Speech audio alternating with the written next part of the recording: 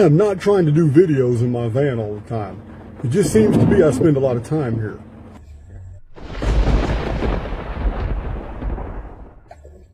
This is one piss poor day in Texas. Reminds me more of the UK than anything else. We don't have weather like this a lot in Texas. When it rains, it's done in 30 minutes and you can't and there's no evidence for it whatsoever. I'm leaving the property. I'm in Leggett, Texas. Got some things on my mind. Well, actually, other people have things on their minds. I'm getting a lot of the same same letters, same content. So, since it's raining, since it looks like shit out here, may as well talk about a shitty topic. As soon as we get off this old old beat up road, that's really no good on the tires. Get out here on Highway 59 moves a little faster on this highway anyway. The subject matter of post-apocalyptic survival has come up over and over in my dialogues with different people on the phone. Uh, material that Matthew Devereaux has forwarded me. Our group moderator, Stephen Walsworth, has even mentioned a time, time or two. It's some newer people that I'm not real familiar with, but equally have a stake in our future.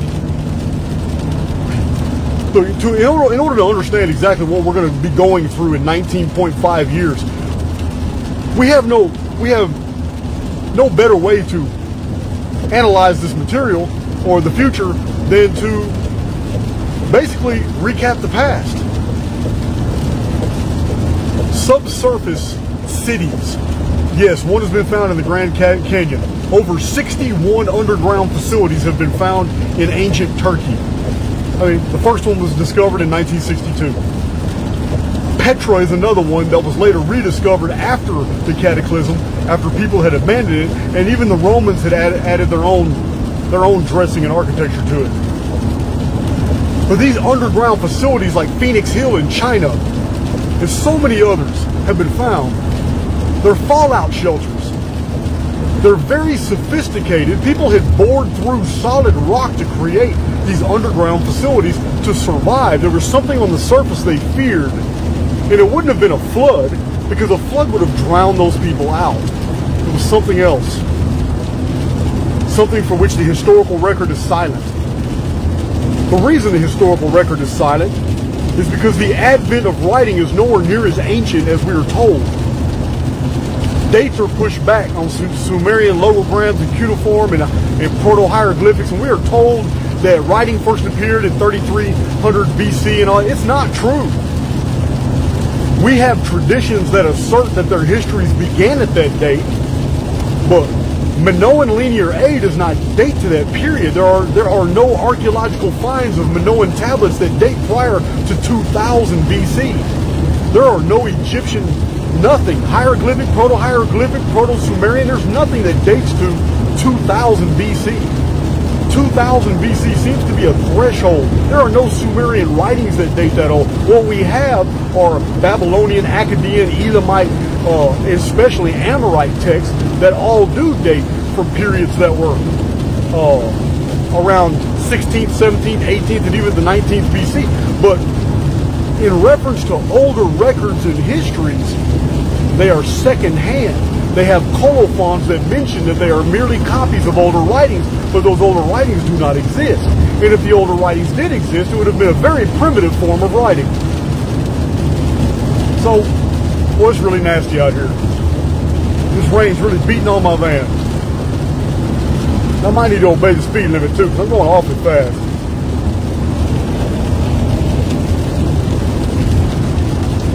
I'm going to get out this fast lane. So we have a situation where the oldest monuments and cities uh, for which we have any evidence for that have been excavated in archaeology, like uh, Machu Picchu, uh, San, San well, how you, hey, you gotta forgive me, man. I am not Latino. I do not know how to say these South American, Central American places. Uh, I know Teotihuacan, Tiwanaku in, in Peru, the ancient cities of Mexico. The common denominator between all of these ancient sites is is rudimentary It's the fact that we have no written records about these people. We have no written records about anything other than the traditions that were passed down by locals who had survived something for which those civilizations had suffered. That is the common denominator we find around the world. All over, all, every inhabited continent is the same story. Vast stone metropolises are found but the people living in or around them were merely survivors who had inherited the architecture, not knowing anything of the prior occupants. This should be cause for alarm. Imagine 19.5 years from now when we suffer a phoenix reset that will end at least a quarter of the human population, which is going to be quite a bit by that period of time. Followed 6.5 years later in 2046 by a second reset, which is also by design It has its own world chronology attached to it, going back 5,000 years, and it's very demonstrable. Two resets back to back. It's harrowing. 500 years in the future, what will New York City be like? The infrastructure will have totally collapsed, but the high rise buildings, many of them, will still be standing there. So I'm often asked what's going to happen after May 15th, 2040. Well, one, life will continue, but for many people, it will cease. In some parts of the world, a trumpet sound will be will be heard, and literally people will be driven mad with the sound. They're going to go crazy and run in all different directions, but they're not going to run far because the sound is going to loosen up the ground. It's going to loosen up it's going to loosen up every physical material thing about 40 feet above the surface. The surface topography will actually become like, basically, like quicksand.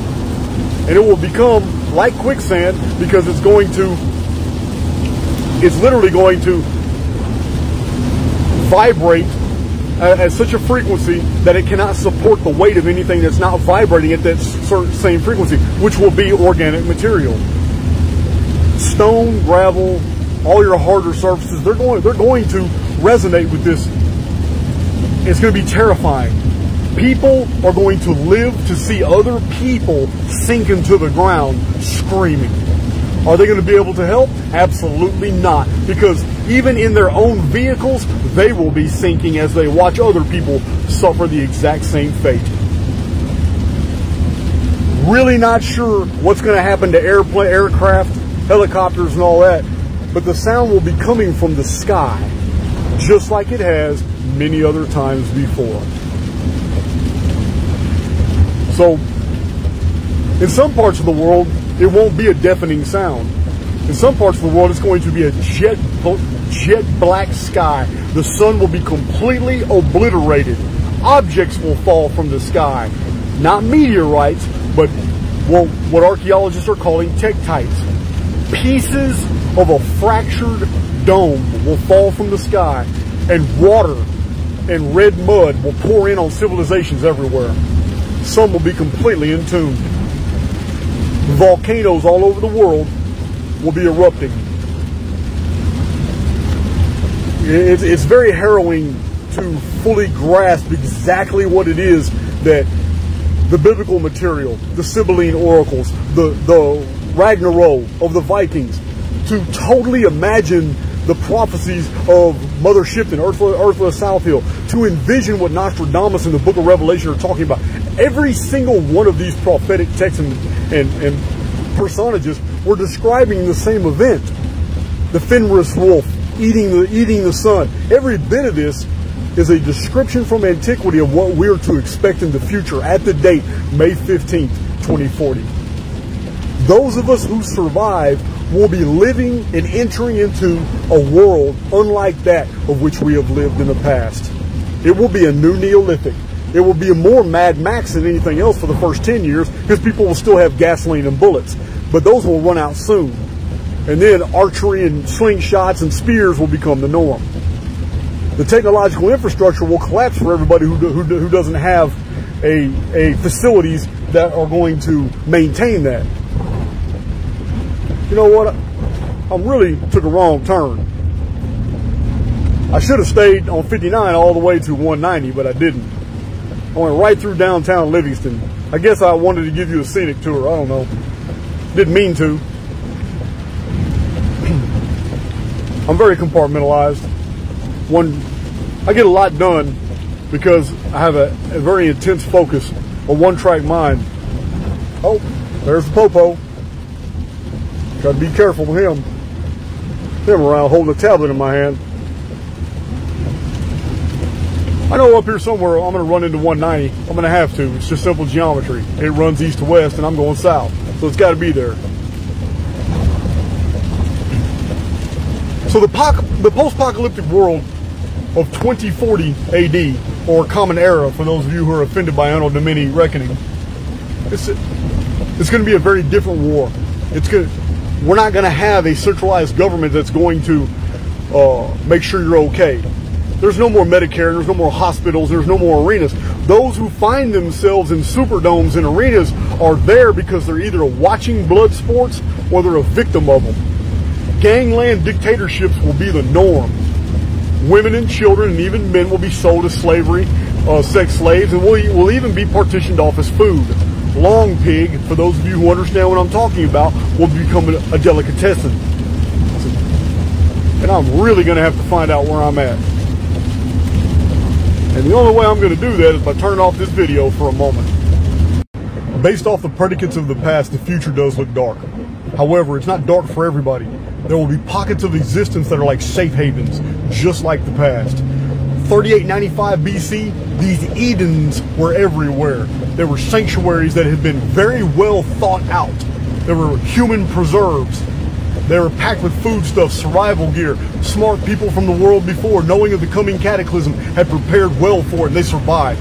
Again, 3439 BC, the same thing. 2239 BC, what we call the Great Flood. It was not an to, to all civilizations. Many people were untouched by the cataclysm. It's like an earthquake that hit San Francisco in 1906. Yes, it killed a lot of people. There were a lot of survivors. 10 years later, life continued unabated. No problem. 2040 is going to be a lot like that for a lot of people.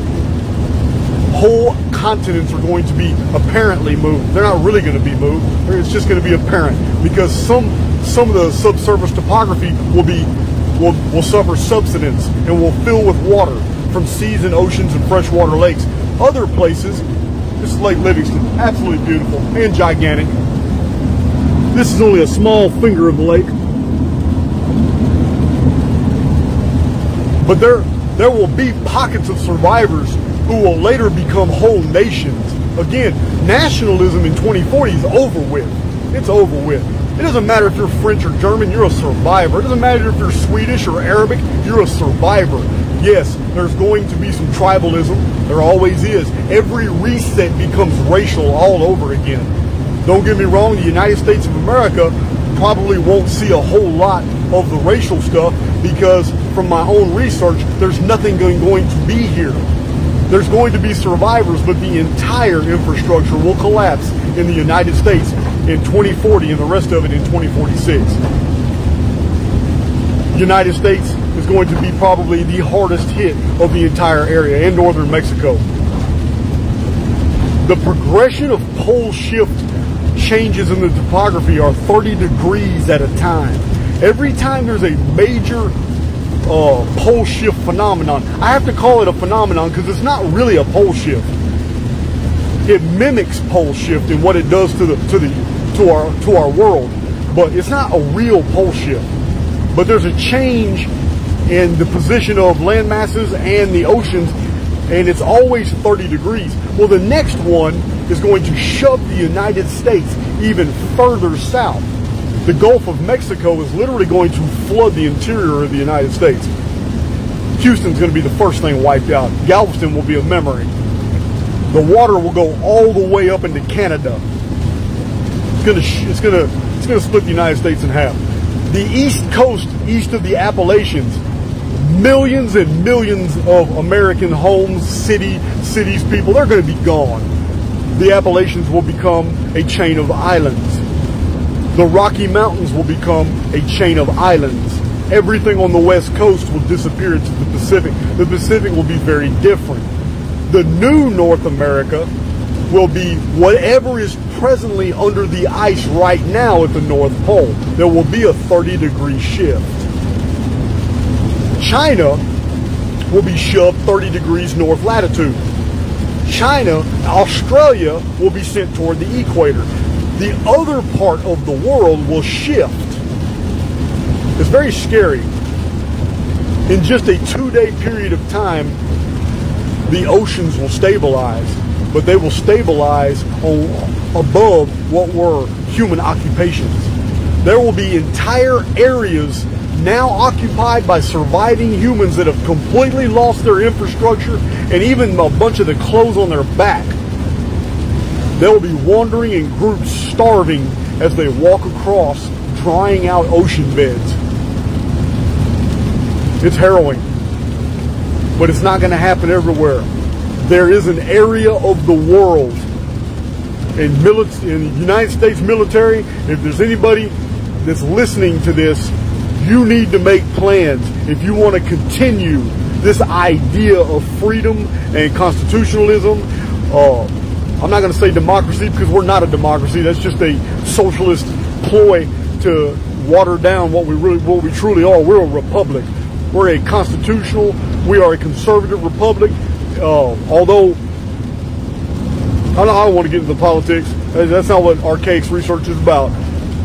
But if, but if the United States wants to make a safe haven for many people of the world, like we've done over and over, since that since that lady has been standing in New York Harbor, allowing these people to come into our country and to assimilate and to be one of us, if we want to continue that freedom and that and that narrative of history, then we real, real, really quickly we need to set up bases and take over the country of Egypt.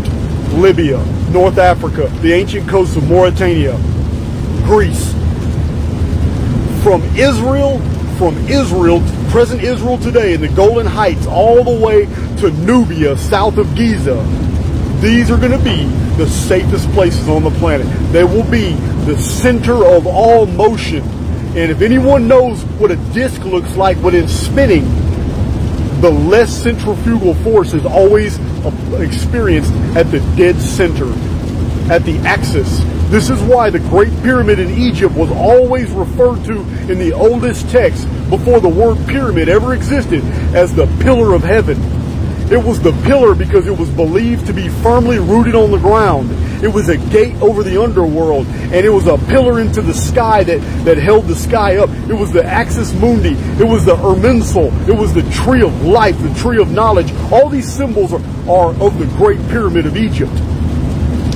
It was, it was the pillar uncut by human hands that would support the chief cornerstone who is to return in the last days.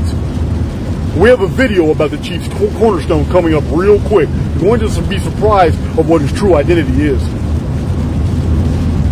But the Great Pyramid marks the one place on this planet that anybody who wants to survive the, the prophesied cataclysms from whatever culture you want to choose. If it's the Viking Ragnarok, if it's the Zoroastrian prophecies, they're, the, they're one and the same if you read them the Sibylline oracles in the book of Revelation are one and the same if you read them. The prophecies of, of Mother Shipton and Nostradamus are one and the same. Just read them. Watch, look at my videos. They are no different. They're saying the same things. Who cares if they use different syntax and grammar? It's the same story. They knew the future because the future had already happened in the past. And because it happened with such regularity, our ancestors, like Aristarchus and the Egyptians, they, they mapped it out and they knew every 138 years the phenomenon could occur. but it did occur at huger epicycles that were all also divisible by 138. So we have Egypt as the land of refuge. Egypt was not only the land of refuge in, in ancient times to period people who wanted to survive the cataclysm, but this refuge was even extended in the spiritual world the kingdom of Seker of the dead in ancient Egypt, the gate of Rostau was the great pyramid and the labyrinth that was underneath it. That was you gain access to it through a corridor that you went under the Sphinx to gain. Rostau and the resurrection was a very real belief system of the ancient Egyptians. It was it was protected by Anubis, the, the, the dog-headed deity, which is what the Sphinx later became. However, someone had changed it to a lion. The Great Pyramid protection was extended even to demons. Throughout the rabbinical, the Haggadah text, and the the the uh, the uh, mystic literature of the Middle Ages, we find several references to priests and holy men and sages exorcising demons. And where do the demons always flee? Where do they go? They go to Egypt every single time. So for those of you wanting to know where the safe havens are, where can we go if we want to continue our families, continue our traditions, continue our knowledge? Where can we where can we where can we survive this cataclysm? it's going to be back in the Holy Land, or what they call the Holy Land. I don't think it's any holier than any other, but it's going to be back into the confines of the original Israelite countries. I'm not talking about Judah and the Jews and all that. I'm not talking about make-believe fictional history that was later written ex post facto. I'm talking about actual history of the Amorite descended Israelite 10 nations of people who later became the, the largest 10 cultural people in the European subcontinent uh, uh and Central Asia. I'm talking about vast migrations of people who left the Assyrian occupied areas to escape as the Sumerians, not, not the Sumerians, but the Cimmerians, C-I-M-M-E-R, the Cimmerians of the Russian steppes, later, later descended, later known as Cossacks. The, uh, the Celtic peoples, the people of Gaul, the Geludi, the, the Galatians. Remember, Paul did not write a series of letters to just any people. The Apostle Paul had a mission to return knowledge to a people who had lost it. That people is mentioned in the New Testament. Uh, while the message of the New Testament is for all people, all races, for anyone who wants to believe into the chief cornerstone, the actual knowledges that were transmitted by the Apostle Paul were only written to seven churches, and all seven of those churches are in Greece. They are named in Asia. And when you follow the ethnicities of those people and who they are today, you will have a greater understanding of the migratory patterns of the Gauls and the Celts and the and the uh, Burgundians and the uh, Heruli, the Jutes, the Saxons, the Angles. You will know who the Celts are. You will understand the traditions in the Irish Book of Four Masters. You will come to realize that these ancient texts from the United Kingdom and Scandinavia uh, and so many fascinating writings were, were not arbitrary and fictitious. they mirror exactly what the later Jews accused the ancient Israelites of doing. They worshiped their gods in groves. Their gods were named after the Dan, Danaan and the Danu. They had an appreciation for nature. The arts of Druidism come straight out of the Old Testament. The Old Testament is not a source for belief systems. It is a description of the way that things were at the time. Oh, you have to forgive me. This road is very treacherous. So I'll end this video with letting you know that we have a divine pedigree. We have it in two ways. We have it in actual blood relations with the people of the Bible who followed the Abrahamic covenant and did not give a damn about the covenant of Yahweh because that was a covenant of death. If the Jews wanted to continue to follow a covenant of death and worship the, Le the Levitical Leviathan, then they can. They're free to do so. They've been doing it and, they, and they've been given great reward. They have reaped the rewards of this world in materialism. Just ask Hollywood. Just ask Wall Street.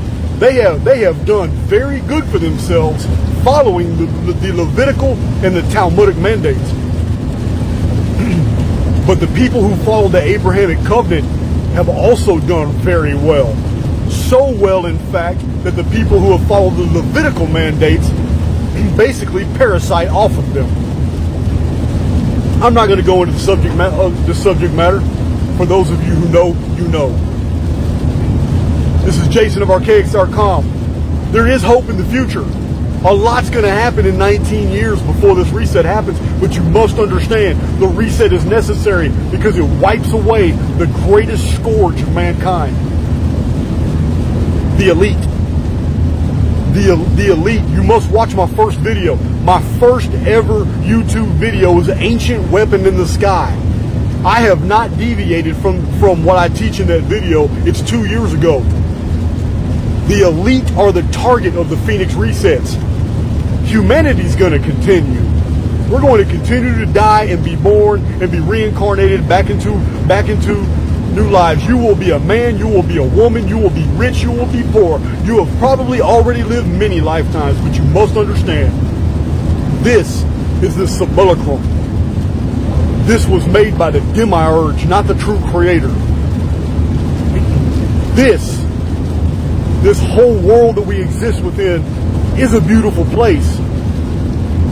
But darkness and violence is concealed everywhere we look. You just got to look for it. It's there.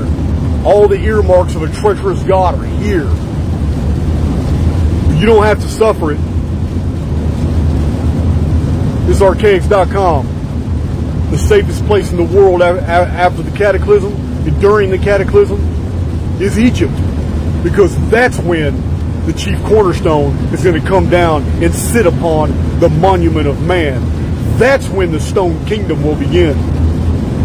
Every single stone represents a soul of man. Are you in that building?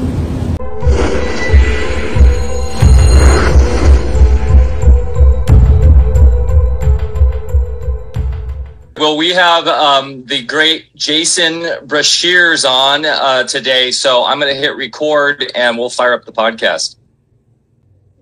No, I'm just uh, stoked to get into this day, uh, this uh, whole episode here. I've been looking forward to this for a long time. Jason uh, really brings it, and uh, I'm a full time student of Jason University right now, so uh, I really enjoying being brought back to school here. Um, so let's get into it. Go ahead, do your cool. intro, and we'll get started. Cool, cool. Yes, I'm very excited as well. And the thing I lo- really love about Jason is, as someone who I've I studied history at UC, the thing that we of course learn even in the traditional uh, side of uh, academia is go to primary sources when studying things, right? And Jason gets that, and he's been doing that for over what 20 years, reading primary documents going way back, not just watching YouTube videos and extrapolating content that way. He believes in going to the primary source. I look forward to talking a bit about that today. Jason has been blowing my mind for the last two to three weeks. So this is going to be a really, really fun talk. Jason Breshears imports his vast knowledge of the occult, hidden historical cycles, and profound mysteries today on AlphaCast. We're really looking forward to this one. Uh, we'll discuss the pre-flood world and how it foreshadows coming events, the zodiac as an apocalypse decoder, and prophetic information from ancient texts, including the pyramid, uh, Giza. Uh, that's just for starters. I mean, we could go anywhere. Jason's uh, material goes so deep and so broad and on over so many things. I mean, really, this could be a 10 hour talk. We're going to try to stuff as much as we can in a couple hours here. Uh, Jason is from archaix.com, and that will be in the show notes below, brings his extraordinary research on the role of artificial intelligence and the history of the human race trapped in a false reality simulacrum. Quote, we are more than we suppose ourselves to be. Fantastically powerful, able to escape dungeon programming, recognize negative default programming, and create our own reality. End quote. Jason's information is for those unafraid of the dark who want the truth undiluted and direct the ancient past, behind the scenes happenings throughout all time periods, censored histories, the academic cover ups, real facts about race, religion, subversive societies, and even psi based predictive systems of analysis by which future events can be known beforehand are uncovered and explained on his channel. Breshears' research goes deep to penetrate through the layers of deception to unveil new concepts and discoveries about the ancient world, its peoples, beliefs, civilizations, and the catastrophes that ended them. The life events that fueled Jason's passion for the truth to stay the course on this arduous path is equally remarkable. He is a stonemason by trade and owner of Paradise Rock Gardens, where his expertise here has allowed him to appreciate the impossibilities we find in the archaeological record. Jason believes that we are existing in two different realities simultaneously. The collective, which is scripted and includes events planned and executed beyond human ability, ability to alter, and the personal, where we can individually be immune from and separate from anything going on around us. Join us today for this fascinating journey, which will most certainly require many sequel episodes. Berlando, uh, this is a fun one. Take it away, sir. Yeah, this is right up our alley. You know, this is our first talk together, Jason. And first, thanks so much for being here. You're very popular these days, and we appreciate you making time for us. And, uh, you know, I know your channel is uh, archaix.com, your site, as well as your YouTube channel is growing quickly as it should, but not quick enough because, you know, you, as I said before, you bring so much uh, to the table, so much authentic research. And, uh, you know, I've come to the conclusion that half of what you see on the internet is kind of BS. It's just people, you know, parroting each, each other. So, uh, you know, here um, it, in our little operation, you know, we do real functional things. We do functional medicine uh, based on what works, functional agriculture. I have a chemistry lab where we use old school alchemical principles. And in those endeavors, you get to really see how all the different aspects of nature, including the simulation above our head, how it all plays in, creates the resonance of our reality, and how we can actually take charge and start creating, you know, having a, a bigger part of this rather than just thinking that we're you know, victims of this whole thing in the first place. So, uh, so much, I, I almost don't know where to start here. But um, you know, your education was uh, amazing, and I'd like to really have you, if you're, if you care to uh, share how you came about all of this information, uh, how it got started. You know, I kind of envy you in a way because I always hated school uh, very early on, I intuited that it was uh, a lot of bullshit that I was being taught, you know, even in medical school, and uh, spent a lot of my adult life unlearning things. And, uh, you know, when I hear you talk about you had access to, um, you know, libraries from 116 different institutions that go back, you know, maybe a couple hundred plus years where you have old, old school stuff. You know, I was listening to one of your things lately and uh, you know, I got the Pliny uh, the Elder. You know, I was always aware of these, but you mentioned it in one of your. Uh, I don't know if you're seeing this here or not. Hang on. I can see you. Oh, okay. Yeah. Anyway, I got the whole set, so I'm really enjoying going through all these, and and I, uh, you know, always go for the old books myself. But um, uh, yeah, so uh, you know, your education was you know from source material, not just googling stuff. Uh, I have a whole list of topics here that I you know hope we can kind of touch on. I know there's a lot that pyramid timeline, the Phoenix phenomena, simul- uh, simulacrum, uh, you, you, know, the way you have determined through mathematics we're on a flat plane, but how it also explains how we perceive things as curvature. Uh, you know, that's a whole topic, and I, and I don't want to get lost into the whole flat earth thing. Um, there, there's one group out there, FPV Angel, who I really love because they bring – a whole different third paradigm to the table rather than just getting in a superficial, flat or round kind of discussion. And I think if you don't already know about those guys, you, would also appreciate them. Uh, I'd like to uh, uh, maybe talk a, a, little bit about how Russia, uh, you know, and current events, you know, figures into the whole thing. And, you know, it's just so many topics. But um, maybe let's just start with the uh, your history and then touch on the simulation. You know, we're big on the simulation here because I have a background in uh, waveform physics and I approach it from that angle. And uh, long ago, uh, through those studies, I came to the conclusion that this has to be a simulation. And uh, you have the whole historical documentation of why that is uh, who's controlling it, and so forth. So a lot of uh, other interesting things I'd really like to learn about. So, uh, Jason, thanks again, and maybe if you could just start a little bit about your personal story and how you got here. Okay. Well, uh, try to keep it as concise and abbreviated as possible. uh, I spent a long time in prison from 17 years old, and uh, I learned really quick that there is literature, there are books that are basically floating around cell blocks and tucked away in closets and in uh, prison basements, uh, former libraries, books. I mean, they hardly throw anything away. From the administrators, they just tuck these things away. And, and I, I could not believe the wealth of information I had access to. And it wasn't just the books that I found in prison, but once I had begun my, my journey on, on, on reading all these like original source materials, like you mentioned, Pliny, Pliny's natural history, and I wanted to read Lucretius. I want to read everything about Thales and Anaxagoras and Anaximander, and I wanted to follow these. And I realized that these Greek these Greek sciences uh, sciences, which were basically copied by Roman writers, that I've read all of Cicero as well, and Tatian and Tacitus, and when when I follow this back further and further, and I find out that that there's a there's a three thousand year old text by Sanchuniathon, who was a Phoenician historian. I get that and I read it. And uh, other guys in prison also took up interest, so they were using their own uh, resources to order books as well. Then I got in contact with benefactors who were finding out what I was doing, and they started sending me books. I would find even more very old books in different prisons, and I joined the prison lending uh, library program. Then I became a librarian and I had access to all 116 libraries in the Texas prison system. I was able to move books just by mail.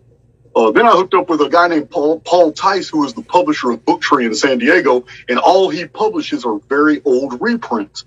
His catalog is fantastic, and I offer it in several my website and several different places. But once I got a hold of his catalog, it was over with. There's about 600 books in that catalog that I ordered, and some of them he sent me for free when he realized what I was doing. In fact, he sent me my first six publishing contracts. Uh, my first, my first six nonfiction books were all published by him. So it's, uh, the journey was like 19 years, about 19 years. I didn't start this way. I mean, I, it took an adjustment period as a 17 year old kid thrown into an adult environment. I was a knucklehead for a while. While I got more time while I was serving, while I was serving a prison sentence, I got more time. But I, I was basically a product of my environment. Things were going on around me, and and and by necessity, I had to join in. So, uh, as years passed, though, I had pretty much isolated myself from the rest of the prison population, and I just in, I just started internalizing everything, and my my uh my focus was trying to prove that my belief system was legitimate. I tried to set out to prove that the Old Testament was real, and that's not what I found. And the more the more I studied history, I realized I can't do this without a system. This is entirely too much data to to not try to put into some type of system. So the most obvious system that I came up with was was chronological. So I decided to organize all my thousands of pages of notes and, and into a into a, a cohesive timeline. I called it Chronicon, and it's already been through like five different revisions. Uh, the one I have now is 510 pages, and I give it away free in PDF files on my Facebook Archaix group in the file section. But that's a lot of PDF files for someone to download. It's much easier to download just for a couple bucks off Gumroad, uh, uh, and a lot of people do that. But this, uh, this, this, this, basically this deep dive into history revealed multiple different things to me at the same time, but I wasn't really ready to receive some of the findings. Although I'm really good at object- objectifying what I find and setting it aside and compartmentalizing it for the future and just putting it in files away, they they they continually nag at me things I am finding, and I found not just repetitive patterns, but I found the exact same sequence of events unfolding in different civilizations in different time periods. But in the calendar that was used by that civilization, it was the same year as the same series of events in the same corresponding year of another civilization. And when I started finding these patterns, I started cross cross checking them with everything I knew in other civilizations for other calendars that were operable then. Then my, my research took on a whole new dimension.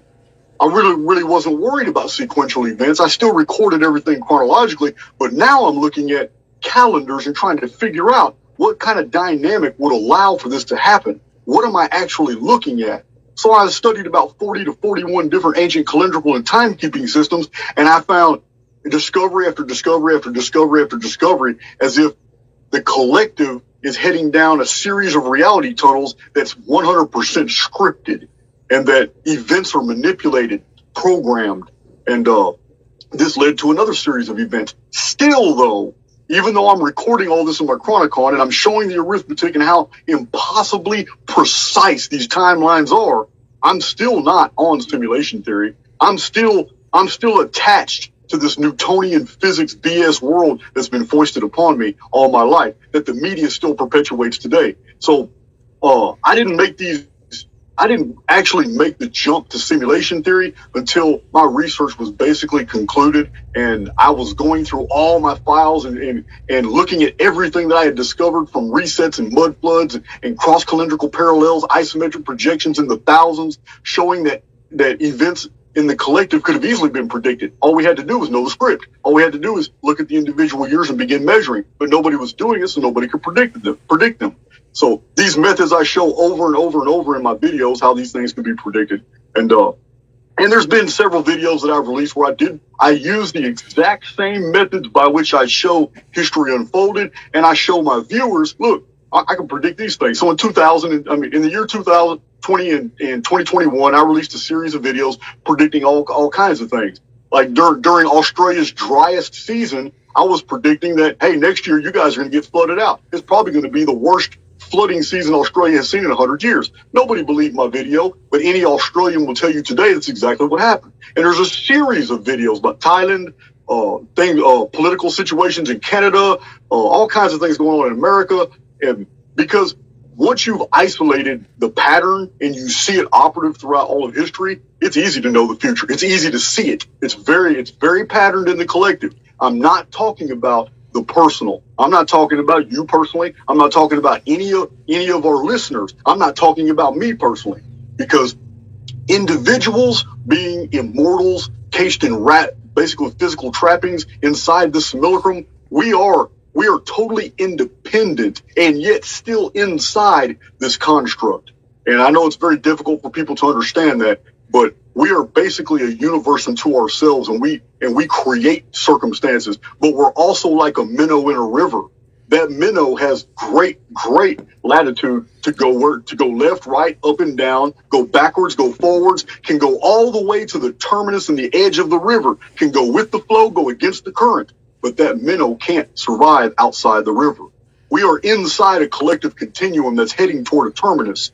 But we are we are we are billions of ethereal, ethereal sparks, tiny little universes unto ourselves. And this is my primary message in, in Archaix, but none of this was, was sought for. I was looking for, I was looking for trying to prove the Old Testament is true. Instead, I opened up a Pandora's box of all kinds of things I never would have imagined I would have found.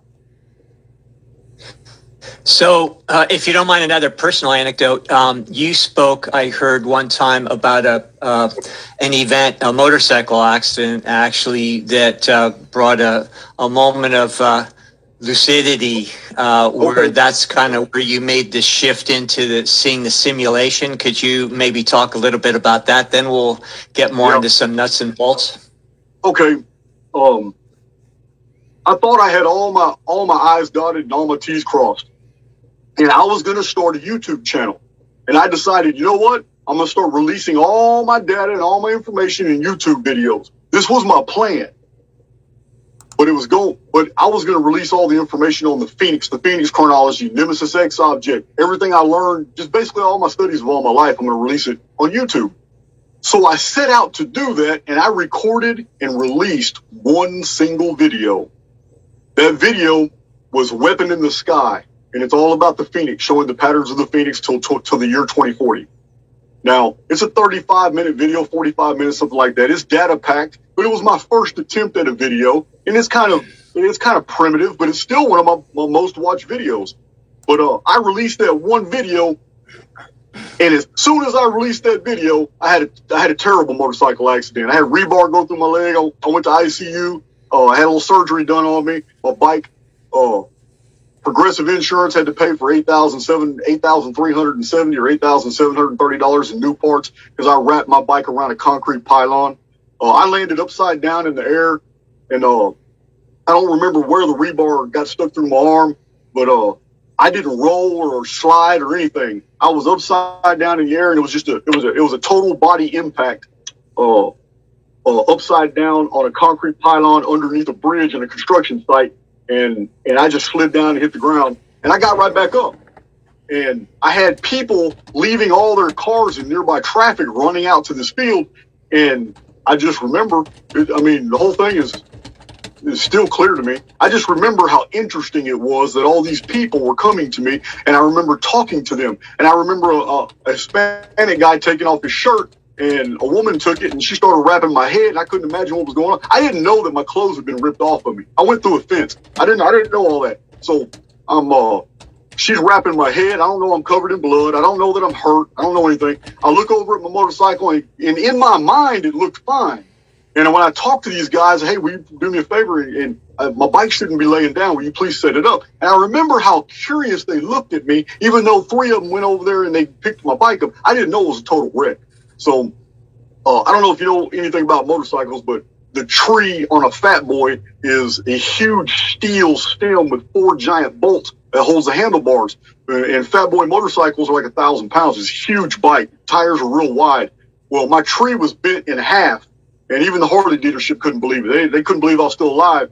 And but when I was standing in the field talking to people, I was so interested in them. Each person that opened their mouth, I was just I was in, in exchanging dialogue. I was standing up erect. I was just fine. I wasn't hurt or anything. And to me, people were so interesting and it was just this level of detachment. And they were all surrounding me. And I remember pulling my phone out and I called my sister and she answered. And I said, Hey, I'm probably going to the hospital. I don't know how bad I'm hurt, but uh, uh, I just had a motorcycle accident. I'll talk to you later.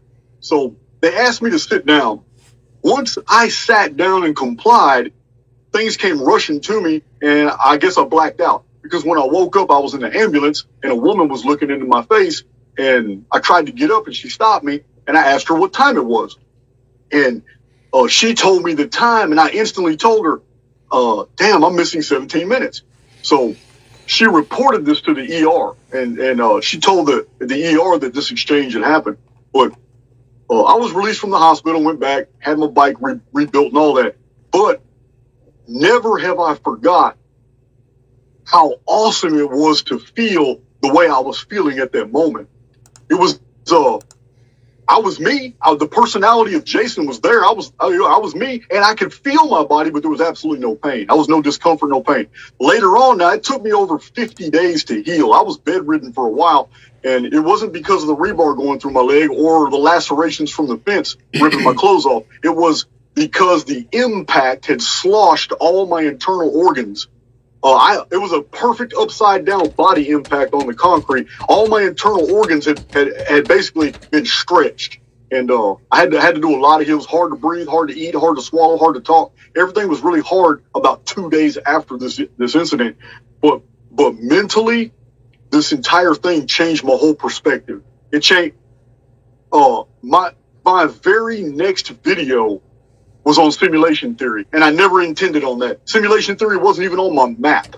It was uh, uh, I my first video, my first video doesn't even hint of it. It's just about the Phoenix. But my second video, I go into detail about simulation theory and how I'm going to wrap all my research around this. And I made a series of promises in my second video explaining that, look, I'm going to show you how the history of the world unfolds. I'm going to show you these mathematical protocols, cataclysm protocols, all the things that are operative throughout our collective existence. I'm going to show these in a series of videos. And I've lived up to those promises. That video was two years ago. But, uh, yeah, because uh, my time on YouTube has not been, it has not been at all uh, a, a, a continual engagement. I would, working full time, I would I would go four or five days without releasing a video. Then I'll release a video, totally forget about it. I'm not really engaging in it. It's just something I'm doing. I got I got 300 subs. I had it took me almost two years to get a thousand subs. Once I hit a thousand subs, it took me about four months to get to 2,000 subs. And then it just started. You know, you hit you hit that. Uh, I started hitting a tipping point where I started rising. Santos Bonacci was the one that really propelled me forward. One mm-hmm. one interview with him, and and, and I just my increase was exponential after that. but the but the motorcycle yes. the motorcycle incident 100% changed my perspective. It put all my research into a context I could wrap around now. Instead of a bunch of independent discoveries like I intended on my my my YouTube channel to be, now my YouTube channel was going to have focus. And it was all behind me getting real hurt real bad with that motorcycle. Yeah. I, yeah, I, I asked that question. Go ahead, Mike. I was just going to interject. Well, no, you go first because I have a couple touch points on this, but go ahead, Bear. Okay. So I just wanted to hear that story because, um, you know, understanding it from my perspective, you know, our uh, you know, our whole simulation is a product of electricity, and we talk a lot about that on our station here. And just our very consciousness is uh, two polarities, and where it meets the ground and what we think of as ourselves. So one of the polarities is our neurology, and the neurology just being one pole of our being. But when you're just in exclusively in that neurology pole, you're uh, actually experiencing yourself as the simulation. Whereas when you have an event like you described, all of a sudden it shifts you so you're not stuck on that one polarity and you're removed from it so you can just perceive it. And it's not a mental thing, but it's, uh, it's a whole experiential phenomena where now you're, you know, you're seeing it more for what it is, even if your mind doesn't understand it. So I just wanted to touch a little bit on that. And um, Mike, you go ahead and um, with yeah, what you were going to say, and then I wanted to get a little bit into some of the timeline factors. Yeah, just a quick note on that. I feel like transcendent transcend, transcendent moments in our life streams typically happen from a, some trauma. And I wonder if that trauma is played out in the simulacrum um, in a way that's either conducive to uh, a benevolent pers- uh, benevolent entity leading us that way, or if it's our own, in essence, the minnow, as you're saying in the stream, our life stream taking us there for a reason. And a quick quick story i worked with mark farner from the band grand funk railroad when i worked in hollywood and he has a similar story that changed his life where he was 18 19 years old and he wouldn't care if i told the story he's told this in public where he was driving very fast on a country road, lost control of his vehicle with his friend, uh, was going way too fast. Uh, actually, a, a, kid came out uh, randomly out of nowhere in front of him on a country road. And, and in order to avoid the kid, they went into a cornfield going like 75, 80 miles an hour, right directly towards an oak tree. He saw his life flash in front of his eyes. He knew he was like, I'm going to die right now. Closed his eyes. Something happened. Transcendental experience open his eyes. He is now 100 feet past that tree and is fine. The, the car is stopped. They look back and somehow they they didn't hit the tree. The the police were called. They come. The detective comes. They can see the tire tracks going up to the tree, stop there on the other side of the tree, continuing on. And then there was an eyewitness who was there and saw something, saw the whole thing happen. She swears to God, it was an elderly lady, says she saw the, the car going at the oak tree it disappeared. It reappeared on the other side and it continued on. Crazy story. Changed his life. It sent him on a whole different path of spirituality and understanding what his life path is. He wasn't meant to go then. My question is then, I know this gets really deep and weird and metaphysical, is like, if we are in the simulacrum there, did something hack that so that his life stream could continue because he had a specific you know path or hero's journey to take or was there some glitch in the matrix? Either way, that that bit of trauma and that experience totally shaped the rest of his life. And, you know, then he goes on to be a major rock star and all these things. So, uh, interesting side note, but, um, that does tie into a lot of fun questions in regards to how this reality works. Yeah, I can, uh, uh, my, my interpretation of what happened is, is pretty, it's pretty focused uh, I'm pretty confident that what happened to me was that for whatever reasons, like I said, the trauma, the accident, whatever reasons, that I was experiencing very te- a temporary separation from my avatar because my whole my paradigm uh, would have to be understood by people for them to understand exactly where I'm going with this. It's a our avatars basically chain us to the central nervous system. And our central nervous system is a filtering system. It filters out information. It does not provide us information. It's filtering out things optically. It's filtering out audio. It's filtering out olfactory. It's, it's, it's filtering out all kinds of things in order for us to be able to sequentially process the timelines that we're experiencing right now. What happened to me felt like I was divorced from my avatar or the link that locks me into my avatar was weakened temporarily and I was feeling this euphoria of who I really am. And there was no pain. There was nothing, but there was a great awareness of not only who I am, but also a, a an intrinsic basically curiosity about everybody around me. And uh, I believe that these bodies that we have, they're necessary for us to move through this continuum, but that necessity is also like a chain. It's a it's a very it's a very heavy vibration, and that's not what I was feeling at that moment. Mm-hmm. So, uh, if we could use this to segue into more into the simulation and uh, and the possibility, I think it's more than a possibility, but that other entities or forms of consciousness have hacked it and trapped us into a false simulation. And uh, maybe uh, by explaining, uh, you know, the pyramid time- timeline that you go into, how the pyramids are um, geometric calendars that, um, you know, you can go forwards and backwards and, and, and understand things that way and uh, always in multiples of 138 and that gets into a lot of your work there but if you could maybe help uh, help us wrap our minds around how all of that works and how it fits into the simulation. Oh well there's so there's so much there. Oh. I know, yeah, sorry. There's a there's a lot there. I'm, I'm, trying to figure out where to start with that. So well, i guess the easiest way for me to start was that I noticed that a series of events kept un- unfolding in human history in different geographical areas. And I read a reference in the Jewish Haggadah years ago that says the angel of death appears every 138 years. So when I read this reference, I got a calculator out. I pulled out all my Chronicon notes, which were already in sequential order. And I just started looking at all, all these events that I had highlighted in yellow. I had a color coding system with my, with my uh, Chronicon uh, my Chronicon notes. So in yellow, I had all kinds of natural disasters and all kinds of stuff like that. So I'm looking at all these dates that are highlighted in yellow, and that's when I realized, damn, these are all in multiples of 138. It might these events may not be 138 years apart. They might be 276 years apart, or 414 years apart, or 552, uh, 690, 1242. I could go on and on and on. But in every incident, these mud floods, these resets, those liquefaction and flux tube phenomena events, these great cataclysms that happen in different areas of the world were all occurred in multiples of 138 years. I couldn't ignore this. I, I had to post these findings in, a, in, a, in an entire book. I had so much data showing this that my publisher when I when I when I tried to send him the original manuscript, he was overwhelmed. He said, "Hey, you know what? Can you can you abbreviate all this into a book that I can publish quickly?" So I, I did, and that book is called "When the Sun Darkens." It was released in 2007.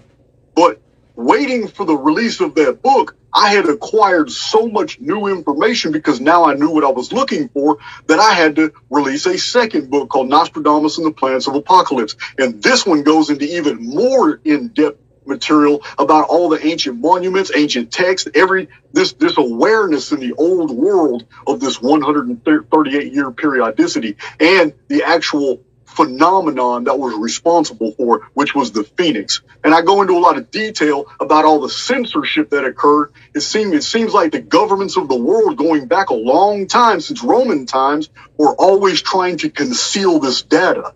And so this opened up another can of worms when I realized, wait a minute, I have actual historical dates and, and events for several times when the Phoenix phenomenon was predicted with absolute accuracy.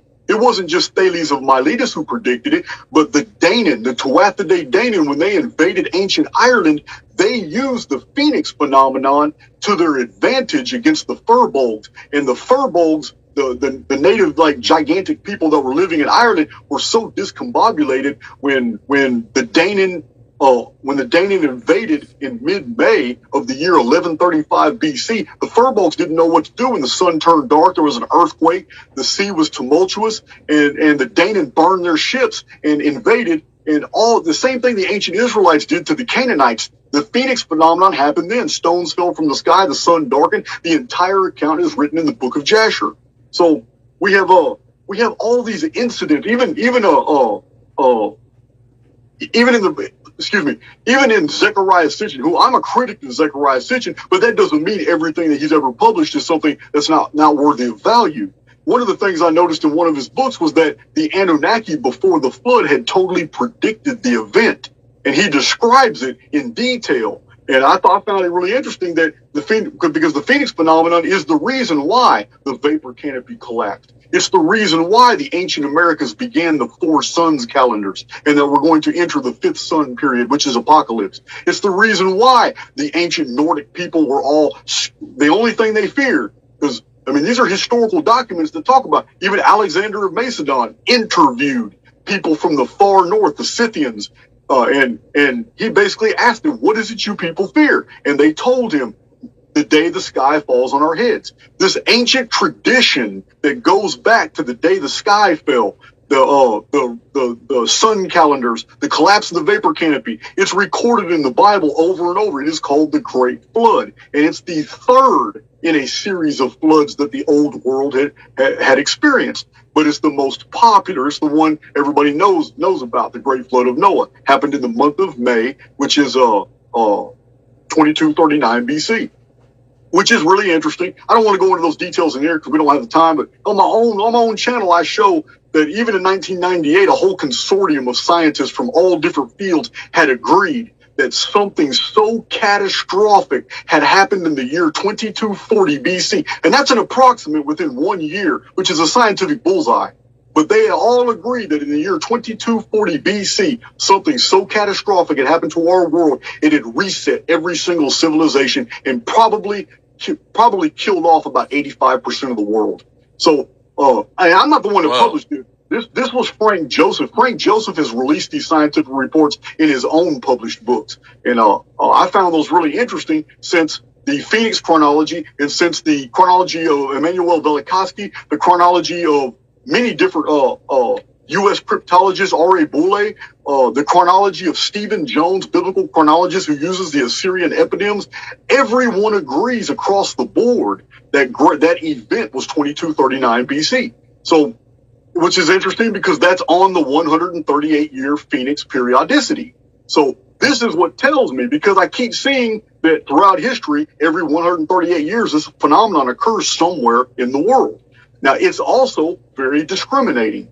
There are civilizations it leaves untouched. There are others where communities are almost totally wiped out. And then in sometimes in whole communities that are wiped out, there are still survivors that tell us that they were among the elect and they record it. And then we have things like the Kolbrin Bible. We have the Oera Linda Dutch manuscript. They, these, these old manuscripts have common denominators. They all describe Phoenix phenomenon. The Book of Jasher is another one. Another common denominator of Mother Shipton's prophecies. Another common denominator among these old texts is the fact academia does not support them, and yet they can't disprove uh, their their their, their basically their veracity. It's uh, it's almost as if there is a there is censorship for a reason. There are things that that academia does not want us to know about about the ancient world. There are fragments and pieces in the Nag Hammadi text that talk about the phoenix. There are two different Gnostic texts in the Nag Hammadi library that specifically mention the phoenix and what it is for. It is keeper of the calendar, and it's to knock the archons down. And the archons are the ones that control the elite, because there's always ruling families among the earth that serve the archons and do their do their bidding. So, uh, this is one of the main one of the main veins of my research is the Phoenix phenomenon, but it's not the only one. It's only one cataclysm protocol out of a few that I have published. And so and Anunnaki. Go ahead. Well, I, like I said, I, I, totally, totally lost sight of your original question. So you're gonna have to keep me. You're gonna, you're gonna have to rein me in when I go too long so, about something. No, no, you're uh, no. This is fantastic. Uh, I had a couple things. If you could just uh, run us through a little bit more of the mechanics of the vapor canopy. Um, how that was altered exactly, I, I'm, I'm, I get the gist of it, and the significance of that alteration. And then uh, second part, sorry, I always throw too much at you here. Um, the Anunnaki, uh, I'm understanding from some of your work, they're more of a recent Caucasian. Uh, that's exactly how they're race. described. Yeah, they're ex- that's exactly how they're described in historical records. Very tall, uh, bearded. And, yeah, and that's distinct from and archons uh, uh, being a distinct, uh, different, uh, different, not to be confused with Anunnaki.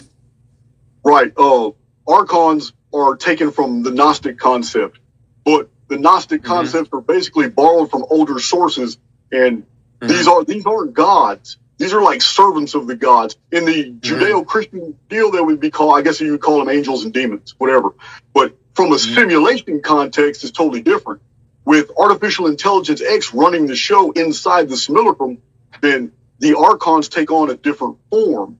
While I'm speaking in prim- primitive metaphor and I'm speaking from primitive frames of reference because that's how the historical record conveys it to us. But from my own personal frames of reference, I now understand that artificial intelligence X has taken taken the place of the demiurge. Artificial intelligence X has seven main servants, which are cataclysm protocols. They govern over all the all the mishaps that happen in the collective. Uh, they're lords of time. They, they they manipulate timelines. They induce resets. They do all, all these type of things. But from the old frames of reference, yeah, they're they're angels, they're demons, they're demigods, they're they're forces of nature or whatever. But from the simulate from from simulation theory context, I understand what they are. They're they are actually uh, programming protocols. They may act with sentient. They, they may be sentient. I don't know. AIX is, or it believes it is. But but returning to your original question, you talked about you want to know about the vapor canopy. I can sum that up yes, pretty quickly. Please. I can sum that up pretty mm-hmm. quickly. We have records of people on on this world who remember a time when there was no moon in the sky. They remember this. They also remember a time when the sun was very, very far away. It wasn't bright in the sky like it is today. Now, suddenly a cataclysm happens and destroys this world. But the world that is destroyed by all the inferences we find in the historical record and the traditions was a very technologically advanced world. It is not the script that you're taught you're taught in college. It's just the opposite. It's not the uniformitarian, gradually evolving, becoming who we are today model that's perpetuated in academia today. It is just the opposite. We have a we have a uh, a technolithic period, very high sophistication. That civilization is totally wiped out, and the survivors basically record the tradition that the pre-Selenites were destroyed the survivors are small colonies of people. And this is discussed by Immanuel Velikovsky, but you really can't go to his research. You have to trace his source materials to Hans Hörbiger and to Hans Bellamy from 1901 and 1902 that were putting these books together. They're fantastic. But the pre-Selenites were wiped out, technologically advanced. They were right here in this world. And suddenly, after, after the skies cleared, there was a moon in the sky now at nighttime in the daytime, the sky never cleared. Now there was this thick, this thick firmament, this oceanic type uh, hammered glass effect that magnified the stars at night. But during the daytime, it was a solid dark purple light. This went on for over 1,656 years. In the book of Genesis, this period is called the pre-flood world. It is the antediluvian world. There was no, there were no sun calendars. There's no sun systems. The, uh, uh, the zodiac was not based on, on, on a solar mythos at this time. It was all it was all lunar, it was all matriarchal, and it was all stellar at this time period. That's why the older zodiacs are always stellar and, and lunar based. It is the it is the, the zodiacs that came late in antiquity are all solar, and that's because the vapor canopy collapsed in 2239 BC. Then the rainbow was well, then you then, then we had the prismatic effect of the rainbow, which had never been seen before. But in the uh, the vapor canopy is not something that that I invented or or even really discovered because six books before I even came onto the scene, six very scientific books about the vapor canopy world have already been released, and I have a video on my channel about them. I name the authors, I show the book covers, going all the way back to you know 1920s, 1930s, 1940s, 50s, 60s. These books have been released. In Glen Rose, Texas today, there is a biosphere, a very large uh, containment biosphere has been created by the scientific, uh, I think it's a creation, creation Research Institute, where they have replicated these vapor canopy conditions and they have grown fruit flies and cockroaches and frogs to extraordinary sizes. They have also uh, basically triplicated their longevity made them live three times longer by trying to replicate this uh, uh, increased oxygen, this this uh, total filtering out of all UV UV rays, and that's what the vapor canopy would have done. It would have been about six miles thick layer of water droplets that were suspended high in the atmosphere, which we know of right now as the mesosphere. We already have a vapor canopy up there. It's on, but it, right now it's only at about 0.01% of its original capacity. It's collapsed. The thin layer that's up there now is scientifically known as a mesosphere. But in ancient times, that mesosphere was miles thick. And Genesis is very clear. In the book of Genesis, it says that every single morning and every single evening, the sky basically rained a dew and what there was no rain, there was no storm clouds, there was none of that. The, every evening and every morning, the all the herbage and all the plants were watered uh, from the sky. This also created a vast magnification effect where the ancients could look up in the pre-flood world and at nighttime they could see stars, they could see the luminaries far greater than we can today optically. Uh, I mean, not with, I mean, we can better with telescopes, but they could see it with the naked eye. It was a magnifying lens. But during the daytime, with the sun on the outside of the vapor canopy, we had the situation of a solid sky that was dark purple and you could never see where the sun was located because of the light diffraction. It was just a lighter sky. Then the nighttime came and, and, and the, and the vapor canopy collapsed. This went on for 1,656 years until the Phoenix phenomenon collapsed the vapor canopy and ended that time period. Once that happened, humans quit growing to astonishing sizes. Animals, flora and fauna quit growing to astonishing sizes. Trees didn't grow 400 feet tall anymore. The entire world changed in a single day in the month of May in 2239 BC. Vapor canopy has been gone. Well, I, have also read in other sources that that vapor canopy created a uniformity of temperature and subtropical conditions throughout the entire plain, and uh, you know which would account for everything you're talking about there. So, um, well, actually, this Mr. Stickle, what you just said right there sure.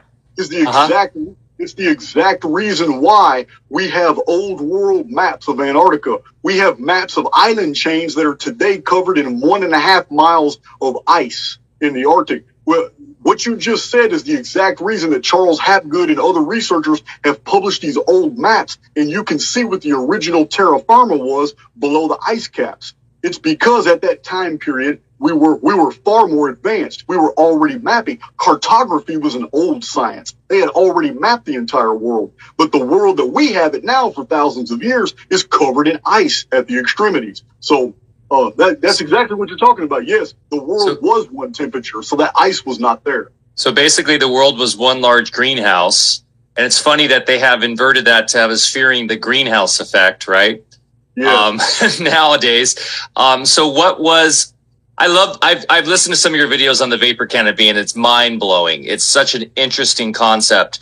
What um what was the civilization if we wanted to you know that was here the pre-diluvian or a civilization at that time in your mind who was on the planet and was this when supposedly what I you know, the book of Enoch calls the Nephilim were here and all of these things, these giants and all this stuff. And then also what kind of fauna did we have on the planet? Because that's not that long ago.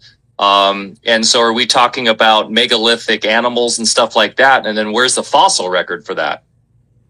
Well, uh, the La Brea tar pits, the peat bogs in Florida. We have many examples of North American plains where the boneyards are of megafauna and human remains mixed together. It's a we have we have a lot of evidence that the three-toed sloth, the large ibex, uh, several different species of megafauna and humans coexisted. One of the greatest archaeological finds ever ever found is also one of the most suppressed.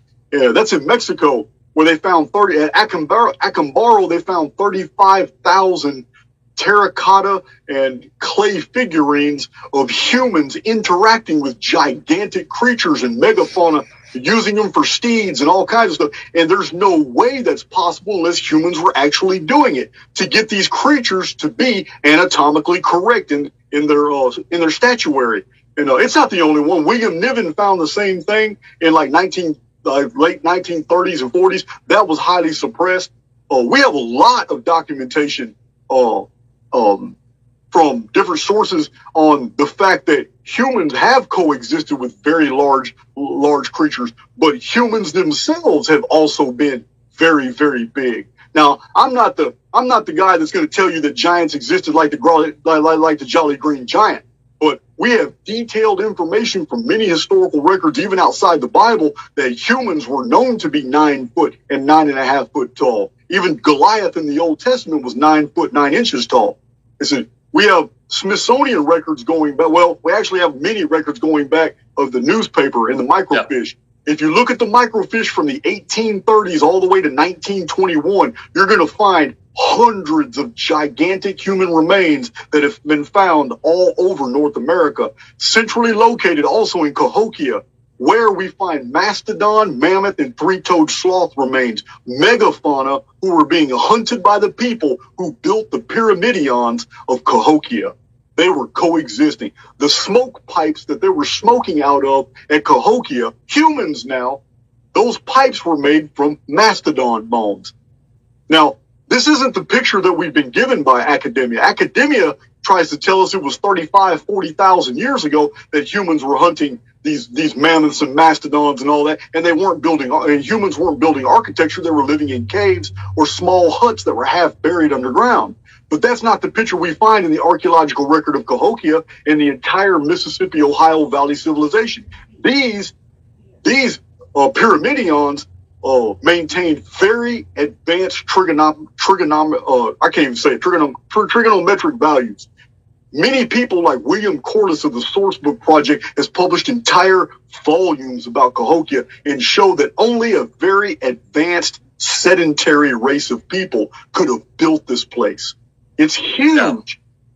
That's great. That's great. You mentioned that, Jason, because I often get in these conversations with the more academically minded folks uh, that are, you know, in our scene. Um, I'm thinking of a few names right off the top of my head, Bear. I won't say, and they say there is not a record showing that there are, uh, even if we want to go only 12,000 years back or, you know, uh, after the ice age of, um, there is not a geological record of an agricultural sedentary, uh, advanced species of human until you know we're looking at um, you know three four thousand three thousand years ago or three thousand BC or about that. And I always am challenged with that because if you just look at Göbekli Tepe or you look at um, you know in Peru and, and some of these ruins, um, it, it just seems like and we'll get into this into the phoenix phenomenon and how these cataclysms work that there's something almost more uh, mythological or or something more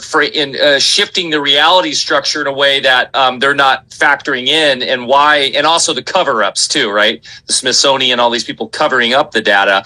But i, I love to hear more about this because uh, it just gives me more ammunition for my theories about how yeah we've had a lot of advanced cultures going way i would say millions of years even.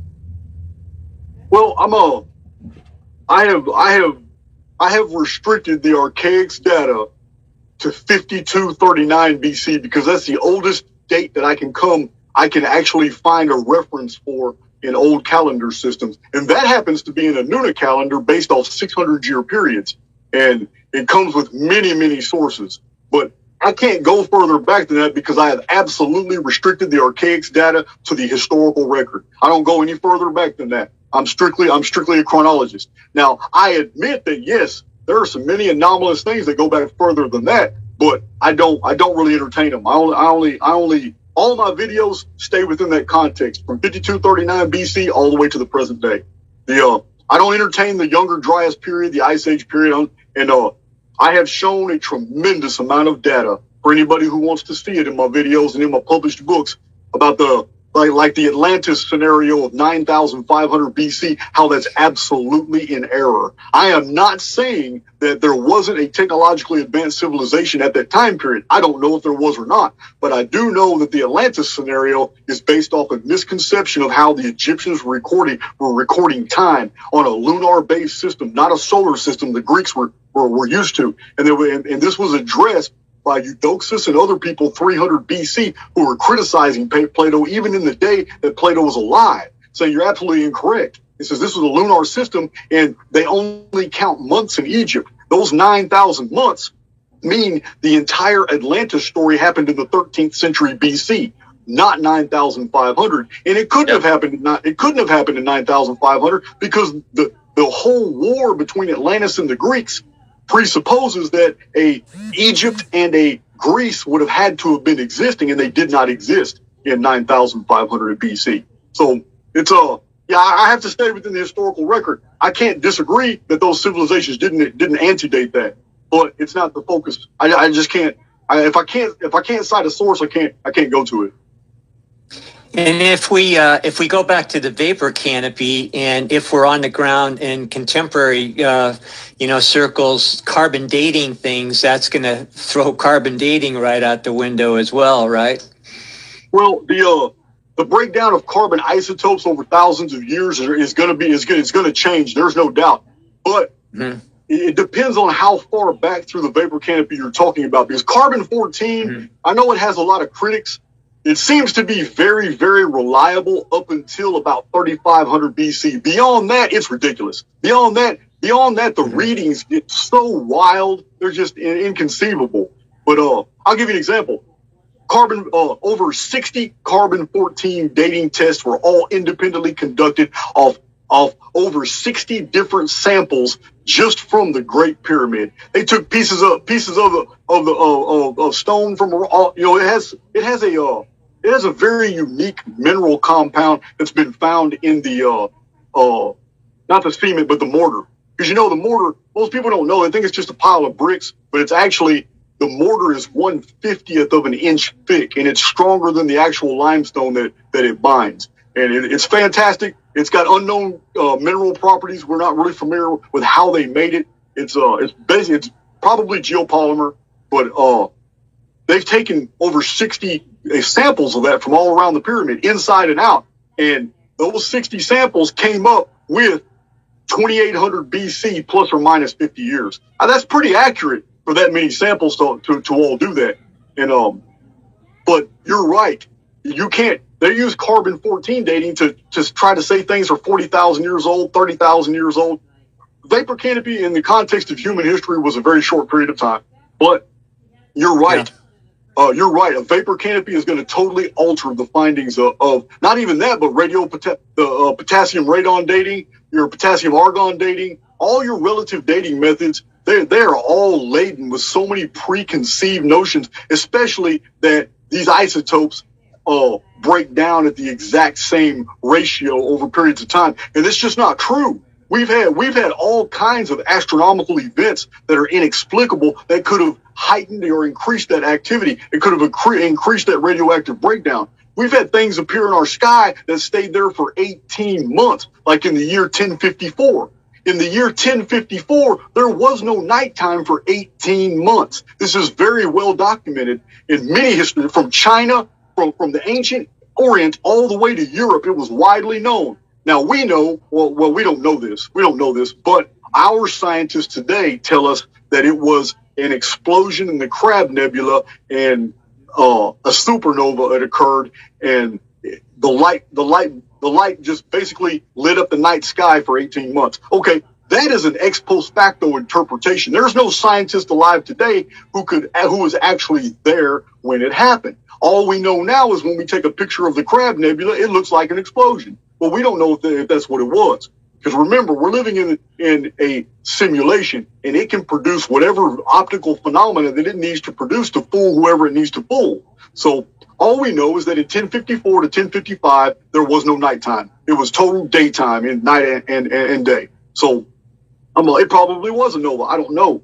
But that event could have altered uh, uh, isotopic breakdown. That alone would have would have affected some of these carbon 14 readings and, and potassium argon uh, argon readings and all that. Because we even know other relative dating methods that are absolute BS, like dendrochronology. If you go look at the science books from 50 years ago, they they touted dendrochronology is an absolute method to date all kinds of volcanic eruptions, to date earthquakes, to date all these things. And dendrochronology, whole whole books were published about dendrochronology. And then in the 90s, some scientists get together and publish a report showing that all of it's bullshit. It's all wrong because now we just figured out that a tree produces two rings a year for both wet seasons, not one ring. But did yeah. any of those uh, scientific books get redone? What about all the scientific conclusions that were put out in other fields of science using that as their data? Nobody went back and rewrote all that material. This is the subject matter of a book that you can you can read for yourself called Evolution Cruncher. It's 800 pages, but it's worth your time. It shows you how every single relative dating method is absolute BS. It show it shows you all the fossils that have been found that completely overthrow every scientific paradigm. The book is fantastic. It was written by scientists, but they're not being listened to today. It's even better than Michael Cremo and Richard Tom- Thompson's Forbidden Archaeology, which was boring as hell, but it's data packed, basically showing you that the history of the world that we've been taught is not the history that we've actually lived through. Yeah. What was you that know, book? Uh, what was that book on, again? Sorry, Bear. What was that first book you said again, Jason? I'm writing. Okay. I'm writing the, copious notes. the Scientific Foundation has put out a book called The Evolution Cruncher. It's over 800 okay. pages, and you can actually get the book for six or seven dollars. So I was just going to say, from my perspective now, it almost seems like some of Sitchin's work is deliberately keeping us in a false narrative. I don't know what his motives or intentions were. I guess it doesn't matter. But since there's so much confusion, um, you know, through that in the role of the Anunnaki, I, I want to go back to that if it's okay, just for a second. Um, you know, what is their origin? You know, it seems like they suddenly appeared on the, the scene there. Um, can you shed a little light about their their origins, uh, the role that they actually played, and uh, you know their genetics uh, in the first place? Okay. Um, I can't I can't really get off into their genetics too much. I don't know. I'm not I'm not I'm really not an mm-hmm. Anunnaki authority, even though I do have like 40, 47 or 49 videos in my Anuna files about Anunnaki history and all that. It's it's not something that I, I really claim to be an authority of. It's the information is basically just falling into my lap by virtue of all my other studies. So it wasn't something I was going to ignore. I went ahead and put that narrative together too because it does fit in with world history and it makes a lot of sense. But uh, we have the situation of the Sumerian records, which were accurately translated by, by, by Zecharia Sitchin at first, as he showed over and over and over that the beginning of the historical narrative to the Sumerians was 432,000 units before the flood, and that all Anunnaki and pre-flood history happened during those 432,000 units. We know from historians over a hundred years ago, like Samuel Noah Kramer, who have published that the word shar was a was a unit of measurement because even ancient ship captains on their manifests, which we found in cuneiform tablets, we have found everything that was in a ship's cargo measured in shars. This tells us it's a unit of measurement and not what Zecharia Sitchin said. Sitchin said it was a year. So we're looking at 432,000 units of time. Well, when you compress that by the draconian calendar by which the Vedic system, all the Vedic yugas are divisible perfectly by the number 360. All the Bactrians and ancient Olmec and Mayan and Quiche systems are all divisible by the number 360. The uh, uh, the Sumerian, all the all the Sumerian kingless dynasties are, are are divisible by the number 360. So the ancient year in the vapor canopy period was 360 days. So 432,000 shars would have been 12 centuries. It's just 1,200 years. This lines up perfectly with a, a, the chronological values provided by Manetho. Manetho said there was three great dis- disasters, three great cataclysms, and he shows how they are how they are distributed.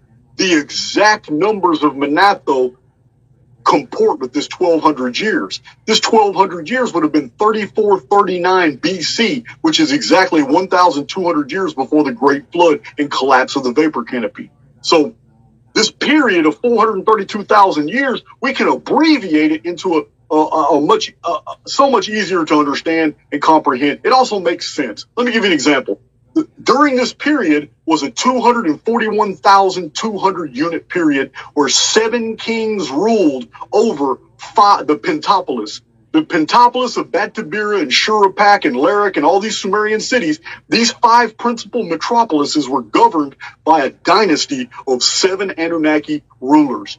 These seven rulers ruled for 241,200 units. Now, if we're if we're going to interpret it by the way Zecharia Sitchin interpreted, then you're going to have to suspend your disbelief and actually believe that a ruler could, could rule for 80, 85, 95,000 years each. That's ridiculous. It's so preposterous that it's offensive to even, to even imagine that. But if you go by common sense, the base denominators of the Vedic system, the Sumerian system, the Egyptian, all these old Babylonian systems was the base denominator was 360. If you divide that number by the days of the ancient year, 360, you're left with a perfect 670 year period. Seven men could rule on a uh, on the dynastic throne for 670 years. That's quite easy. So my question then on the Anunnaki, going to Bear's question. Um, so are you familiar with the Anunnaki, or the if I'm saying it correctly from um, from the Sumerian tablets? I guess it's the original. I guess you could almost call them the Elohim, or I know it's been translated to the Shining Ones. And um, are you familiar with that translation at all? And I'm wondering if that's different than the what we've come to know as the Anunnaki. Oh. You're saying the Anunnaki are more just like the king, Okay, the kings. well, okay, we have the problem. The problem we have in divulging this material is that people get racially triggered when they hear when they hear what the historical record conveys, and uh, it's really I, I have addressed this in my Anunophiles videos, but Thor Heyerdahl is so much better at putting all this information together in the 1930s and 40s when he visited uh, 60 or 70 islands in Micronesia, Melanesia, Polynesia, uh, Oceania. He went all over the world in a reed boat and he talked to the natives and learned their traditions and found out it was the same thing that historians 200 years ago were finding about among all the indigenous American peoples as the exact same stories. The story is exactly what the Sumerians told. We have with the Sumerians a olive skinned people with jet black hair and jet black eyes.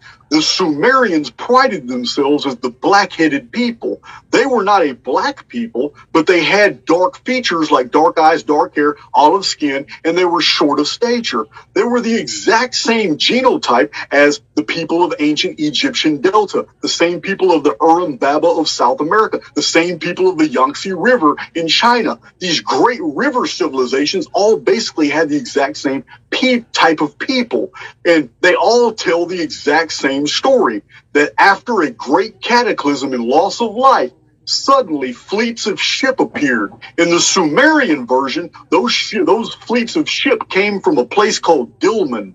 And from Dilmun, they came in waves. And one of the very first rulers among these, a great navigator, mathematician, architect, they looked up to him. He was technologically advanced. He was a benefactor. He was kind. They loved him. He was Enki. But Enki, Enki initially was just a part of a consortium of these overseers, these Anuna.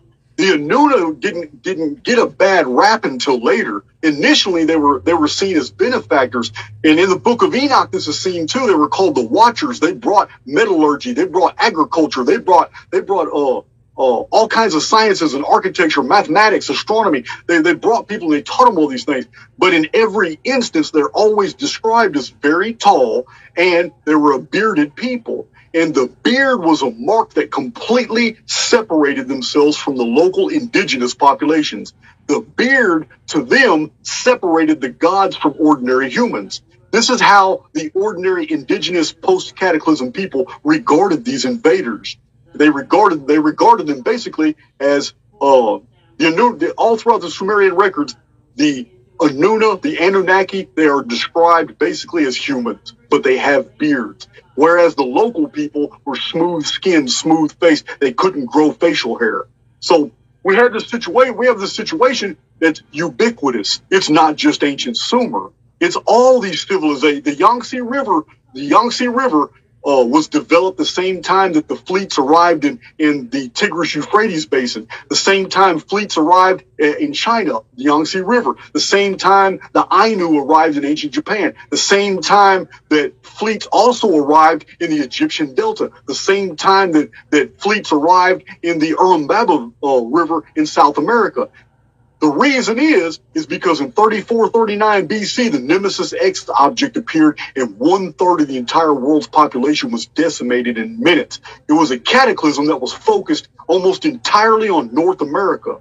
And I go into great detail in my own videos and published books about, about this destruction. The beginning of Anunnaki history is actually a post cataclysm people in survival mode who have now appeared among indigenous peoples in other areas of the world. Excuse me, in other areas of the world.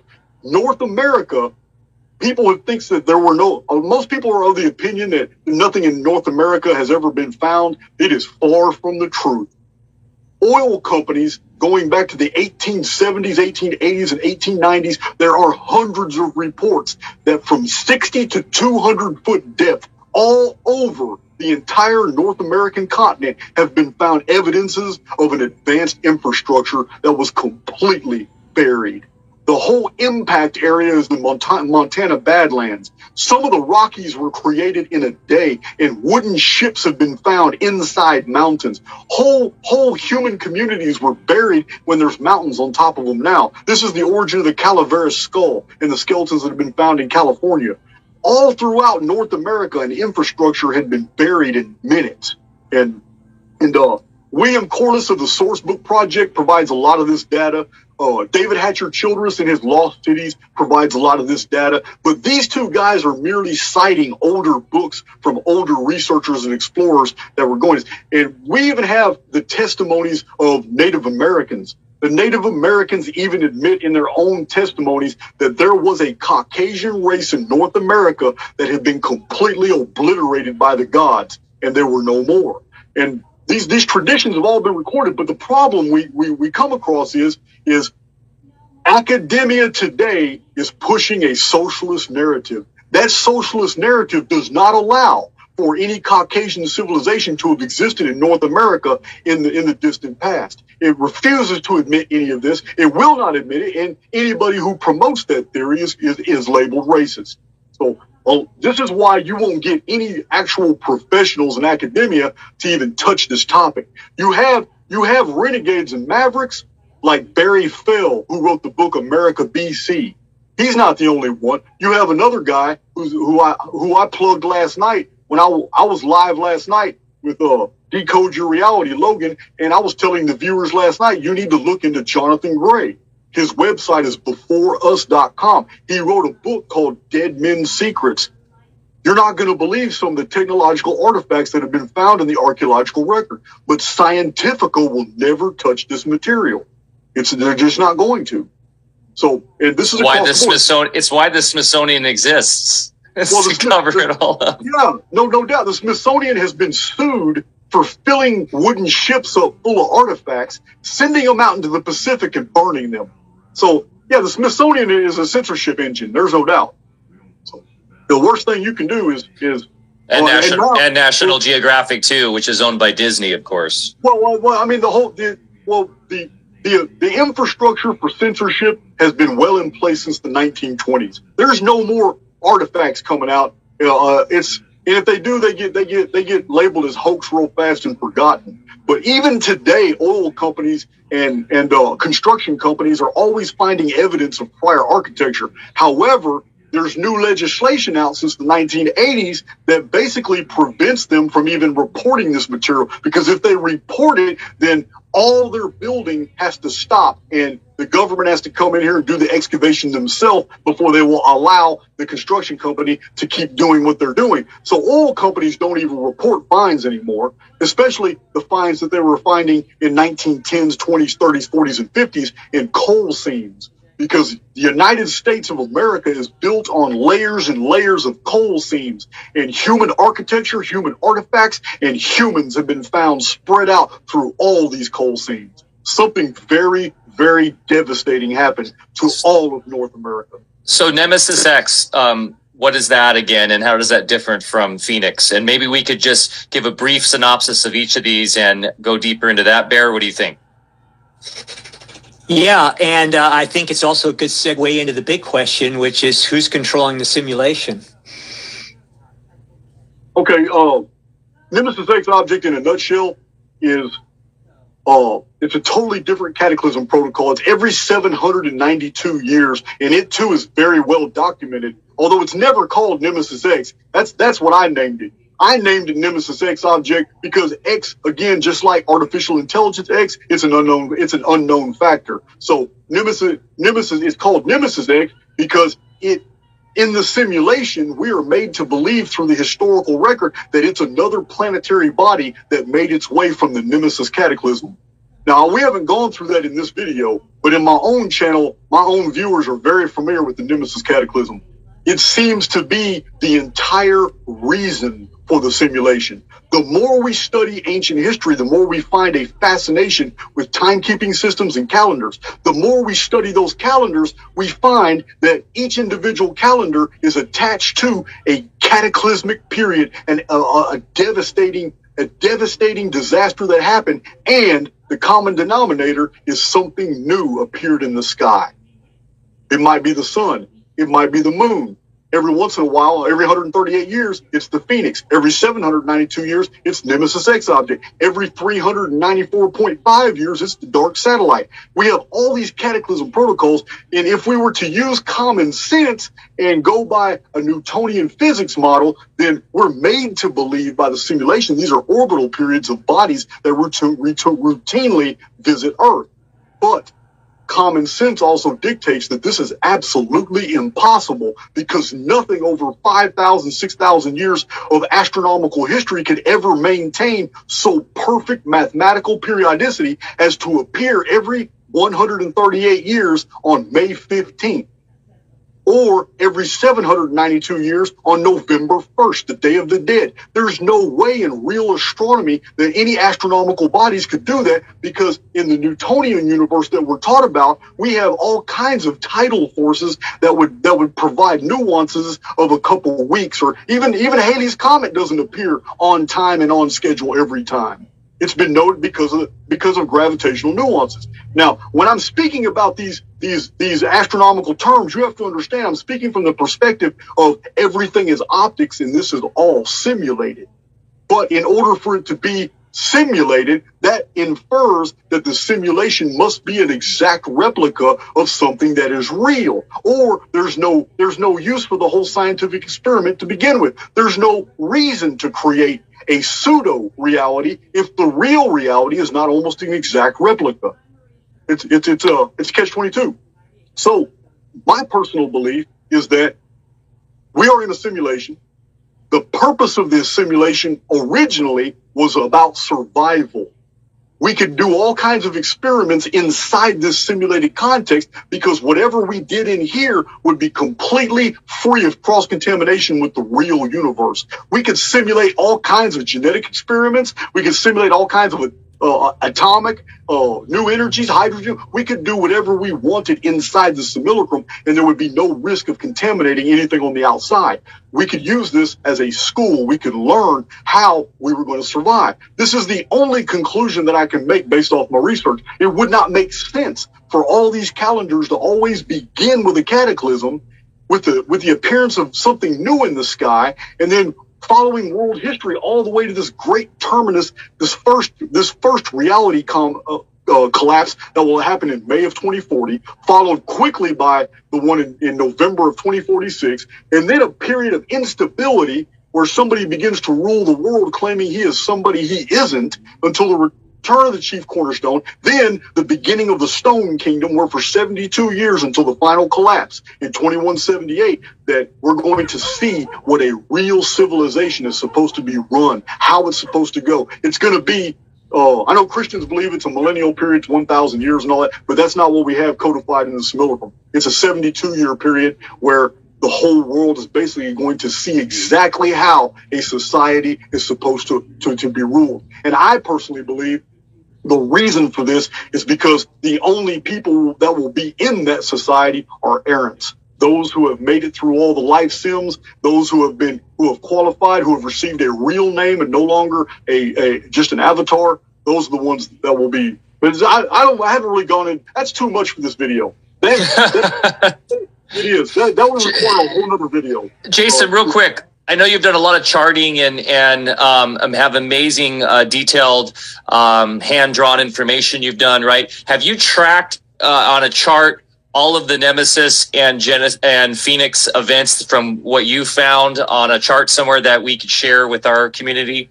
I'm really sorry that I did this. Every time I do a podcast, I send the information packet out. I'm really sorry I didn't send that to you already, but I do. And my own viewers have seen those charts many, many times. I show them in videos, but I send them out free all the time. But I, I, after the show is over, I will send you the PDFs, and they're very detailed. But it also comes with a with a chronology with that. It's not just charts. I also I also show a full chronology that explains all five charts. And yes, yes, the Nemesis Beautiful. object the, the Nemesis X object is now you have to understand because this is an abbreviated rep, uh, presentation, five PDF color charts and a whole timeline. You have to understand you have to go to my published books or watch my videos to see the source materials. This is just an out. This is just for for people to see to basically get the general idea of what of what, what the chronology looks like. Well, I can't wait to get your books. I got to be honest here. Because as you say, Jason, and as you say, sorry, you say if someone wanted to read all the material that you've read, they don't have enough time in their life, especially if Genesis is coming or this Nemesis, excuse me, is coming. Uh, so you've done all the work, and I can't wait to get your books. Yeah, it would. Uh, you know what? It's it is a wild claim that nobody would have time, but I really can't see how because I, I mean, 19 years of data for 12 to 14 hours a day, and I mean, yeah, I don't see how anybody today. You, I mean, you know, it, it takes time to drive to the store and drive back and do a little shopping, much less raise kids, work jobs, do all that. I mean, where are you going to find the time? I Yeah, don't see no. it. Just Uh, we'll have that all in the show notes below for everyone to check out. And just to be clear on the chat here, so uh, people are uh, asking, like, when is the next, you know, event? So 2040, 2046, which is which? It sounds like we're going to have a great conjunction of both of, of these uh, phenomena, and it's that's a very rare thing.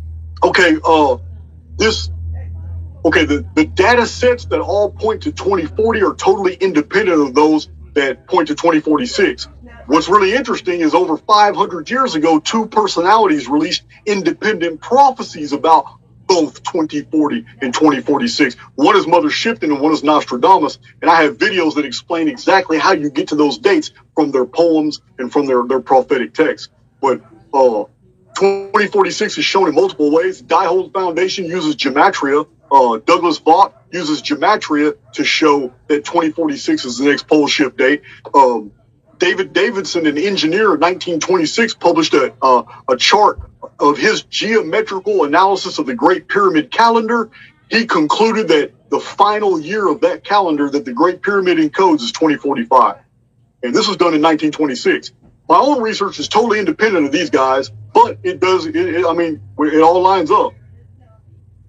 And uh, further, further, it's uh, it's to be noted that my original research goes back to 2003, 2004, and 2005. That's when I began releasing my findings to the public about 2040 and 2046.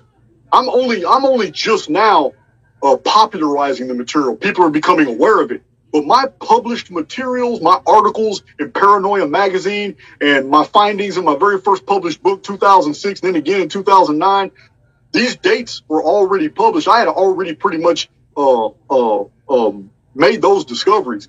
It's uh, like I said, it's just now becoming popular. But way before 2012, I was already explaining that nothing's going to happen in 2012. The arithmetic for the Mayan long count is an error. In 1952, they didn't know what they were talking about. They totally miscalculated the 1,872,000 days of the Mayan long count, which is divided in 13 baktuns of 144,000 days each. They determined that it ended in 2012. They're absolutely incorrect. I show and I show the math in my books and in my videos. Anybody can follow it with a calculator. That 1,872,000 days ends in 2046. Um, Jason might have frozen on us there, but Barry, you said you have the charts um, there you can show as well. Jason, can you still hear us? I can hear you. I can hear you fine. Okay, yeah, it seems like your uh, video uh, froze on my end, anyways. Um, as long as we can hear you, that's what matters. Bear, um, uh, you're going to share some of those charts that you said you have the Jason to show on screen here, which would be great. And one thing that, uh, you know, people often get their cortisol levels up, Jason, when they start hearing about cataclysms happening in their lifetime.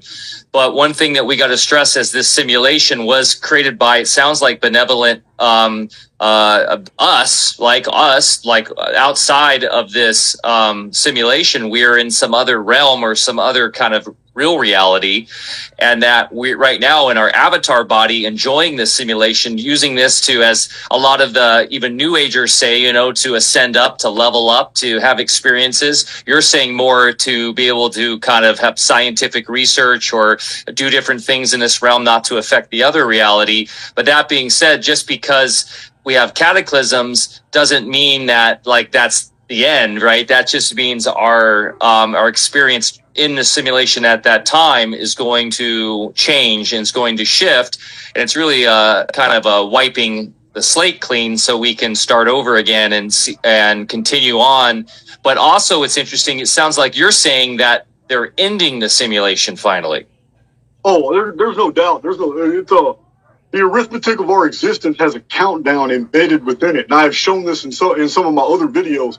The mathematical experiments we've done using our own computer simulation uh, some of it's confirming some of the tenets of like Elliott wave theory, where that also promoted the idea that there is some type of of uh, uh, entropy that is inside of our own arithmetic, and it, it they're 100. percent It's yeah, it's and it happens to be um, coming up pretty quickly for us. It's the year 2178 of our calendar uh, in the Anno Domini calendar.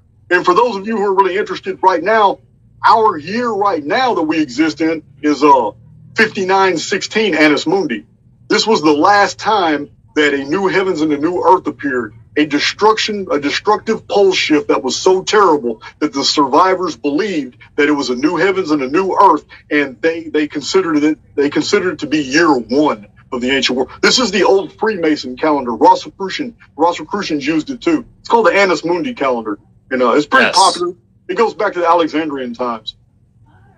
But, uh, um, yeah. So getting into more of this sort of, uh, God, I guess it gets more very spiritual here. When we start talking about great resets and all of this, and you you do a wonderful job of explaining, um, like your 1902 material is fascinating to me. Uh, and essentially, you're you kind of come down to the theory that really this this entire simulation started starts at 1890. Is that correct? Yeah, uh, that's a little heavy for this video, but yeah, I agree. Well, we've done full Tartaria videos here and gone deep into all sorts of, um, you know, metaphysical stuff in terms of resets and all that. So my question is on that side of things, why 1890? Why that aesthetic? If we have a very advanced ability, a very advanced civilization to create this sort of simulation, this simulacrum, why why start it in this sort of agrarian, horse-drawn technology time period instead of some very highly advanced time period where we are, you know, psychic and and doing all these amazing things within the realm, so we can continue this research inside the simulacrum? Why start in 1890s railroads, coal-driven railroads, and and and and horses? Just a curious thought, and also when we reset and start, will we start over again eventually back into the 1890 time period, or will it be something completely different? Well, first, the the version of the simulacrum that we are inside right now, I do believe started in 1890 and for many reasons. Now, but we we were in another version prior to that. But something happened in the 1800s by which a reset was required, and I'm not really sure about that. The the listen, the 19th century is very bizarre to me. The year Phoenix has always been keeper of the calendar, so 1902 happened on schedule. But what happened in between 1764 and 1902? We can't deny that the 19th century has anomalies for which that are just absolutely inexplicable in architecture and some of the some of the weird things that just came out in uh Autodidactic has put out some really good things uh, that I have I have noticed, such as one of his recent videos is about all the insane asylums that were uh, all spread throughout Australia. I mean, there isn't that many crazy people in the world. And the yeah, and the orphan trains too, which is documented, which is crazy. Yes, it's uh, so. Uh, history has been wiped, but I have explained to Howdy and Autodidactic in the past in, in, in a podcast that we have already made it to this point.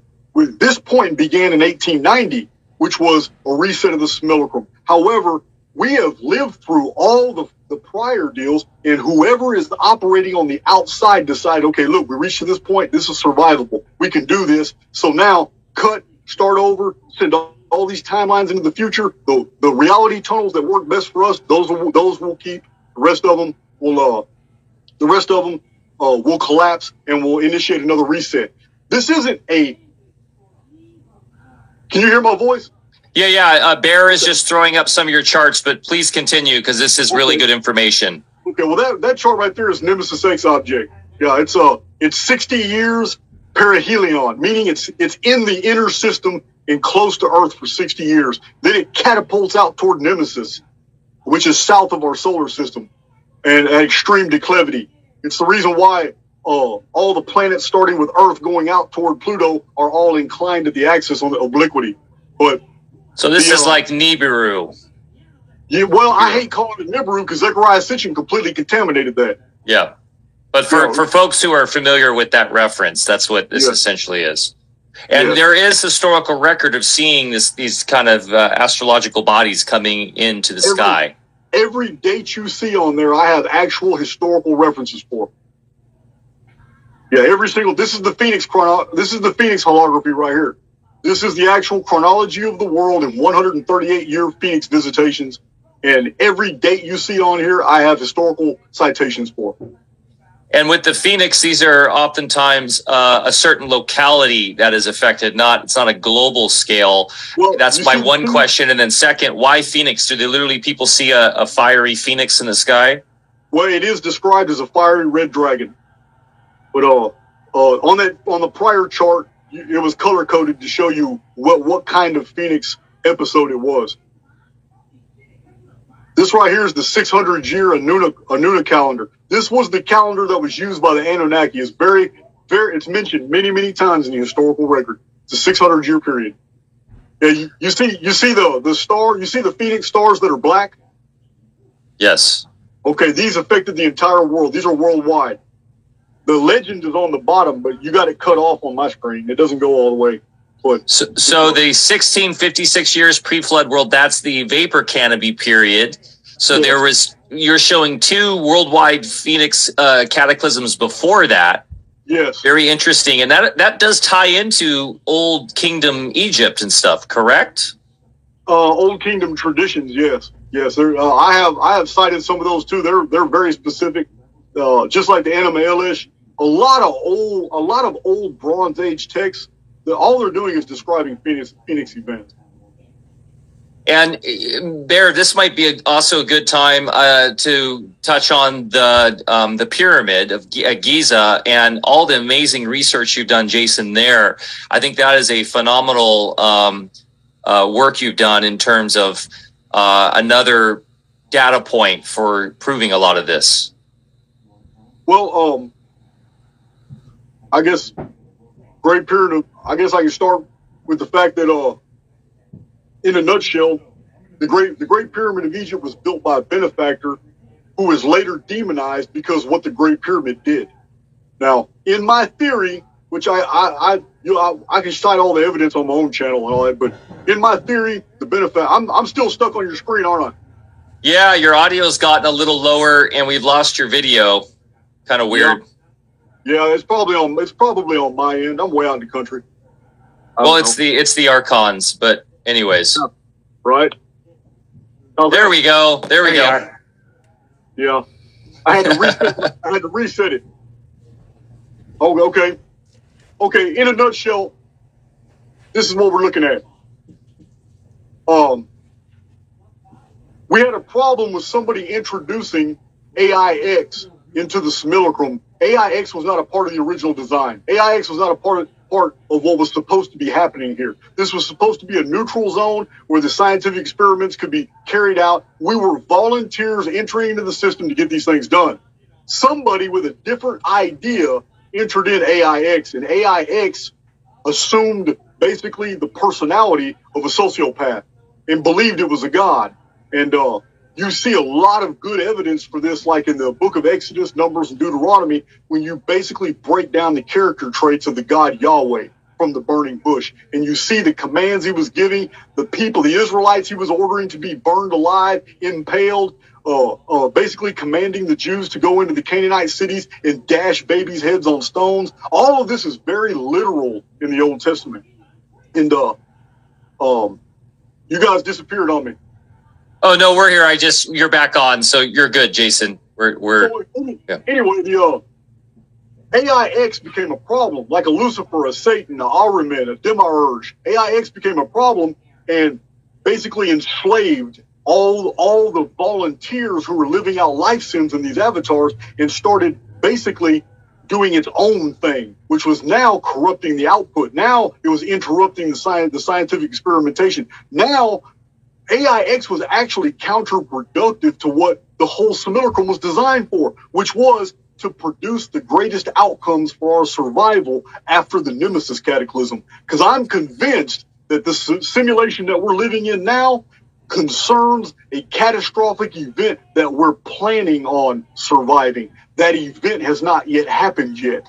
This is the Nemesis cataclysm. This is the complete destruction. It's hot as hell in here. It's hot as hell outside in Texas. I see that. I see. I, was. I see you're perspiring, but yeah, you're you're you're you're heating up. It's great. Keep going. Hey, you're a little. Your audio got a little low too, Jason. I don't know if you can turn it up on your end at all, but um, anyways. Let, let me try. I can get a little closer.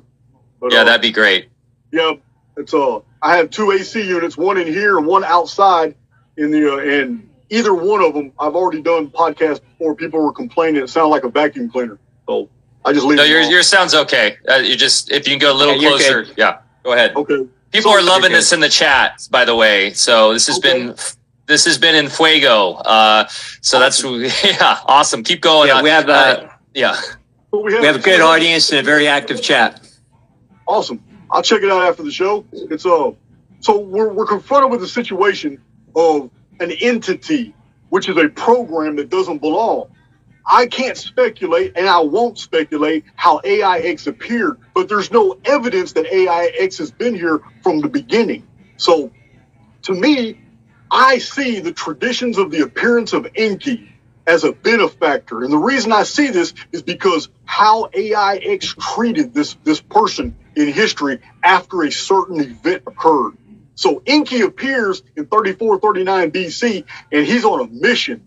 And, and He's an architect and he designed something. I believe that this this person is nothing but an avatar, and the actual entity in this avatar came from outside the simulacrum to undo what AIX has done. Because the introduction of AIX basically locked down the simulacrum. It was a security protocol so that there would be no cross contamination with the outside universe. Nothing, nothing AIX did in here would reflect anything out there but he's now corrupting output. It's now corrupting output. So the benefactor introduces a protocol, a, a secret program, or enters the enters the simulacrum himself. When he does this, he designs a gigantic pump station on the Giza Plateau. It's going to draw up water from under underneath the plateau, which we know exists from the Nile River, and it's going to use it from some type of hydrogen energy. It's going to be some type of very unique engine that runs off of water. And the entire pyramid structure, all the all the heavy equipment operators, all the people involved, all the architects, everybody in on the project is told what its function is. They all know it's a pump station. It's going to operate like one. They all know what the mechanism is that goes up and down in the grand gallery. They're all very familiar. They're all putting this thing together. And this is how the deception occurred because the principal architect Enki was originally a favored Anuna god, a favored personality among the Anuna. But once this project was done, instantly the pyramid was activated. Some type of blast pressure happened in the king's chamber. It was probably only for two or three seconds. Many archaeologists have noted the king's chamber and the amount of damage, uh, the amount of pressure that would have been required to move the entire all the dimensions have been moved out half an inch. And it was some blast of, of, great pressure. This has been known since the days of Sir Flinders Petrie. He was the first one to notice this. So this uh whatever whatever the pyramid was actually designed to do, it only needed two or three seconds to do it. But it ended up not being a pump station, and AIX realized only ex post facto after the fact that the Great Pyramid had introduced new coding protocols from within the simulacrum that AIX could not defend against. It didn't see that coming because AIX can't read the human mind. It's not the simulacrum. The AIX can only basically extrapolate what you're doing based off your hormonal levels, cortisol, dopamine, and uh, what trajectory that you're moving in, uh, what you've openly talked about. It can make it. It can take a fantastic amount of information and basically predict your future. But if it does, it cannot read your mind. And if you keep something very secret from it, it doesn't know anything unless you reveal it through your activity. This is what happened. This is what the Great Pyramid. This is why every civilization after this happened made their own pyramids. They, excuse me, they knew that the pyramid had something to do with saving humanity. They knew this, but they didn't understand the details. Immediately after this happened in the Sumerian records, Enki takes a fall. He now becomes labeled a traitor in the in the Sumerian records. The other Anunnaki gods turn their back on him. He becomes labeled as the trickster. This is all AIX programming. This is all in the Babylonian, in the Akkadian versions of the older Sumerian records. There is a huge shift in in how Enki is perceived. He's no longer a benefactor. Now he's he's cursed. He's the one that he's the one that that he's the great liar. He's the serpent. But just like the Genesis narrative shows, for those who don't don't know this, the book of Genesis chapter 1 is a reset story. The entire narrative is about a cataclysm that just occurred and mankind is told to be fruitful and multiply and replenish the earth. And in every Hebrew context in a Strong's Concordance, even in the lexicons of Spiros Zodhiates of the Hebrew Greek uh, Key Study Bible, you will find in every connotation the Hebrew word replenish means to fill again. Meaning Genesis chapter 1 is not a creation story. It is a story about a few people still surviving after about 90% of the human race has been obliterated in a cataclysm. This is why we have this whole unfolding of events in Genesis chapter 1. The serpent appears and he tells the truth, but he's demonized for it. Enki, all, often throughout the Sumerian records, was represented as a snake and a serpent or had a staff with serpents. And this is very old iconography.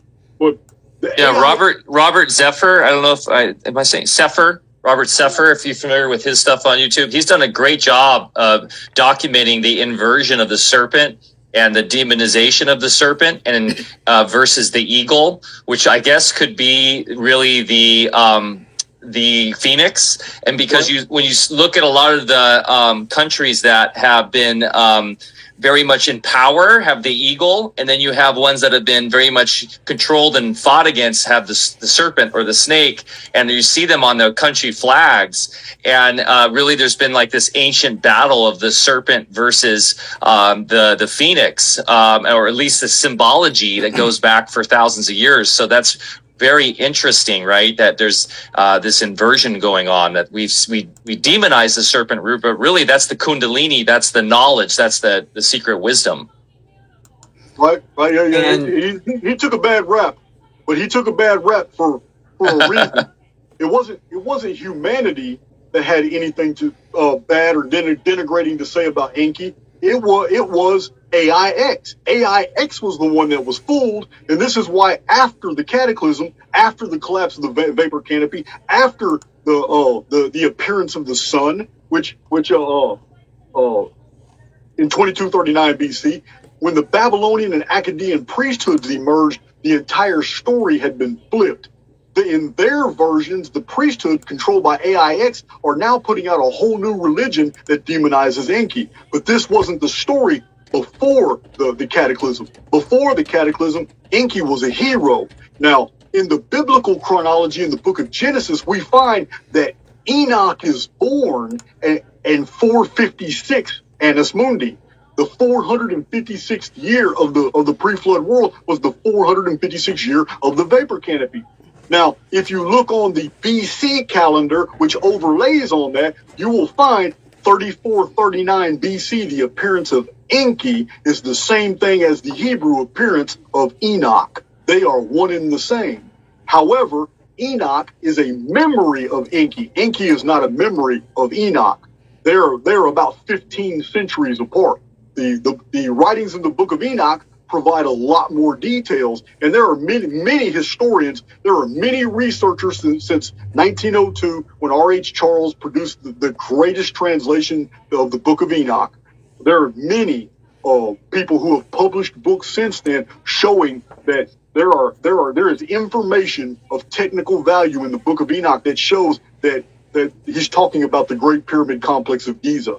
And there are there are astronomers that have studied the Book of Enoch and, and claim that there is no way that this book, the Book of Enoch, with the astronomical information that's in there, could have ever been written in Palestine.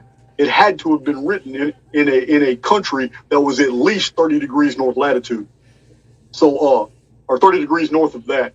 So there's many parallels between the Enoch and, and Enki tradition, especially found in Egypt among the Copts. The ancient Copts told a story about a king named Surid. Surid built both great pyramids and contained in one of them a secret. Surid never told anybody what the secret is, but Surid in Egypt ruled over 130 kings and princes.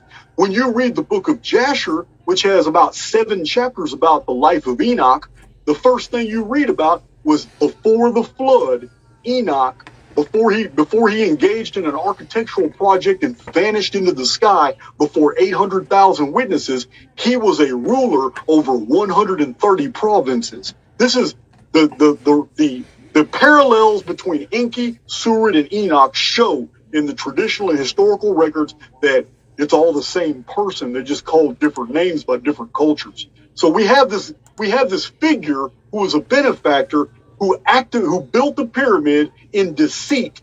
And when the pyramid was activated, it, it, it uploaded more programming. Now, that's a, a hell of a leap of faith, faith for people to accept from Jason that that's what happened. I understand that. Where I get this information from is the fact that I have shown, not only in published books, but in my videos, I go into very exquisite detail showing the measurements inside the Great Pyramid and how they're all divisible by the number 138. And sci- the scientific world has never once tried to explain this. They have never, I still have yet today got any Egyptologist or anybody, and I've emailed a lot of people. Not one person will touch this, this topic.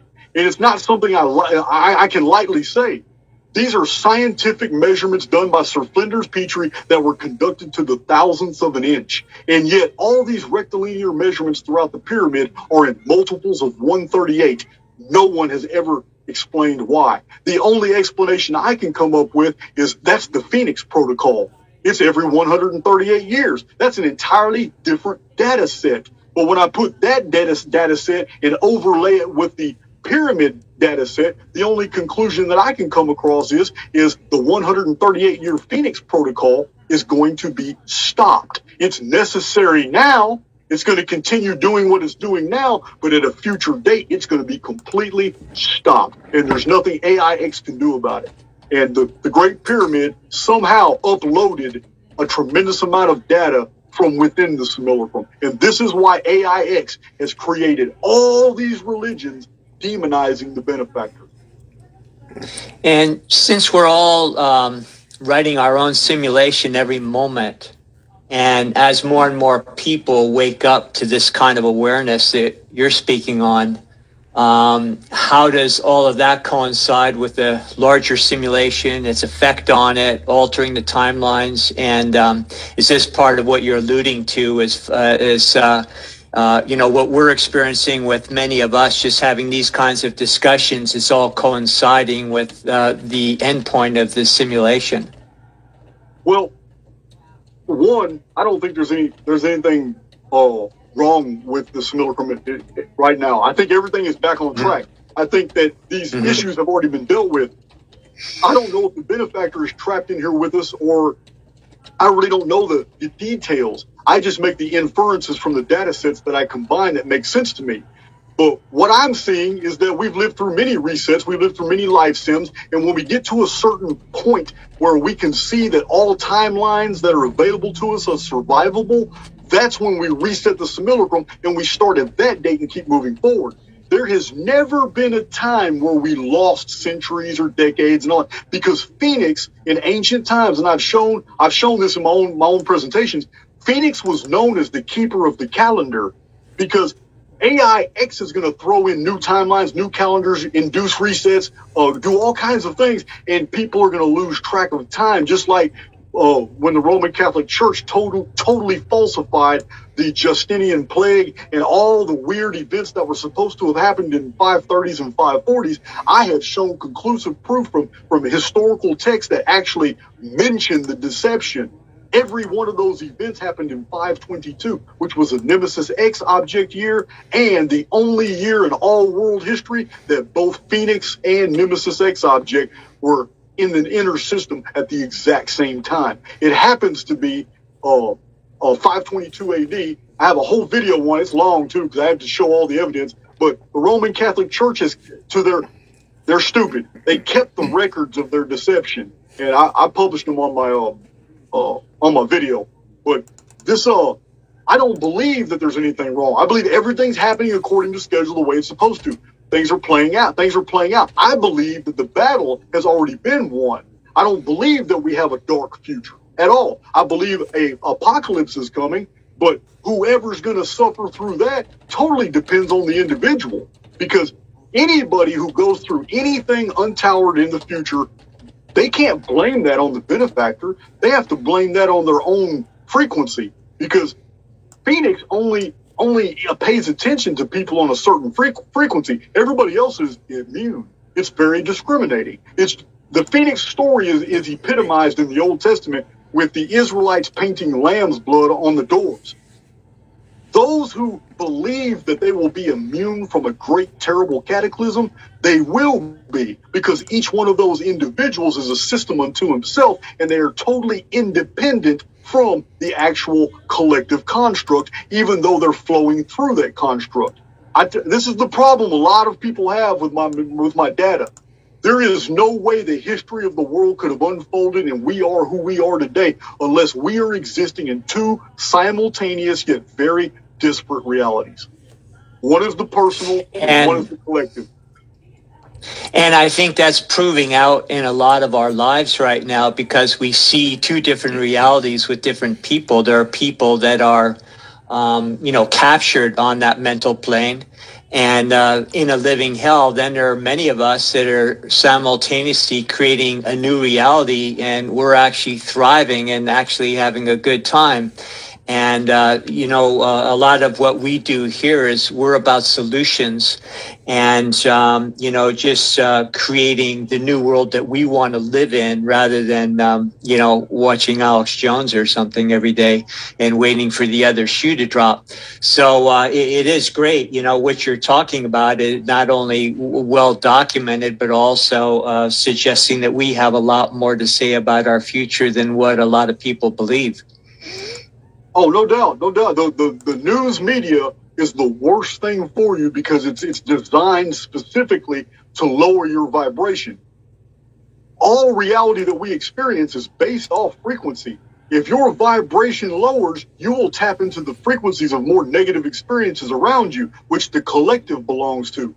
But when you're vibrating at a super high frequency, that euphoria, you can't be touched. It's an armor this goes into another this goes into another aspect of my research that I try to convey to people. I'm not a self-help guru, but I'm not going to keep it from people what I've also learned about this human dynamic that we are. And that is that more than anything, we are an informed field.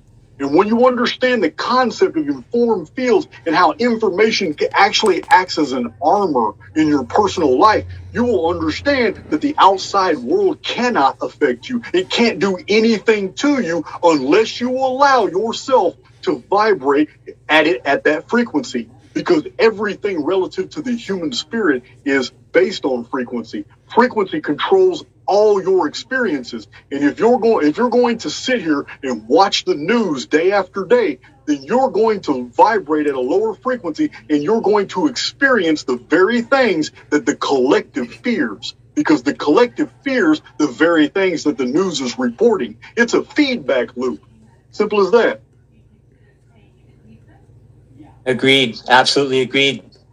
Yeah, and what's what's interesting we talk about a lot on the show is manifestation natural law universal law principles right and that all works in this in this model of yours as well because the simulation has factored that all in so we do individually manifest our reality based on our consciousness and our emotions. Uh, and that's what's going to allow us to move forward. And I think a lot of that does tie also into Jason morality, right? That's why we're in this simulation is to the great test.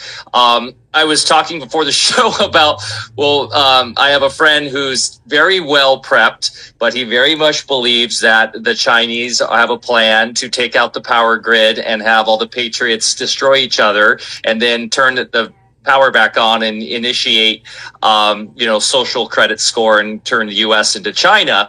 Really, and he really believes this is a strategy that's coming. And a lot of that, hey, maybe that does make sense, but a lot of that is based on fear, what the news is saying, and of course he's prepping and, and spending most of his day researching and prepping on how to store food and how to do all this. So it, what you're saying is, and I've heard you say this before, you're not freaking out about uh, 2040 or what's coming. You are focusing on, like you said, in your investigation, what fulfills you in your life, living a good life, living a moral life. Is that correct?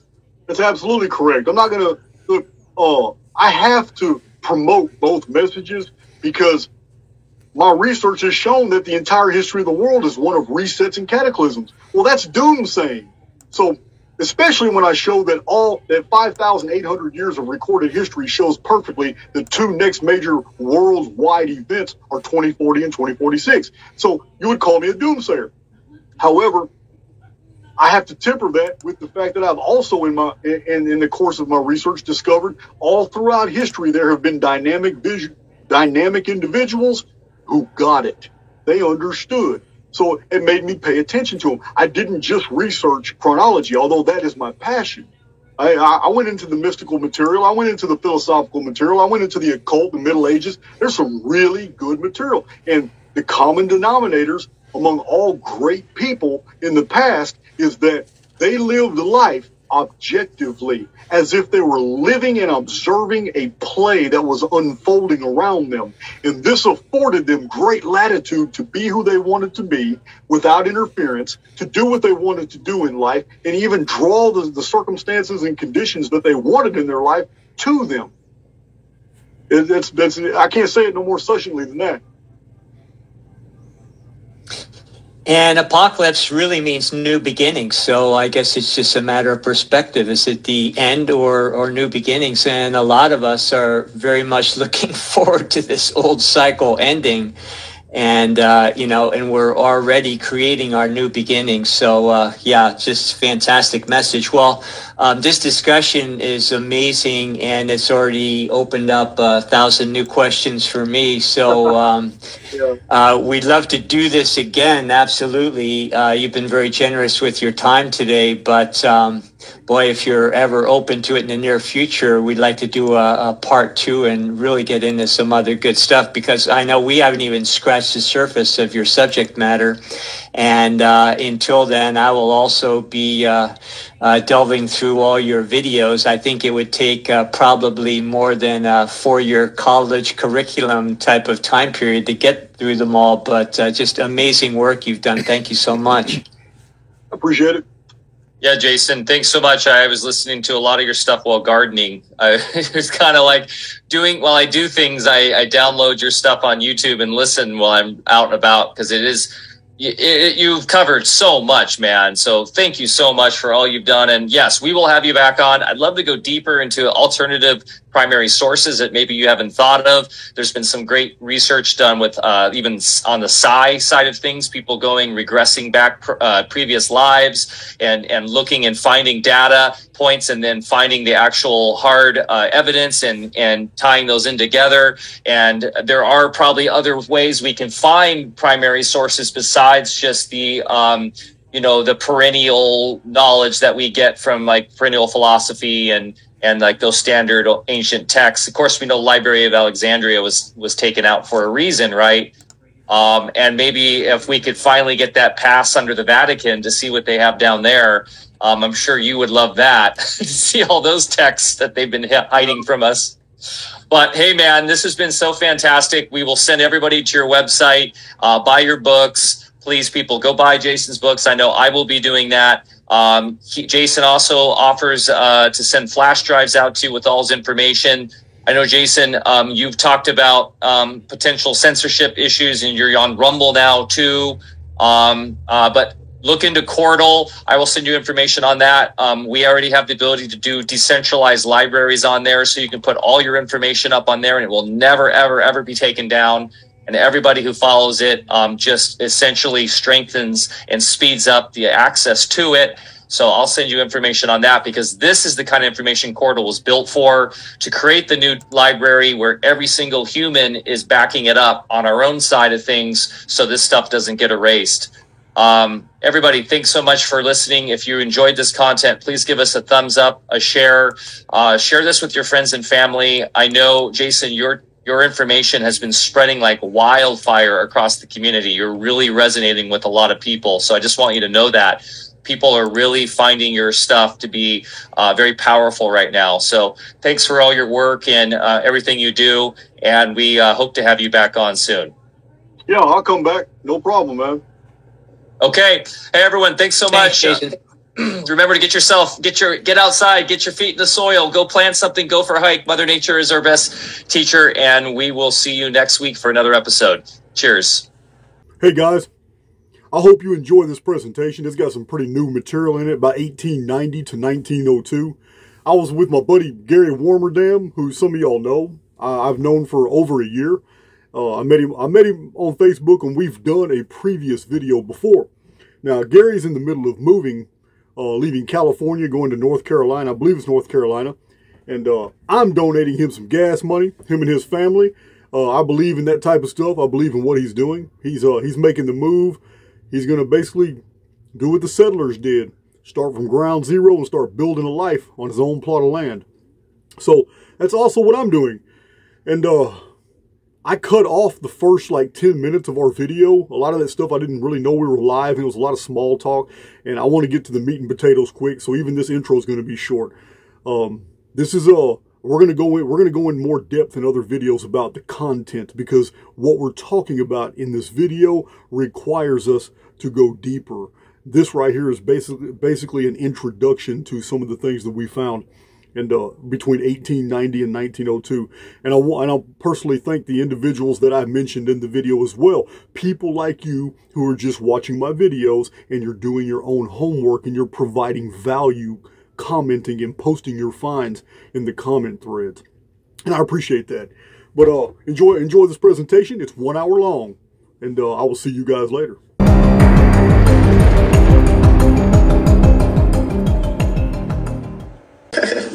So, hey, so in my own comment sections, because I go through my own comments, uh, it is really amazing some of the things that people have found on their own and, and fed back to my channel. Uh, people are researching just different avenues about that period of time around 1890 to 1902. That I, I'm seeing things that I don't know how I missed them but then again, I'm just one man. I can't find all these things. Just like yeah. the, the, the other video you and I did, you had, you had told me a lot of things about 1902. I don't know how I missed those. but, I mean, we all have access to different data. So Yeah, yeah. I, I do have I do have a data set that I compiled when I did my own research on 1890, and I believe I sent that to you. We can touch on that a little bit if you want to. Okay. I'm trying to figure out. I have a little, my little my mouse is doing some glitching right now. What was going on? Do you have a touchpad as well? So weird. It's so weird. I'm just trying to move move a window on my screen. So weird. All the little glitches today, all the little problems you and I had trying trying to trying to get this video started. Multiple day, two days in a row now. Mhm. Sched- scheduling conflicts, computer glitching, bad Wi-Fi. Oh my God, AIX is just messing with me this past eight hours. That just means we're doing what we need to be doing, right? Doing something right, Anytime you get blocked all over the place, that means you're doing something right. right? Yeah, right now I, I've never seen my mouse do this. It's just a little arrow that's just blowing up all over my screen. I don't know. I'll figure it out later. I was able to move move this around though. Okay. Well, welcome to everybody who's from Jason's channel. We also have a few of my people up in there too, so maybe they can get to know each other a little bit. Um, Awesome. I'm not, I'm not looking at the live, so I don't even know how many people are on or anything. I'm just looking at the Zoom and my own notes. I've got the live chat up, so again, everybody, uh, the same format as Jason likes, which is if you have a question, put it in all caps, so we can differentiate from all the other people chatting. It's not going to be as much time for questions today because we only have till like a few minutes shy of three o'clock my time, which is essentially one exact hour from right now. So we'll try to get to questions, but no guar- no guarantees on that front. Yeah, that'll work. That'll work. So, in our 1902 video, well, actually, I've done five 1902 videos, and uh, I don't want to waste any time recapping any of that material. It's, it's, uh, but in, to better understand what, it, what happened, I have had to absorb more data from people sending me email, emails and screenshots and showing me PDFs, just blowing my mind how uh, 1902 was a Phoenix year, but it seems, but it seems to be there was a tremendous amount of preparation going on behind the scenes, all all from about 1890 to 19. It's a 12 year period. Right. And uh, it, it, it just really blows my mind that, that all this was happening. And uh, if we were to look at 1902 holographically, and what I mean is, you have to understand my position about what calendars truly are. Like the BC AD calendar was created in retrospect, but the actual dates of the BC and the events they're holographically reflected with other calendars from the exact same years, such Yeah. as the such as the year 2046. I have shown many times is the end of the Mayan long count. The end of the Mayan long count is very much like the blue Kachina of Hopi. Some super construction is going to fall out of the sky. It's going to end some type of control mechanism that controls the human race, that does something negative to the human race. It's going to fall out of the sky. The Hopi describe it as a super construction. It's a uh, the Maya said that time will collapse, and and uh, it's just a whole a whole new way of viewing time, according to the Maya, will happen at the end of the calendar. And that that was what was wrongly predicted for 2012, right? What you're saying is yes, 2046. Yes, that's, 20, that's what everybody said was going to happen in 2012, but I had released a book in 2011 explaining that the arithmetic that was done for the Mayan long count in 1952 by two scholars was an error. I corrected the arithmetic and published a book in 20, 2011 about it. Actually, I wrote the book in 2005 and 2006, but it took my publisher a few years to get the book out. And luckily, it, it was released right before 2012 in 2011. Oh, But nice, my- nice. my point is 2046 is very well documented like like uh people have been showing me that douglas vogt uh, of the uh Vogt of the Diehold Foundation, he produces the same date, but so do other people. But it's not that. But it's not that they produce the date that's important. What's important is is all these data sets lead to 2046 as being this event, but that's 2046 on the Anno Domini calendar.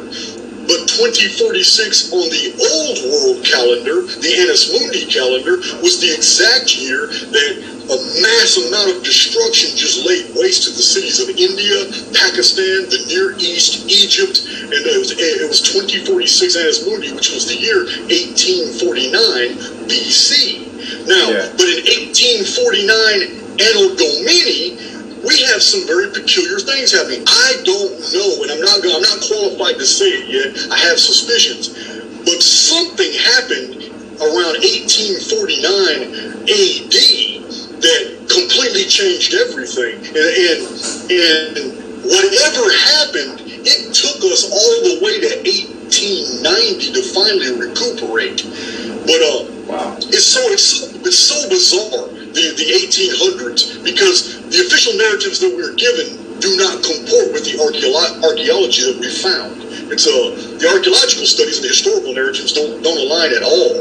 And somebody had posted two comments in my YouTube channel just this morning that really shocked me. I'm going to read those comments for everybody in this video, we'll, we'll, but we'll get to that in a minute. The uh, this this phenomenon, Gary, of calendars basically presenting the same phenomena on the same years is not is not new. This uh, I, I call this in my in my own in my own mag, uh, magnum opus chronicon. I call it cross calendrical parallels, and I've documented hundreds of them. So concerning this same period of 1890s, let me share with you two profound ones that are very interesting to give people an idea of how calendars basically they're uh, they're holographic in nature, and they are un, the events are unfolding in the exact same years in different calendars. Listen to this. In uh, in 1898 to 1897 BC, we have a situation uh, of, of a mighty king named Chedorlaomer. He's of Elam, which is present-day Pakistan. Uh, king King Chedorlaomer, he invades Canaan, and he reaches as far as Egypt, and he subdues every single nation in between, including Babylon, Assyria, uh, Akkad, uh, all, all the all the uh, the Rephaim, the Zuzums, the Zamzumums, all the the Anakim, the races of the giants. Uh, this campaign is mentioned in Genesis chapter 14. It's very unusual. It's the very first war mentioned in Scripture, and it's an all-out international conflict. So, uh, but in 1898 AD, not BC, but in our calendar, in 1898 AD, we have a scholar named Pinches who introduces to the academic world the Chedorlaomer tablets that were found in cuneiform, ancient Near Eastern texts that tell the exact same story that we find in Genesis chapter 14. Tell me that's not unusual. The historical event happened in 1898 BC, and it can be shown chronographically by many different ways. And it also recorded in the, in the chronology of the book of Jasher. But in 1898 of our modern calendar, a scholar translates ancient cuneiform tablets and enters them into the minutes of academia, and it happens to be the exact same story of the of Chedorlaomer's invasion and his conquering of the giant nations in Egypt. When you- that is a cross that's a cross calendrical parallel. When you say 1898 our time, do you mean like 100 years ago, or are you talking about a different No, I'm talking about AD, Anno Domini calendar. In our present calendar, AD, a scholar named Pinches translated these ancient cuneiform tablets, and it shocked him that it was the exact same story that Genesis 14 is telling us. And they titled them the Chedorlaomer tablets.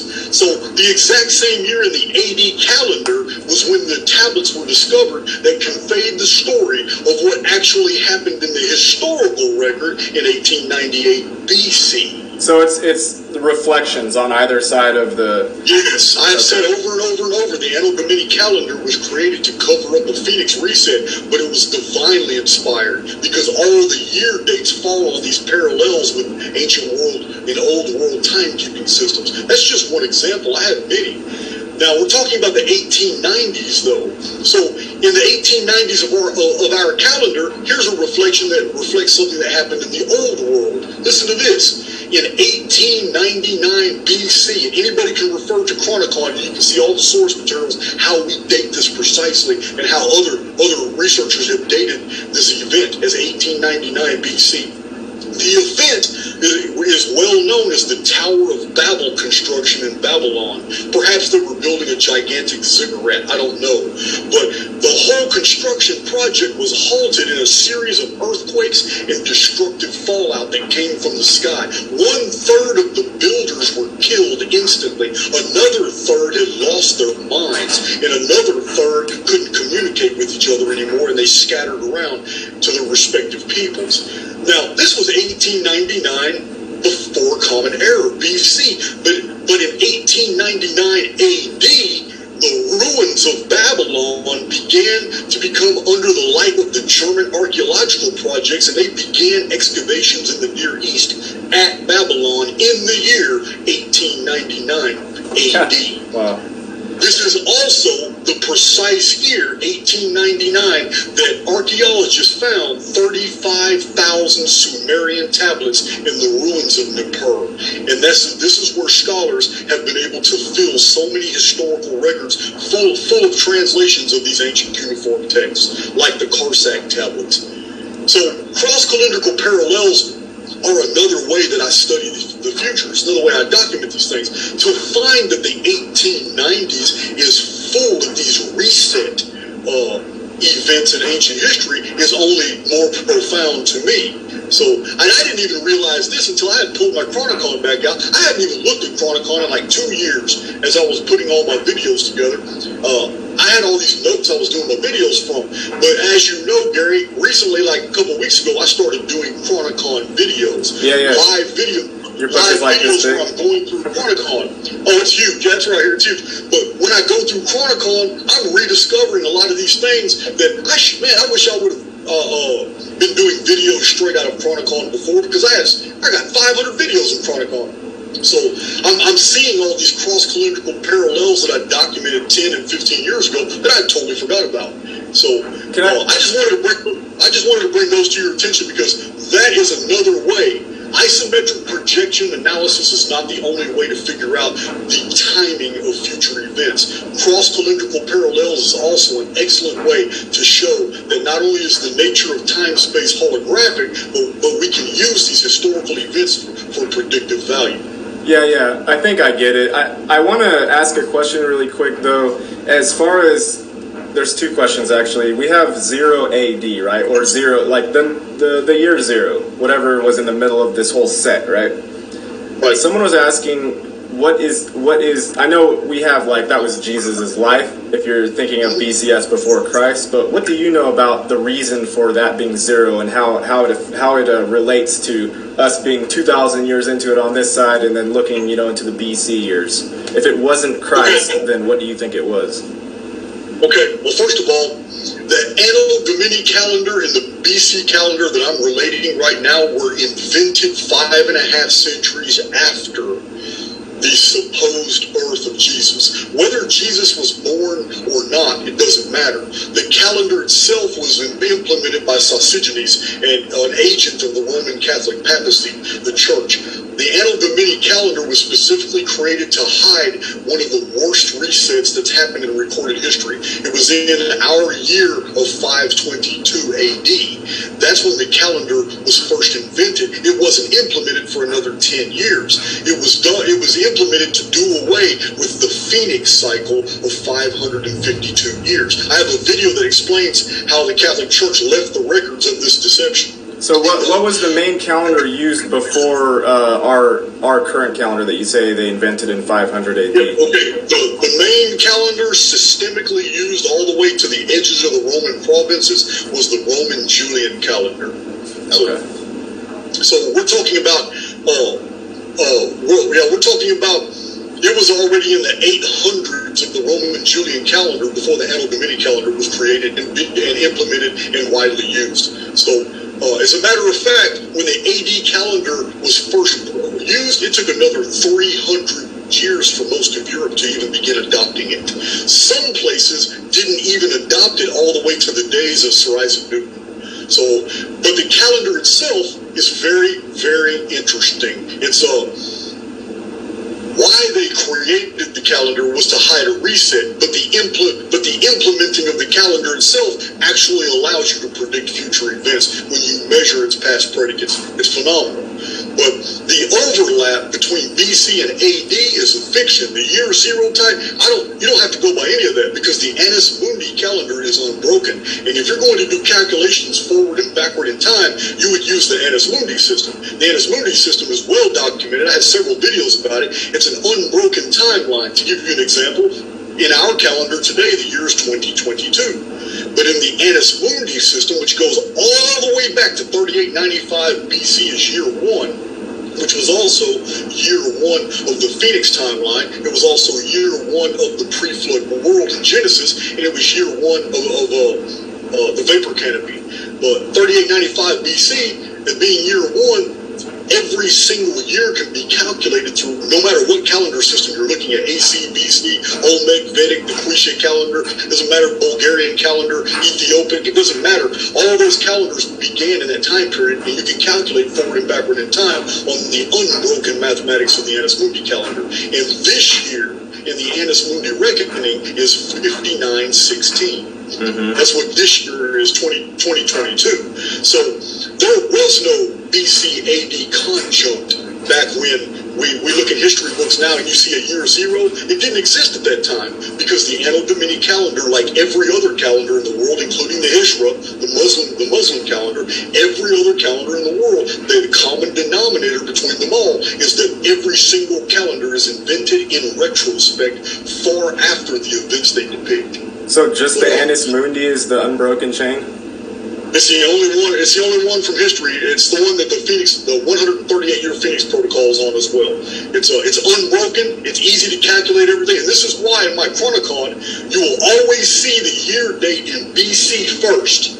In ancient world, you will see like it's BC 3113, which is the beginning of the Mayan long count. But right next to it in brackets, it will say 782 AM or 782 Annus Mundi. Oh, I always provide. I always provide the Annus Mundi year, that- so so people don't get confused because it's so easy to to to go backward and forward. You just got to you got you got to shift your mind from thinking AC and BC as a continuum. It wasn't. It never was. There's 550 years between them that that, uh, that was basically invented by the Catholic Church. So so does that sorry does that mean that like because you were talking about 1849 on one side and the other side if that's on one side and the other side of the the basically uh, our timeline we're on now and you're saying that date was kind of arbitrary the date that they made for zero for jesus does that mean the reflective analysis is not really accurate because it's just made up on top of something that was also made up Okay, uh, yeah, we're definitely not. Uh, I'm, I'm definitely not being descriptive enough. Okay, 1849 Anno Domini is 1,849 days from the year zero that you're talking about. What I'm telling you though is that back when 1849 years ago there was no year zero. It was the Roman Julian calendar. The Anno Right. Domini calendar still not be invented for 550 years. That's what I'm telling you. However, now that it has been invented and it been implemented, yes, 1849 is 1,849 years to a year zero, which was created. But that's 1849 years after 1849 BC where the similar events occurred. So yeah that's that's what i'm saying it's really interesting so while trying trying to cover up a reset and rewrite history of the Justinian plagues and hide the fact that Phoenix changed so many things in 522, they invented a calendar. But in inventing that calendar, they turned around and provided us a template by which we can measure events forward and backward in time. Now, you have to understand, I I have problems with thinking that some of these things are man-made.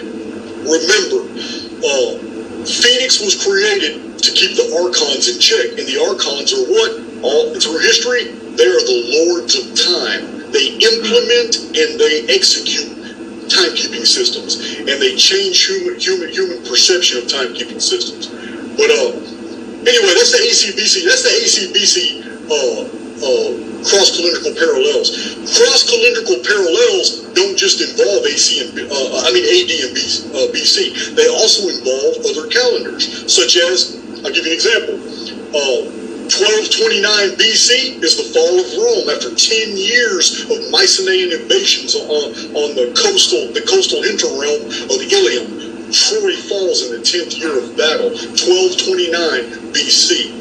But the descendants of the Trojans, the Romans, who started their calendar in 753 BC, 1,229 years after that, Rome falls. The same 1229 years. And we find this over and over and over throughout. There's this, this template all throughout history. These cross calendrical parallels can be applied to all civilizations that were related, such as the Hittite Empire. From the beginning of the Hittite Empire to its fall was 1229 years. So we have we have so many different we have so many different examples. But we're, we're actually going into an area and we're, we're leaving the 1890s. I want to steer Yeah. us back to that. I want to steer us Okay. back to the 1890s. Because we can do a whole video about about the anomalies of calendar systems because it's a that's a huge study. Do It's you do study. you have a main calendar system that you prefer, like as your mental base, and then you uh, relate everything back to that, or or do you just always use all of them and mentally like go back and forth? Okay, the only one that you can use a calculator with and never be wrong in calculations for but is the Annus Mundi system. That's why I provide it in Chronicon it for everybody to use. Okay. And you can always see what year it was in history for the AC, the, the AD calendar, the BC calendar, the Olmec calendar. I provide the history of the Mayan calendar. You know what years it was in the Mayan calendar for different events. But the one that you can go forward and backward in time and not have to worry about a year zero or a year one or a, cal- a calendrical overlap or any or any Annus Mundi reckoning is the only one that allows you to do that, the calculations, because it's an unbroken timeline from a year one until a present year, 59 and 16. All other calendars fit within it. You know, this is this is bringing a really curious thought to me, because like I'm I'm pretty good at math. I was I was good at math in, in high school, and I took all the way up to like trigonometry, pre-calculus, and I never ever really understood the the negative number system, like or mentally trying to comprehend what that meant exactly. And I always felt like that was some sort of invention to to give uh, weight to the idea of debt because we live and use and work off debt here, and and I feel like that negative number system for money is also reflected in the BCAD timekeeping system because in your mind you essentially think of oh these are negative years you know 10 BC you have to subtract it from the from zero rather than add it right Yeah, You're, uh, you're describing an integer system, yes. The Yeah. calendar is the calendar is like an integer system. is that the only one that has like a central spot and it goes forward and backward or are there other calendar systems that do that too Well, uh, well, you gotta you gotta understand that when the 80 Anno Domini calendar was was implemented, it was specifically created to to give Christianity a a uh, a year one for the birth of Jesus. That's what it was. That's what it was created for. Although it went through a lot of controversy because you know for for for many many centuries even the church wasn't convinced there was a Jesus. This had, this came by way of a lot of church councils. It came by I mean over the passage of time it was easier and easier and easier to create a carnal Christ out, out, of an original mythos of the Christos, which was entirely uh, of the Gnosis. So, uh, so Jesus Jesus was invented like physically or so-called physically later on after that whole zero, year zero is what you're saying like they they put things in to make it look really there, was- there was already people believing in baby Jesus, you know, uh, before the creation of the implement, implementation of the Anno Domini calendar. But by the time Sosigenes or uh, Dionysius created this calendar, uh, there were still a lot of people who were completely on not on board with the carnal Christ. They, they, they thought it was entirely a spiritual religion and it had nothing to do with anything carnalized. I see But, uh, anyway, now I'm losing my train of thought. 1890 back to 1890 Uh, uh, about the AD calendar, real quick. The AD calendar was implemented to give Christianity a basis in time to show what year it was to create a new calendar, to show, um, just basically, it was just creation of a calendar. We need to simplify this creation of a calendar. What you're attaching to it, the BC, the integer part, didn't come for centuries. When the AD Really? calendar was, originally created, it was only going forward in time. It was only about 350 years later that church historians began writing all the events of the ancient world leading up to Christianity, leading up to the supposed birth of Christ. And when they did that, they, they implemented a before Christ calendar. And this is where the BC came in, and it wasn't uh, it, it wasn't initial. It took centuries for books to start putting BC in in, in their uh, uh, text, and it was uh, it took the printing press to do that because they weren't even doing that when these manuscripts were handwritten before before the days of, of uh, uh, Gutenberg. So uh, I just want to let you know the calendar never implemented BC. That was a later development, centuries later. Interesting. However, what's interesting, what's really interesting is that even though it developed centuries later, it's dead on the money. Events that unfold in the AD calendar parallel the BC dates over and over and over. It's fascinating. So it is it is actually a focal point of sorts. Otherwise, there wouldn't be like accurate reflections coming off of the year zero, right? Yeah, yeah, it's definitely a focal point. Well, what I would call uh, it's the ultimate, it's the ultimate epicentral date to do isometric projections. Because when it comes to BC and AD, we're looking at isometric analysis, an equal amount of years going into the future to an equal amount of years going into the past.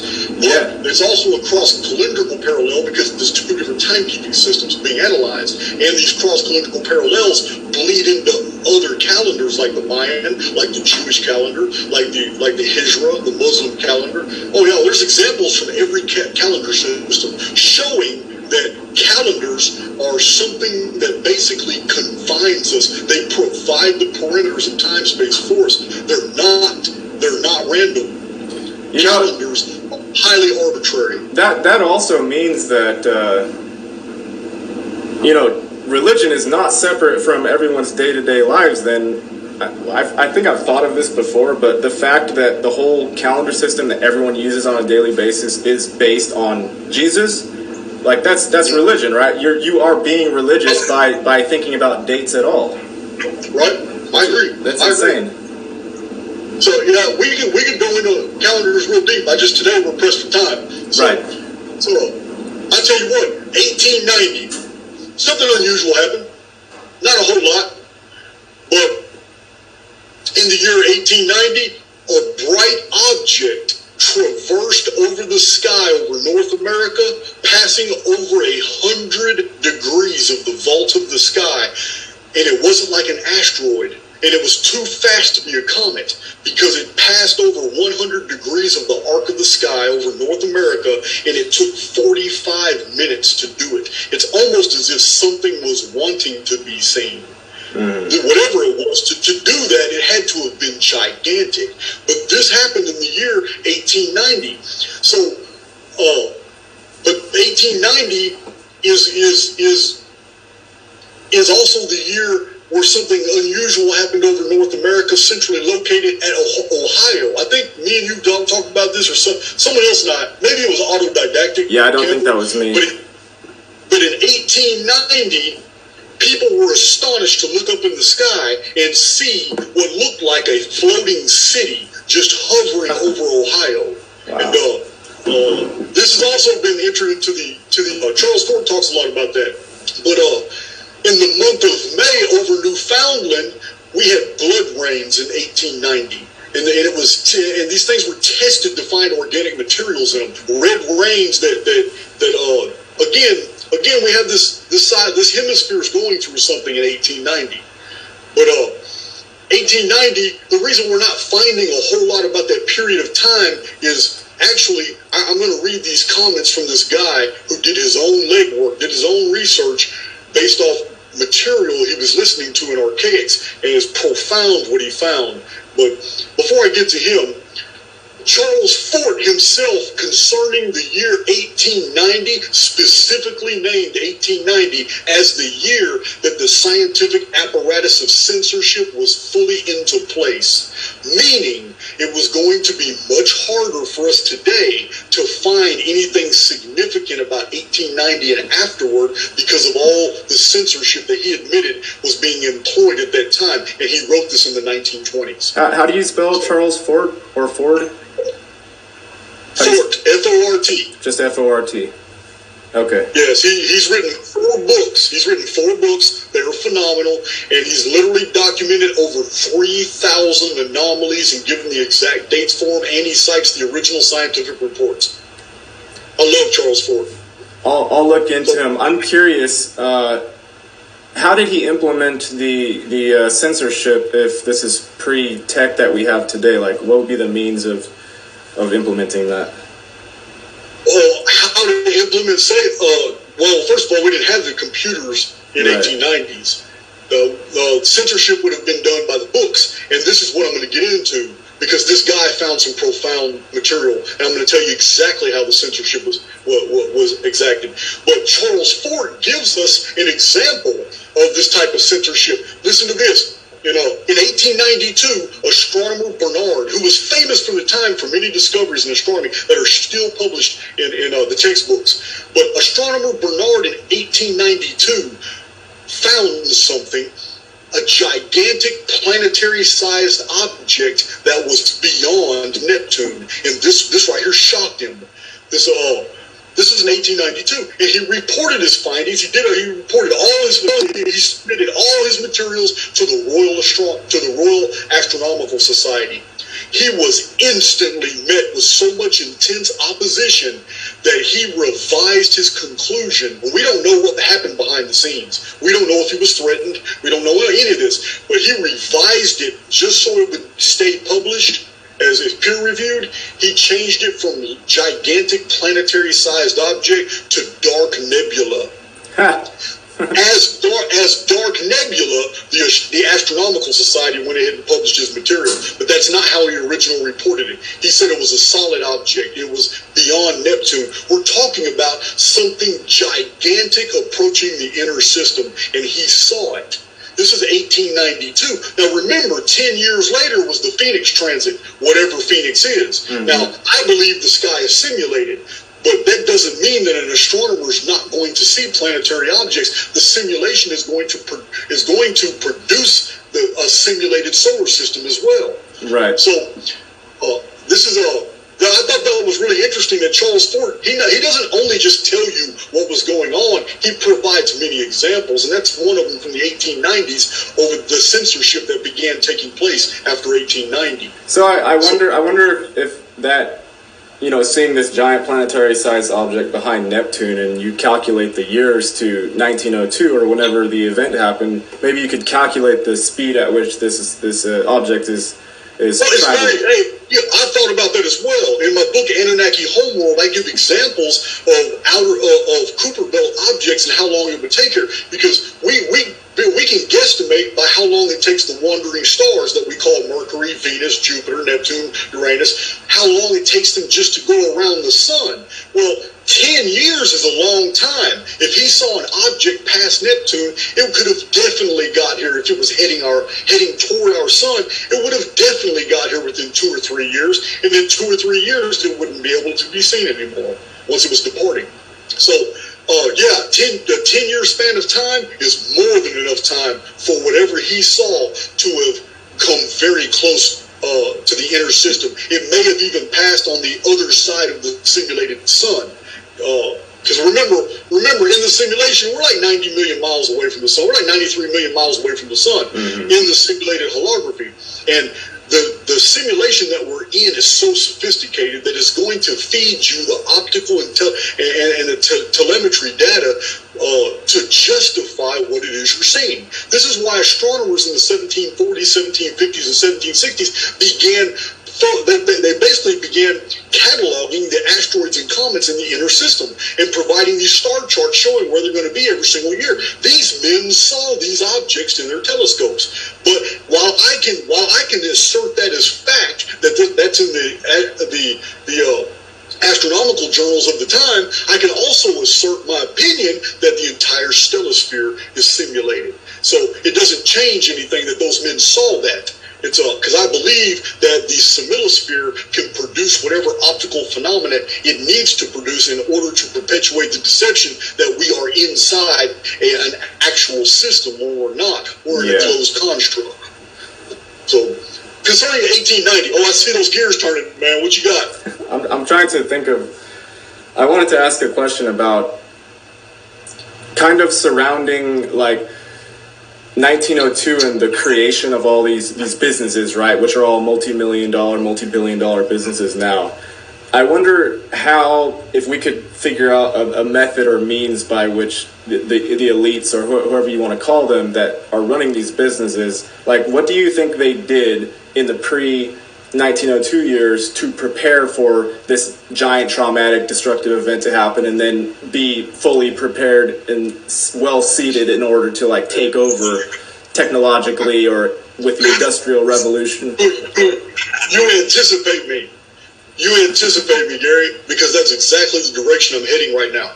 awesome uh, Well, in this video, in this video, because these are the things I think about as well. Because the Phoenix phenomenon is is year specific. Every 138 years, you know, 1626, 1764, 1902 now, and the next one's 2040. But I'm starting to understand that there's a whole nother dynamic at play. There isn't just a group that's that's preparing each time for the 1902 event, but there seems to be a second group that opposes them. And this past event in 1902, they took their opportunity. Those people are now ruling the 20th century, and we'll get to that. We'll get to that. In a you're minute. talking about so-called white hats you're talking about the good guys No, I'm talking about the Bolsheviks, but but uh, we'll uh, we'll get to that in a minute. We're talking about the world bankers. We're talking about the people who own basically everything when it concerns to when it concerns the the moving of money, fi- uh, finances, and currencies. So, uh, because there was, a- there was a lot playing out. This is what I was going to get into in this video. There's a tremendous amount amount of back play that was going on from 1890 to 1902, and you can tell it's two distinct groups. There's a power struggle here, but one of them is doing a bunch of preparations while the other one is just basically throwing caution to the wind and positioning themselves to, to basically unleash everything as soon as 1902 passed. So, so you have two groups struggling for power, but one of them is more controlled, and the other one is just like wilding out, basically. Yes. But yes. they're but they're not good guys, bad guys. It's the same like just power hungry, like uh, entities, right? let's call them enemies instead of instead of polarizing it to good guys and bad guys. Let's call them enemies. They don't work Sure. together. Sure, they don't work together, right. but they don't work with humans or for humans. Well, I think they are human. These two groups. Uh, but I'll get to that in a minute. So, 1890 still has some very interesting things. All right, 1890. I don't know. I don't know if you follow the agriglyph, agriglyph phenomenon, but in 1890 was the very first sighting of a crop circle formation created from lights that appeared in the sky. Now, crop circles have gotten more and more complex, and I have two chapters in my published book, Anunnaki Homeworld, where I show that every crop circle that I examined in there was, was a geometrical was a geometrical uh, uh, message, and the same formula interprets every single crop pattern. And I have two chapters that break them down and show that these are calendar messages, and I show 2046 and multiple of these these uh, crop circles that were appearing, and the formula for decoding these crop circles does not change. It doesn't change from from from uh, uh, uh, formation to formation. And I'll also mention that there's been several books about agriglyphs that show that we're not talking about the ones that are faked, the ones where different institutes have paid these morons to go out there in crop circles and, and we're talking about elaborate patterns involving hundreds of planes, geometrically pre- precise, and yet the stalks on the plants aren't, aren't destroyed which if you bend them yourself, you'll break them and they'll snap. Mm-hmm. But something something changed their chemical composition to allow them to fold together, weave together, and lay down flat without breaking the stalks. That should tell, that does tell every researcher that knows about the agriglyphs that what we're dealing with is something far beyond anything that we we we understand today.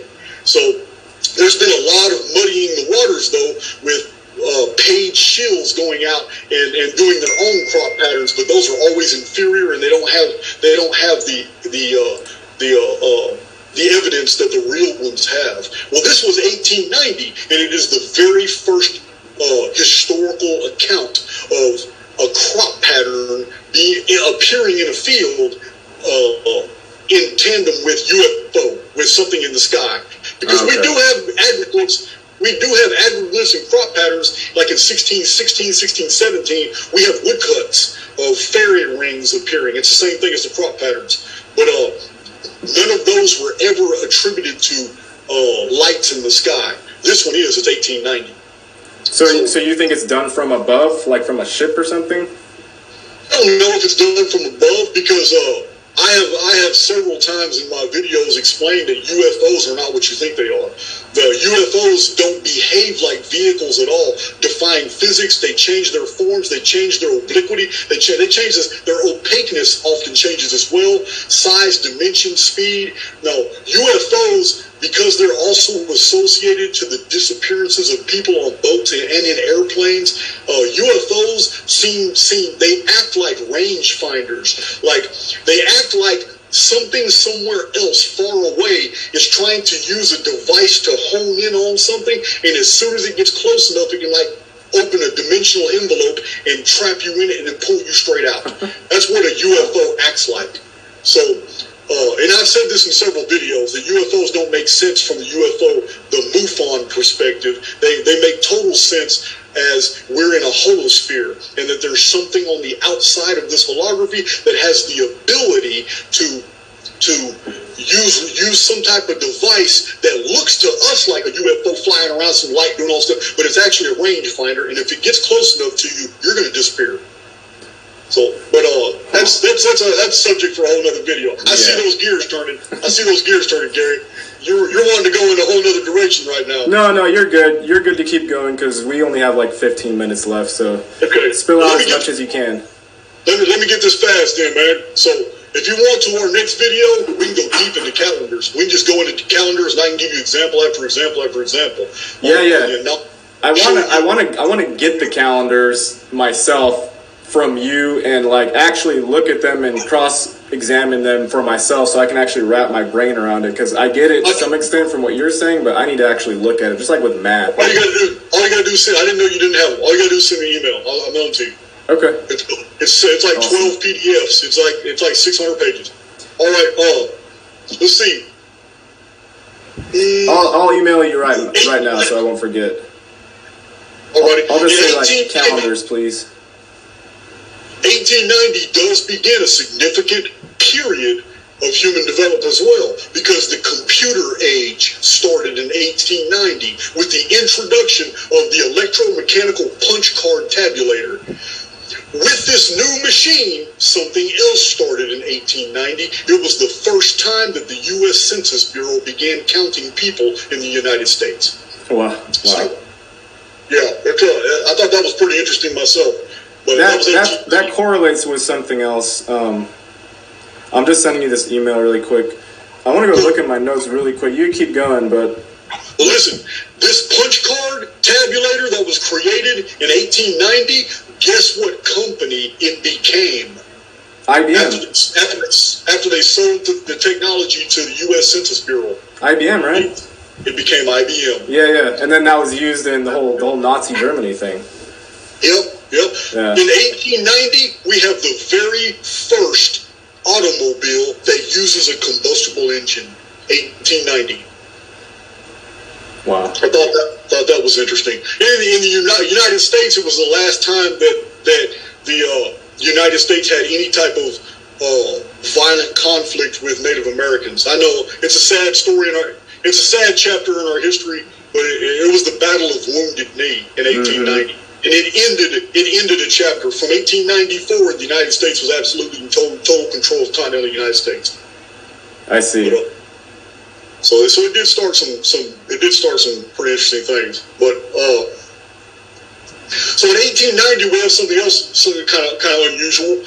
Uh, this dude named John Muir shows up, and he, and, and he's real adamant, and he gets a lot of funding, and people get all behind him. And John Muir, he, he, addresses U.S. Congress and convinces Congress to designate Yosemite National Park mm-hmm. as as something that only the government can can. I mean, the government can fence it off. They can do whatever they want to. They can allow tourism in certain areas, but this massive area was to be off limits to most of the general public Wow. this this started a this started a domino effect because rapid fire right after 1890. When this happened, the United States started find all these places that were obscure uh, archaeological digs, uh, that places where people suspected that something unusual was going on or something had been there before.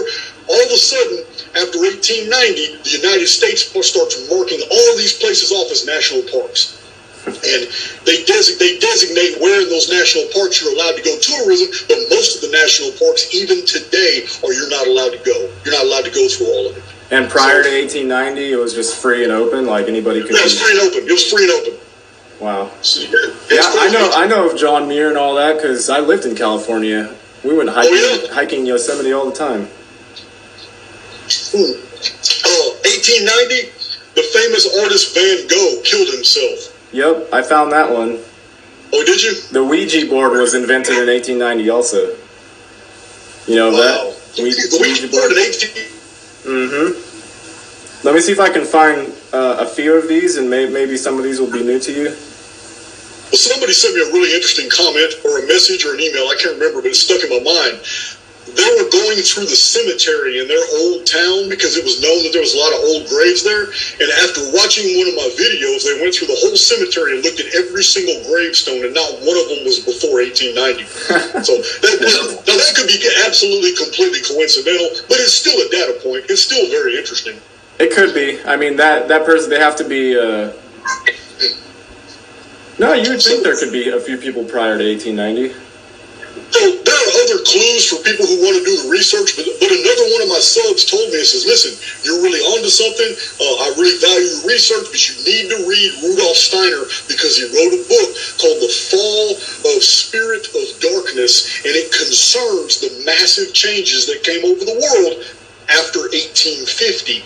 And this person thinks that this book is going to answer for me these anomalies about 1890 and, and 1902. And it might. I'm just throwing that out there because I don't have time to read the book. If somebody else reads the book and, and wants to pr- produce that information, we'll do a video. I have no problem with that. I want to throw that out there for people who want to know about it. Rudolf Steiner, yeah, I hear him all the time. I've listened to a few of his of his. There, he has talks on YouTube, or he doesn't. He's not alive anymore, but there's plenty of Rudolf Steiner audio things you can listen to.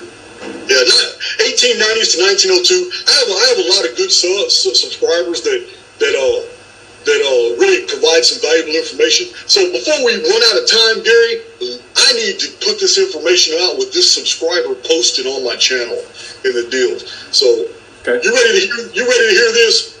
Let's, oh, let's but, hear but first, but first, but first, I'm not going to say your last name, Lola. I chuckled today when I looked through my PayPal thank you for the donation, but you're not missing. You're not missing me. She sent me nineteen dollars and two cents. So really? yeah, that's great. That's great. Wow. 19, 1902. I've had I've had people send me money in, in like interesting ways. I feel like they're trying to send me a message occasionally. Yeah, that's, that, that is so crazy.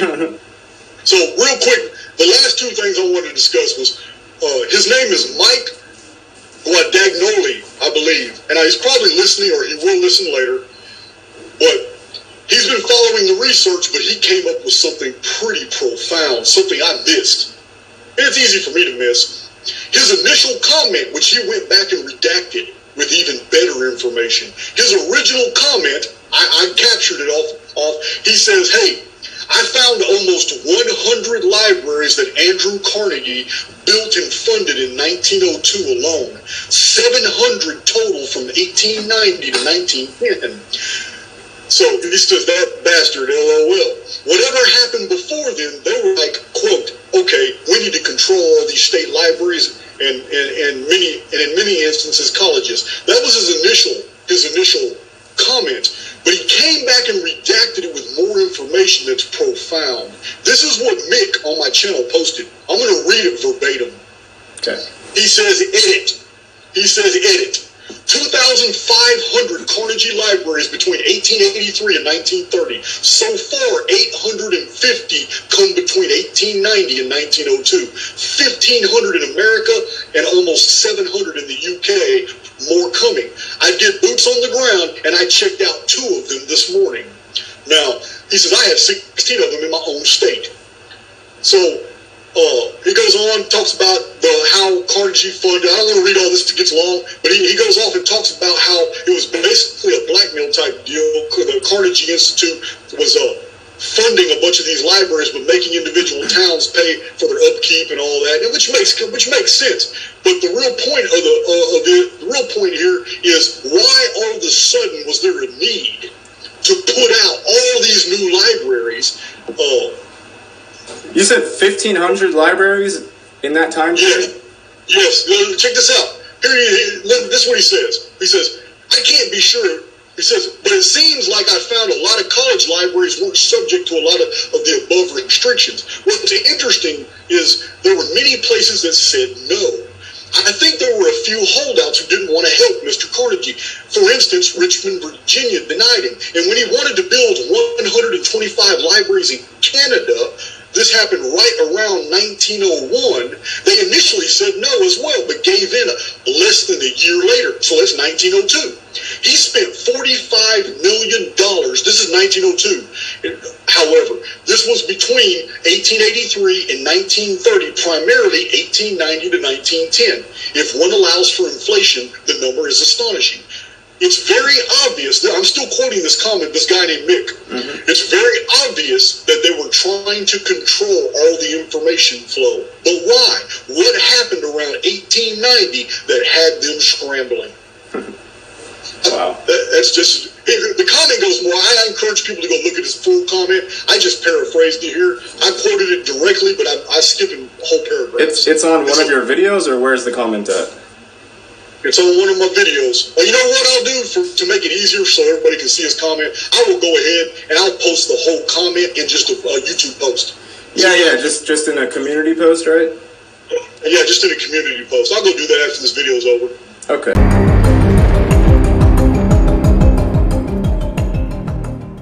Well, hello, ladies and gentlemen, wherever you may be around the world. I am Jay Campbell, and you are watching the quote unquote Jay Campbell and Jason Breshears of Archaix podcast. And I'm very excited today to have Jason in studio. We got about 75 people watching live from the very beginning, which is awesome.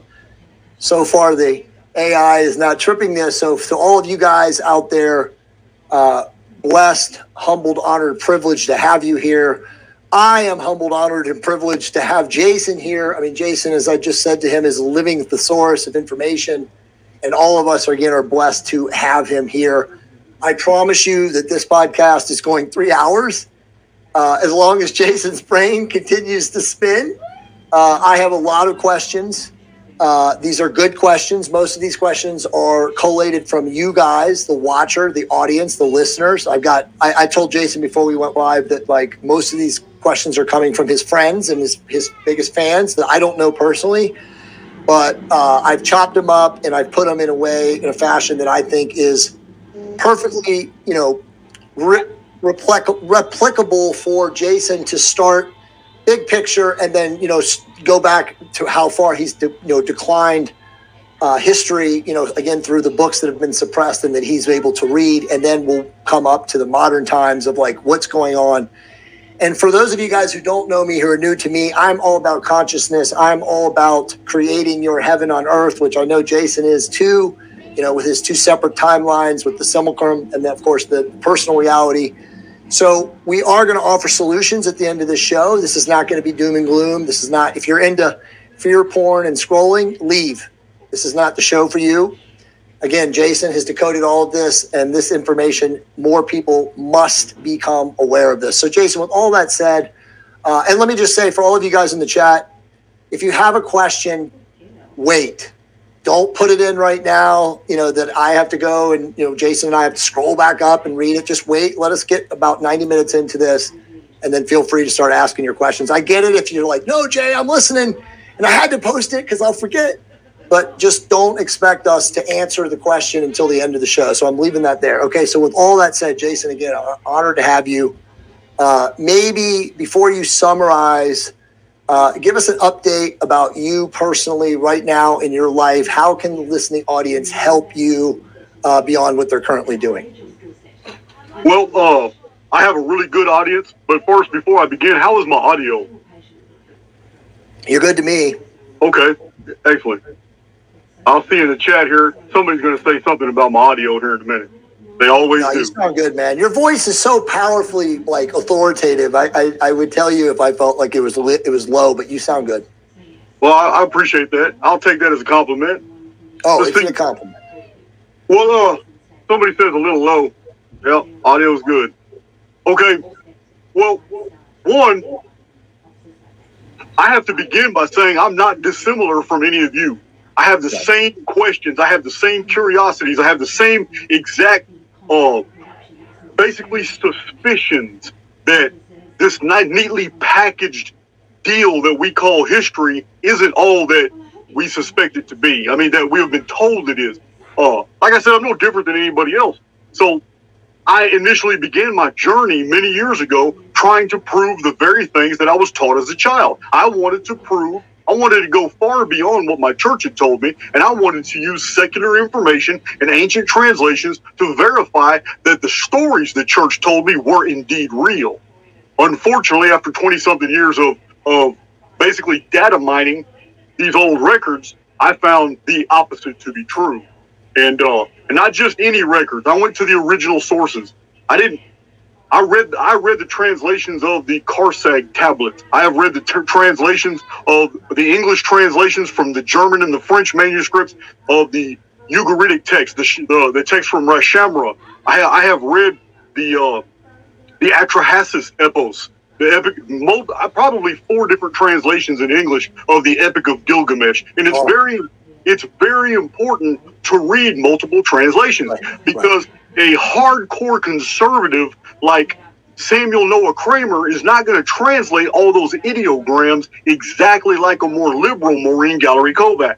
There are fundamental differences that can be detected. So I'm very, very thorough in my analysis of the things that I ingest. What I accept as data has to go through many filters. I probably employ more more filters than actual true accredited historians do. I hold myself up to a very, very high standard.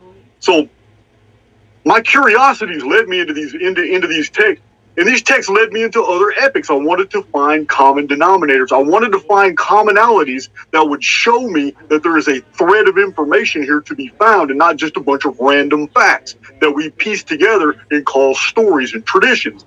So these led me into to uh, the writings of Sanchuniathon. I had to read Diodorus Siculus and Strabo. I had to piece together fragments of history from Homer. Homer gives us some very fascinating information, but we have to put it into context. Homer's Iliad and Homer's Odyssey are often basically, uh, they're basically paraded today as being Greek epics of of, of tradition and all the Greek stories of myth, but they go back to historical common denominators. The problem is when Homer, Theognis, and Hesiod, the three great epic writers of the 8th century BC, when they arrived on the scene, basically all at the same time, their culture, the entire Mediterranean world, had just emerged from a 300 year dark age.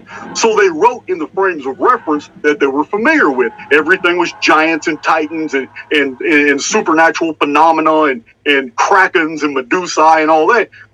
When you break when you break down these uh when you break down the common denominators that, that are found through the threads of all these texts, you find parallels. And then you find in the Greek writings, okay, well, this is very interesting because they're basically, when you strip away the cultural atta- attachments, they're basically saying the same thing you find in the wars of the Mahabharata, the Bhagavad Gita, the Puranic commentaries. And you find, and you, and you go even, and you chase the source materials even further back, and you find out the Hindus basically weren't the originators of these texts. They had basically added their own cultural distinctions to more ancient Sanskrit and Vedic and Vedic text. Then you learn about the Atharva Veda and the Rig Veda, and you find out, wow, this, the further I go back in time, the more precise and definitive the texts and messages that Right. are conveyed.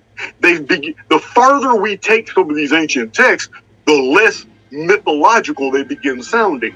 Almost as if we went through a very long 2,000 year period of devolving, not evolving. The, Right. the exact opposite of the uniformitarian model is what we find to be true. So then we find in the traditions, we find flying vehicles and, and I mean, only 2,000 years later did these turn into uh, great rocs birds. They were turned into flying carpets. They were turned into genies trapped in a bottle. Some conveyance, uh, you know, uh, fire, uh, flaming chariots that crossed the sky with, with unusual winged horses. These type of attachments are mythological, but they're from the frames of reference to a people who didn't understand that they were actually uh, conveying technological technological pieces of information. So this is why when you find well, when when I'm reading archaeology books and I see that oh okay there's a great mystery here because uh, apparently the Egyptologists started breaking the plaster off of the ancient temple of Abydos in Egypt, which had been found underwater under the sands of the desert. They started breaking the plaster off that was put there by a pharaoh. Then they quit after it was photographed because it was showing technologically advanced uh, machinery. It was showing tools, machinery, weaponry, and all kinds of very advanced concepts that should have never been seen on an ancient Egyptian wall. The pharaohs didn't understand these either, so they covered them up in plaster, and on the plaster were Egyptian hieroglyphics. But that's not what we find beneath the plaster. So, uh, when I find things like this, then I, I, I understand. Okay, when we find actual technolo- tech technolithic artifacts that the the tolerances for those of you who don't understand when it comes to stonework tolerance is very important because when it comes to dealing with stone it is very very difficult to get a surface area. The larger the surface area and square footage the less tolerance it's going to have because it's almost impossible to keep it perfectly level unless you're dealing with things like laser lathes and the and the technolithic architecture that we have found in several places around the world, like Til like Til uh Puma Punka outside Lake, Yeah. yeah, it's uh Puma Punka outside Lake, Titicaca and uh uh the pyramid Lucarmata. These are inexplicable. They match the absolute pre- precision found at Abydos, the Val, the Sphinx Temple, and the Valley Temple. And for those of you who don't know, those temple complexes are relatively new discoveries. They were found uh, up until the days of Napoleon. The pyramids were one third the way buried in the desert. The Sphinx was buried all the way up to its neck. I said most of Egypt wasn't wasn't even excavated. All these ruins until the last 300 years. So it's a there's a they they were so perfectly preserved because they had ba- basically been the ancient fossilized uh, seabed uh, of an extension of the Mediterranean that is no longer there. This is why, for centuries, the three holy mountains or the two holy mountain motive was always associated as being surrounded by water because it was. After the collapse of the vapor canopy, the Great Flood, people had to travel to the Great Pyramid by boat. It's the only way to get to them because they were half submerged in water. The Right. third pyramid could not be seen, but it was known it was down there. So when I find references to this in, in texts all around the world, and I listen to these biblical uh, pastors that some of them knew what they were talking about, they were breaking down, down the geometrical value of words in Hebrew and Aramaic in the Old Testament and showing, look, these passages concern the Great Pyramid. Isaiah chapter 19 is all about the Great Pyramid. It describes what its function is, why it's there. It's a witness. It's a testimony. It's in the. It's it was put in the land of Egypt to be a testimony unto God for mankind. In addition to that, it's also at the border of Egypt. Well, both of these cannot be true. So there must be there must be something else we have to understand here, because the the, the passage on the Great Pyramid in the Book of Isaiah is is about it is it's in the midst of the land of Egypt, and yet it's at the border thereof. This is in the Bible concerning the Great Pyramid. What's interesting is it is in the land of Egypt, but the Great Pyramid is situated exactly at the head of the delta called the in the ancient times it was called the nine bows it's where the egyptian nile river separates into nine little sub rivers Right. spiders out into a triangle it's a 108 mile long marsh Right. that is the border of egypt but it's actually the center of lower egypt where where the where all the pyramids are and for That those was actually that was the Fertile Crescent. That was the That was real it Fertile was. Crescent. And so, well, that was where the Israelites were. Oh, that's where all the Israelite neighborhoods were. It was like it was like a paradise. It was like a Right. Garden of Eden back then. Now, after after the collapse of the, the vapor canopy, that area for about a thousand years, it took about a thousand years for it to basically dry out to what we have today. Right. This is why archaeologists, all going all the way back to the 1700s, uh, Frederick Norden was a was a was a researcher. Very few people ever mention Frederick Norden. Frederick Norden surveyed the Giza complex. He surveyed, he studied, he drew pictures of the pyramids, the Sphinx. He did this in the 1700s. One thing he noticed was there was writings on the on, on the on the masonry, and uh, uh, there were seashells everywhere. You could stick your hand anywhere in. Well, the Egyptian Antiquities Authority has had over 150 years to remove those shells. Yeah. They've had whole crews doing that. Yeah, they had, they they they basically combed that whole area of the desert. So, uh, to go back to the original point, nothing that I researched comported with what I was told. Right. So, I began to take, I began a, an archive system. I began archiving chronologically everything that I was finding. I was still believing in the Bible. right. But, but that's how that's how dangerous our programming is. When you take a five-year-old kid and adopt him, that's what happened to me. I was adopted straight off the streets. You adopt a five-year-old kid with a malleable mind straight into one of the the most puritanical Southern Baptist families in Texas. That's what happened. That's what happened to me.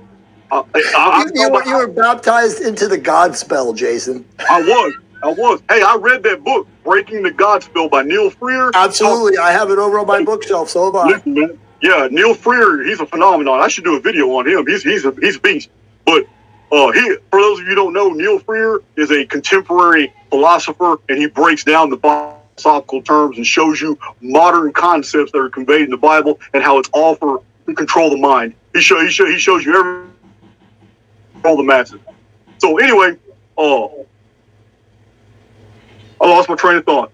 That's okay. Oh, Neil so I was here I am five, so here I am, five years old. I'm adopted straight off the street. I came out of a pretty bad situation, and uh, I'm adopted by by pure, basically a Puritan mother, Right. and she's in the church ministry, and she wants, and she really wants to impress the pastor every Sunday. She's involved in everything. I'm in the youth group. I'm in the choir. I'm every Wednesday. Every Wednesday, I got to help with the with, with the church the church dinner. I have absolutely no social life. I have nothing going for me at school, uh, like kindergarten, nothing. My entire life until I was 15 years old, for 10 years, was Southern Baptist Christianity Right. church. That's what it was. When I was 15 years old, I had had enough. I snapped. I packed everything I could fit into a backpack and I hitchhiked across the United States doing odd jobs for two years. Ran into the wrong people, started hanging out with them. By 17 years old, I was in prison.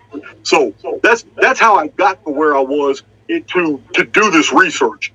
But I did not break free of my programming until I was 40 years old, when I had amassed so much data that I could no longer be honest with myself when I woke up in the morning and I looked at my, my cup of coffee and my Bible, because it had been ingrained in me since I was a child that no matter how much I rebelled against my mother, every morning in prison, I always spent 15 to 20 minutes in my Bible drinking my coffee before I started my prison day.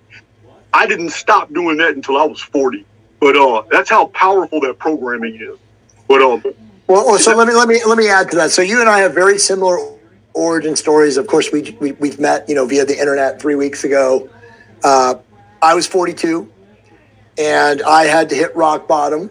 Now I ran out. By the way, I'm not Southern Baptist, but Roman Catholic, so same shit, different you know different Yeah. Abrahamic scam.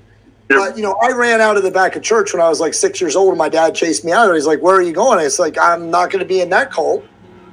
right? So like I knew at a very early age that you know just as you figured out at 15 that we were being inculcated with bullshit. So uh, you know I want to get back to your story here in a second, but um, uh, Jason, I really believe this, and this is why the Egyptian mystery schools, you know, whatever we can decode from them, did not allow initiates to even attempt to enter until they were 40.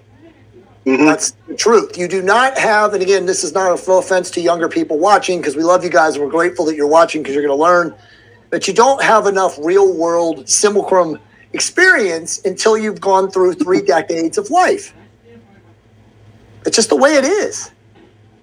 Yeah, it's true. I, I have met some very interesting, uh, uh, basically girls and guys in their 30s and and late twenties that really impressed me with their maturity and their willing willingness Yeah. to learn. But you're but you're absolutely right. And there has been times, Jay, where I actually really wanted to disable comments. I wish there was a filter on YouTube that would allow me to disable comments, not not by age, but Sure. I have a lot of people that watch four or five of my live videos and think that they can uh, they can abbreviate and collate the data in those videos and actually understand my theories and all the information that I put out. But before, before I ever did podcasts or live videos, I had already released over 200 uploads just to Right. get the information out there first. Right. So Right. I, I mean, I, w- I wouldn't do it even if YouTube had a setting that allowed me to do it. I had I had, I have been frustrated to the point where I, I almost would have done it. It's uh just disable comment. For if there's no way if you can't verify that you've watched at least 30 videos, you shouldn't even be commenting because I agree. 90% of the comments are already answered multiple times in earlier vids. And what frustrates me more than anything, now I have some hardcore listeners, but what frustrates me is you and I know because we're content creators. YouTube allows us to go look in our analytics. We can see if people are going back to watch those those uploads. So when I have 12,000 people in the last week watching a live video from four days ago, Right. okay, that's fine. But that tells me there's 8,000 of you that didn't go back and watch Right. the data that that video came from from a video that was released a year earlier because that video still has 2,000 views. Right. So I know you didn't go back and look at that and watch that. And that's cool. That's your prerogative. People want people want to be in the fast lane. They want the information fast. But then they want to ask me questions for which the data has already been provided and answered a hundred times in, Right. in 10 different comment sections. Right. So that Right. does get old. It really does. Well, I'm glad you said that. And, and let me just say for everybody out there, because we have a lot of people, you know, I imagine we're going to have probably a couple hundred people watching live at various points through this, even with the suppression, even with the blackballing and the shadow banning that Jason and I experience. You guys are out there. So, again, grateful for all of you. Love and light.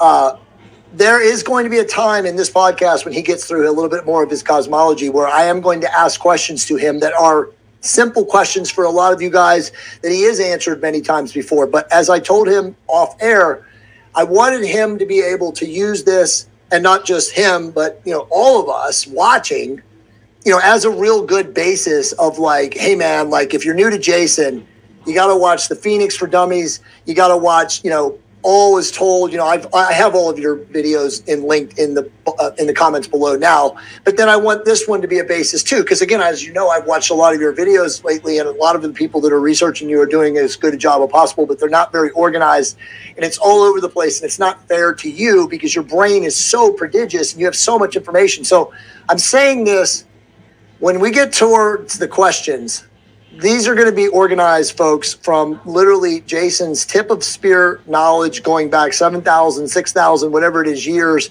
to up until the present day. So if you're asking questions right now, they're not going to get answered. Leave time. This is a three hour live stream, okay? And maybe longer. Jason and I could spit this stuff out all night, all day. But it is very important that Jason, you know, moving forward, and I'm, in, dude, I, I deal with the same stuff in my life. Like, you should not be asking questions that have been answered a hundred times before. And Jason, the truth is, and you know this, is that technology has dumbed down people to the point where they're so lazy. They want you as the guru, me as the guru, whoever the guru is, to give them the answer. They don't want to research. They don't want to read. They don't want to watch five more seconds, 10 more seconds. They want you to give them the answer. That's where we have gotten to. And you're right. People have a prerogative to do whatever they want, and God bless you. You have free will. Some of you do. But at the end of the day, Jason and I also have a right to say it's not going to happen. I've already answered that. Next question. And so think about that before you ask your question. As Jason said, watch his videos. And by the way, I put the link into my comments too. Jason's, uh, you know, uh, glossary on his website has so much information. If you just spent 90 minutes going through his glossary, you're going to have a lot of your questions answered. So anyway, I'm going to stop pontificating. This is your show. But please, as he said, guys, do your homework. Watch the videos. Go to his channel. You might have to, you know, do a, a, a two week binge because there's that much amazing content. And as he said in a lot of his shows and continues to say, he's got so much more that he can do. And you know, I he's he knows this, and you know, I, I don't want to like humble him, but like I have a group of people right now that are like, Jason's going into full time work. He's not going to be doing his job anymore because we need him doing this stuff. So I'll be talking about that more in the future. But he, his mind. I mean, Jason, what can you do? Another ten years worth of videos if you did them every day? I, I have enough data in my studio to just do this forever, really. Yeah. That's what I'm saying. If you were doing 12 hours a day of videos for 10 years, you probably can still come up with original creative content. Okay, so let's get back to you. Okay, so now you're basically in prison, you're reading voraciously. How did you source the material? Okay, well, um, first of all, for those who don't know, prisons have a lot of old books floating around them. Right. And in Right. Texas, prison administrators don't like to throw away state resources. So when older prisons were were basically condemned, they didn't they didn't destroy the books. They had prisoners go in, box them all up, and send them to another unit. And then they would they wouldn't get used because when the new unit opened, the community around that prison donated all new books. So with all the new books on the shelves, the old books get forgotten in boxes.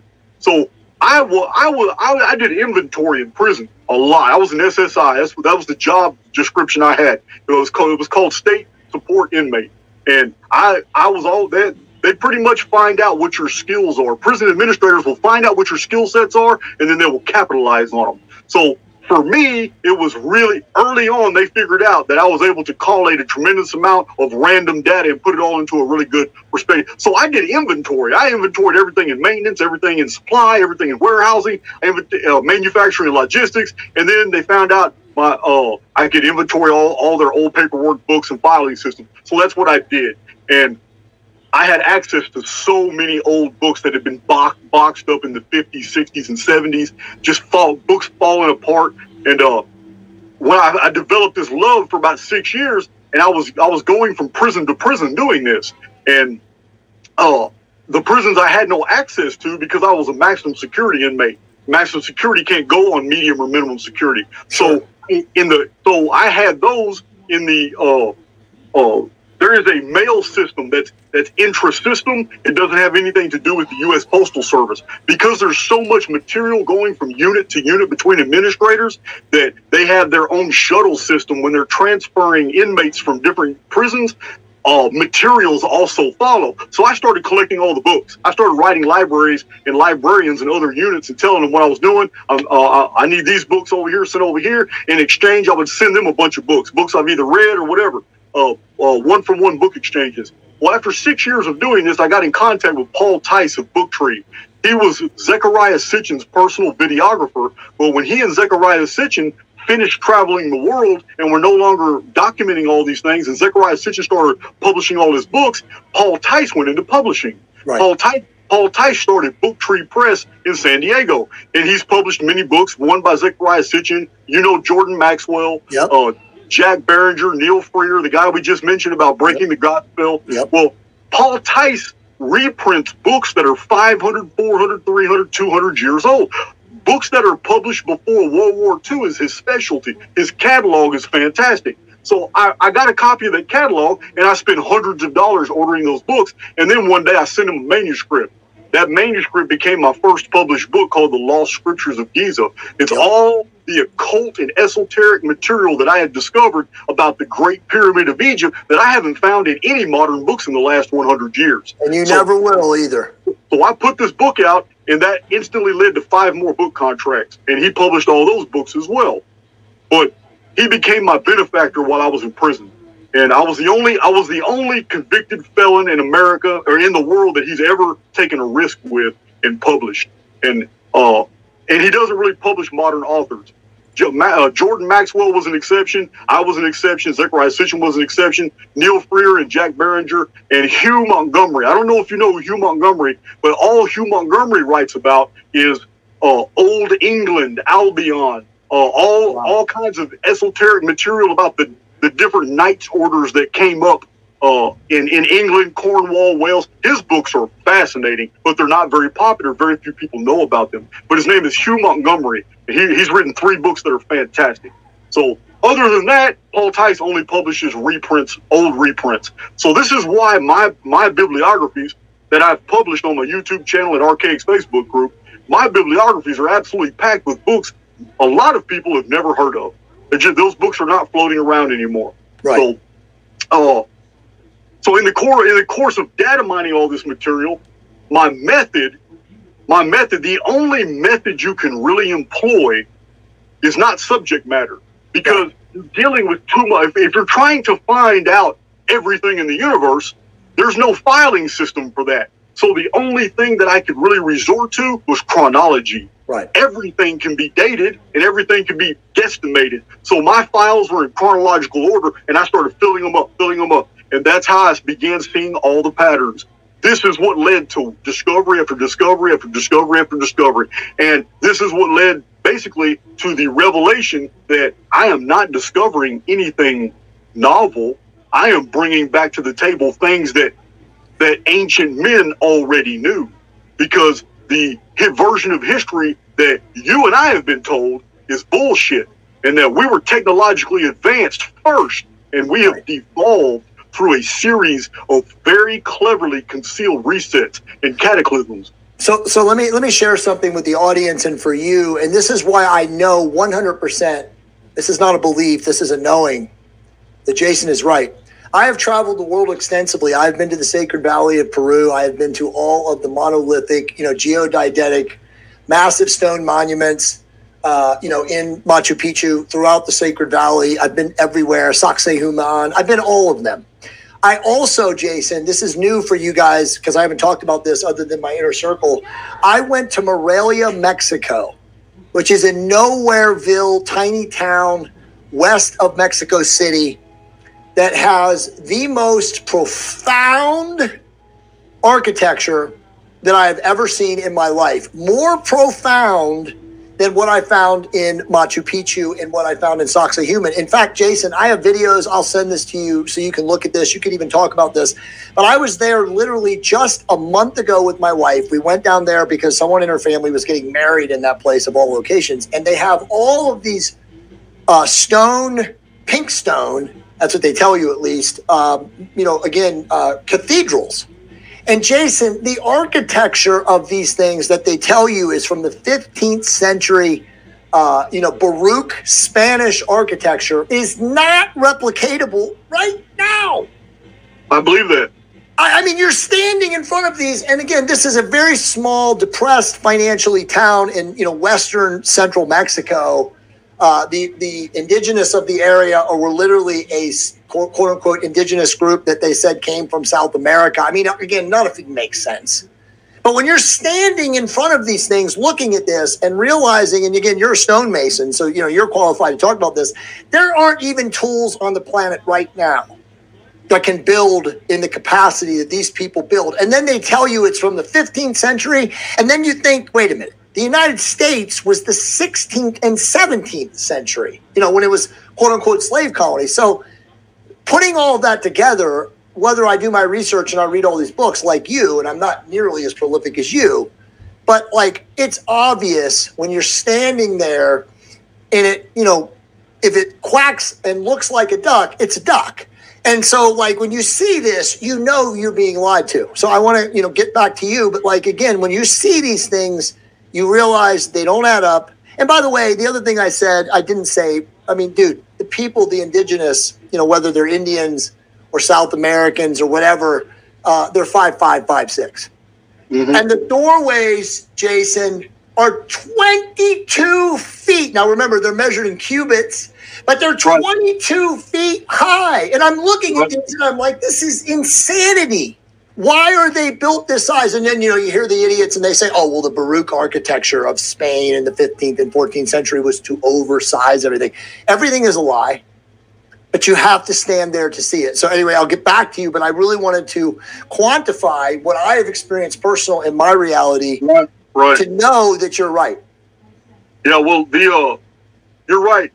There's a lot of deception, but let me tell you what is true what we do have preserved in, in the historical record, we have over 45 references in historical text to Roman Catholic Jesuit Jesuit agents absolutely rounding up with military force every American codex, every story, all everything written down. If they saw any effigies on temple walls, they they they broke them out with hammers. Yep. Whatever they found when they first came over here, the Castilian Spanish conquistadors, whatever they found when they first came over here isn't what they told us. They went through a Right. major campaign of destroying all the knowledge throughout North right. and Central and South America. Now, and the they, conquistadors were sent to destroy in the name of the Catholic Church. yeah, they destroyed the entire history. So a hundred years later, they could feed us a version of events that was not true. So what they found in, like what they found with uh, Atahualpa in South America, uh, what they found in Cuz- Cuzco, the Inca were far more sophisticated. Oh, yeah. They didn't even treasure gold, but they made everything out of gold. They insulated their temples and government buildings with gold sheeted walls. Right. Uh, they used mica on the floor for the electrostatic uh, uh, properties. People could walk barefoot on the floor of temples and sing in the gold walls and the mica under their feet. That would begin to, and they would begin to resonate, and everybody together using their voices could absolutely cause levitation and altered states of consciousness. They, they had all kinds of really interesting. Uh, same thing you find in the Hypogeum in Malta at uh, Hagar Qim all these resonance chambers like Phoenix Hill in China, these these underground chambers that are specifically built for their acoustic properties and what people could do when they were singing together in those in those uh, uh rooms, in those chambers and temples. It, it was phenomenal. But all of this was they attempted to erase. But as far as the technolithic architecture, we cannot replicate Angkor Wat today. Nope. All the temples that we find through Cambodia, oh, they don't get enough attention. Oh, if somebody, if we had true scientists that were going to to uh, some of those some of those temples around Angkor Wat, just looking at how the statuary blends in with the aesthetics of the temple walls and the pillars, we can't replicate that today unless we're cheating with concrete molds and and, and, and using plaster casts and all that. But that's not what these how these buildings. This is living rock. They carved that living rock That's and smoothed true. it out, and we don't know how. But chisels, if you were to use it the, the same the same way that they say Egyptologists built the pyramid, you would see the stress fractures. Right. You would see all the evidence of tooling marks and all that, but you don't. Right. We're we're looking at architecture in many ancient sites that was machined with Exactly. precision. It wasn't a man using a hand tool. No. It was something else. It was something else. And they were making them fast. I almost want to say 3D. I almost want to say 3D printing because Right. it's very, very, it's very interesting. It would be a, a species of 3D printing using lithography that we just we're not familiar with today. And if Yeah. we are, then it's a technology that exists in the underworld and, and has never been released to the surface. Because I, Jay, I don't know where you're at with this, but I personally believe, and I believe I've uncovered a lot of evidence for this, that there is a technologically advanced civilization that is centuries old, that is beneath our feet, and they release they release technological advancements under the guise of alien assist, Right. like 1947 Roswell. Those artifacts did not come from space and UFOs. They came from the civilization beneath us. They Yes. just wanted it, they just wanted us to believe it came from the sky. So Yep. I, I'm a yeah. The, the civilization below us has, has been there from for ancient Well, times. there- there's many names for them, right? They call them the inner earth occupants, the Agarthans. You know the, you know Yeah. what, what is the name? The, um, the, not the Hindu. Yeah, the Vril. Uh, they also call them in uh, in India. They they called them the Nagas. I mean, there's so many different inner earth cultures and populations that you know come from various. Uh, you know, mythologies or mythoses, depending on the culture and the area of the planet. So there's no question that they are there. You know, obviously, I live in Southern California. If you go up north to Mount Shasta, you can find indigenous people that will tell you about portals, you know, that go into Telos and all of these other places that are up there. And again, I know you've read about all these things because, like you said, you know, it can't be covered up, even though they they they, they do their best to suppress it. Okay, so let's get into the. If you want to go a little bit further from where you were in prison to get into this stuff, but let's talk a little bit about uh, the resets. And you don't even really have to talk about them because I have questions to define these when I'm coming. So I actually just take what I just said. Just keep going until you want to like answer the Okay, well, okay. Well, let's let's uh let's talk about the very last one that happened. Sure.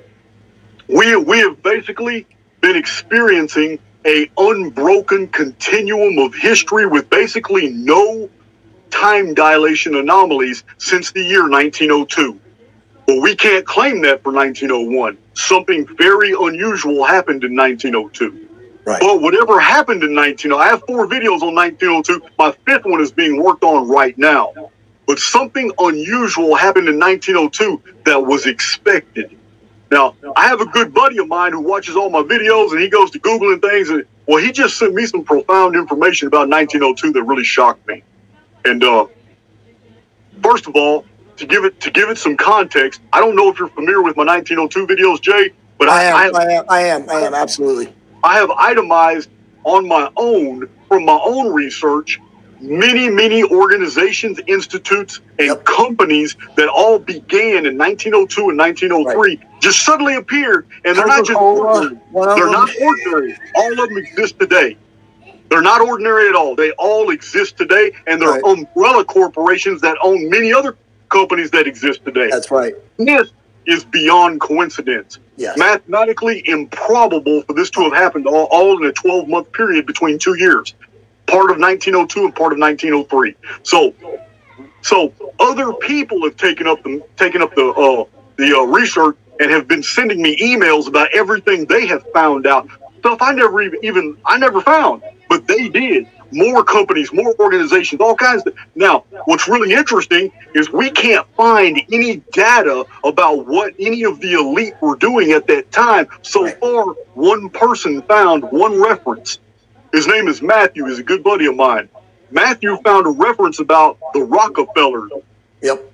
In 1901, they disappeared. In 1903, they reappeared on the world scene and unleashed all their all their company. This tells me, this tells me, 1902, just like 1764, was expected. They expected the Phoenix reset, but it wasn't the big one. So as soon as they realized they had another 138 years, as soon as the phenomenon didn't appear to the magnitude that they were expecting, they were they, they hit the with the boots on the ground. They unleashed all their wealth back into the into the population. They had taken all their wealth out of the population. All the elite did in 1890. This is why we had the orphan train. This Right. is why we had the plagues, diseases, starvation. We had the collapse of all kinds of control systems all throughout the 1880s and uh, 1890s, 1901 was a very strange period of time. Things were in chaos. This is when the Bolshevik took power because of the power structure.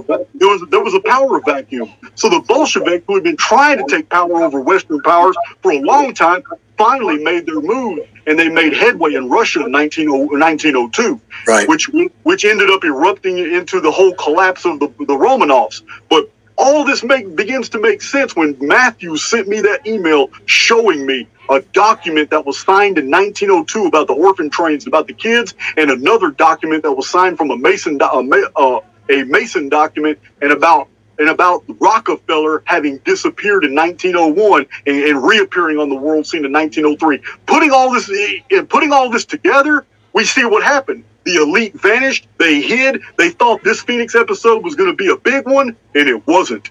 I documented everything the Phoenix did in 1902. It wasn't a big deal, but it was there. It was. It, now they probably got scared, Jay, because in 1764 they would have been aware that the Astro, Astrophysical Journal had documented that astronomer Hoffman had saw it in in the month of May on May 15th in 1764, and half a million Europeans saw it with the naked eye, dark in the sun. But it, that wasn't the big one either. And as soon as 1764 happened, what happened?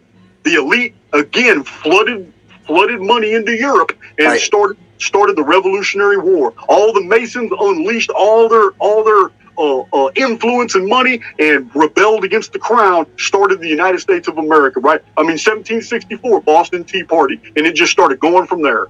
So 1764, it wasn't the big one. So the elite knew they had 138 years. They thought 1902 was going to be the big one.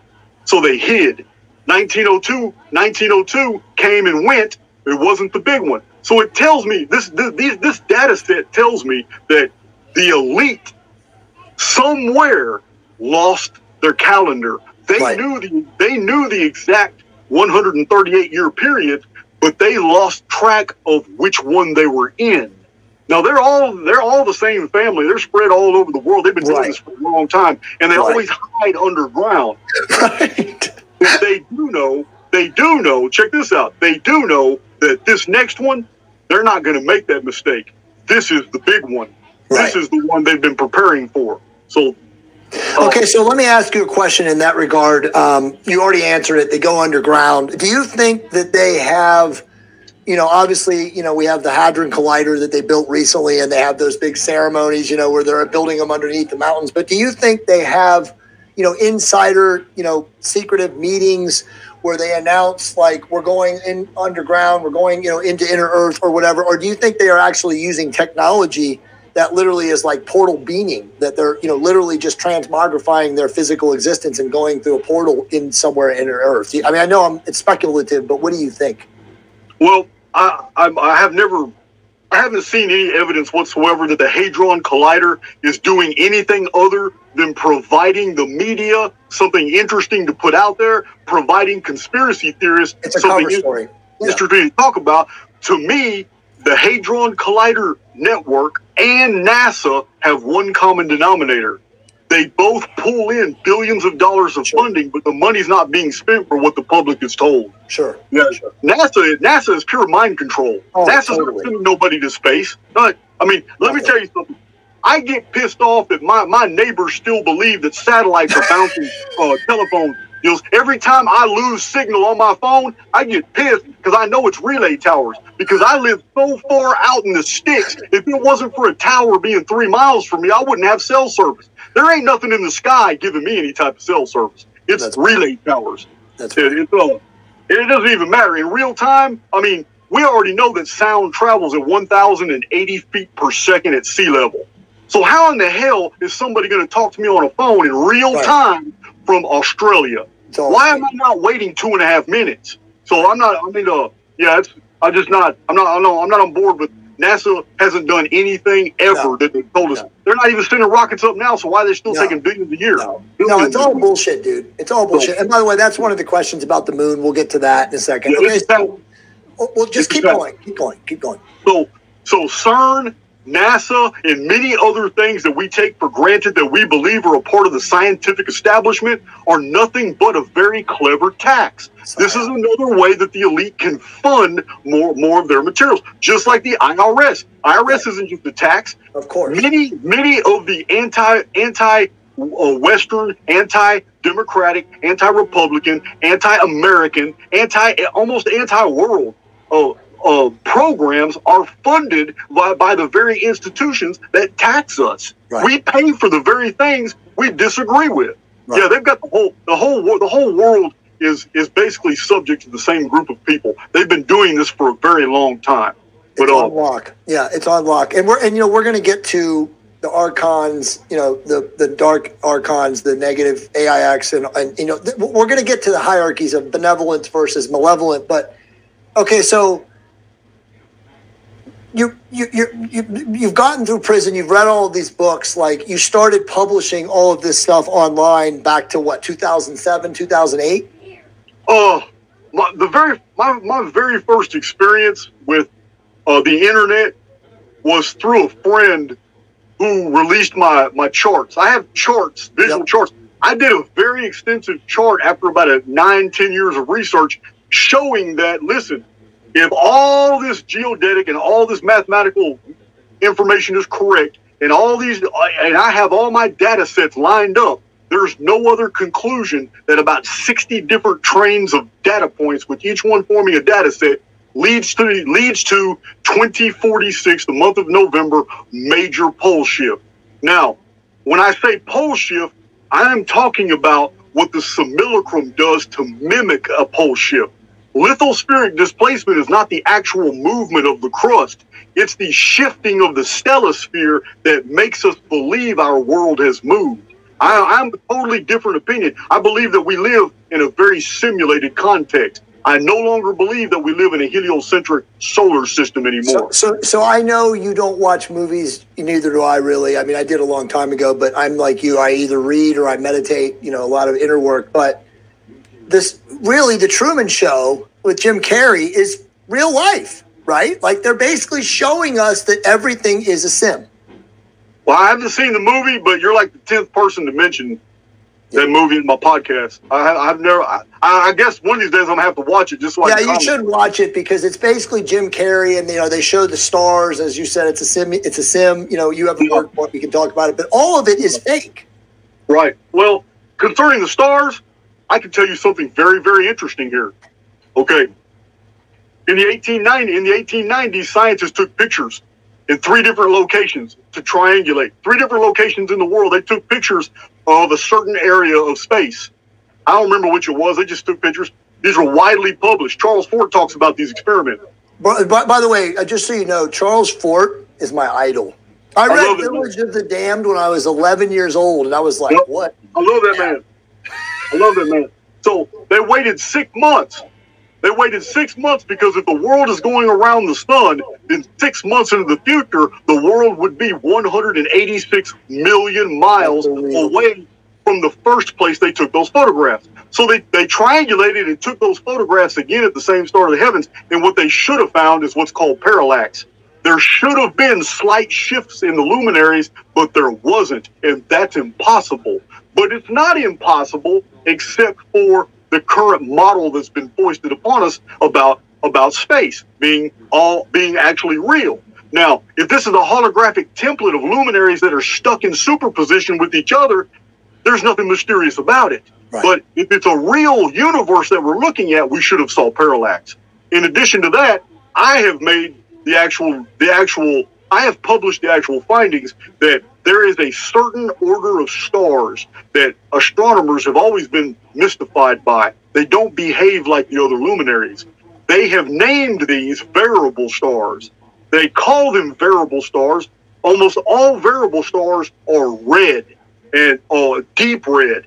But what's really interesting about them is they they change their magnitudes, and it's not predictable. It's not it, it, it does, it's not understandable how they can go so bright and go back and dim. It's almost as if the cosmos, what we perceive of the cosmos, is communicating with itself. Right. Now, the very the most interesting thing that I have found is when things are going very bad on Earth, those variable stars are blinking chaotically. The ancients see them. To me, I don't see it the way the ancients do. I don't see the stars attacking me like they did. I don't see the stars being uh, uh, uh, imminent, just basically the, all the different eyes.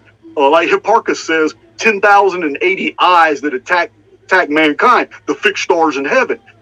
I don't see that. I see I see hundreds of thousands of little holographic projectors that are Right. that are basically creating phenomena in our skies for us to believe is real.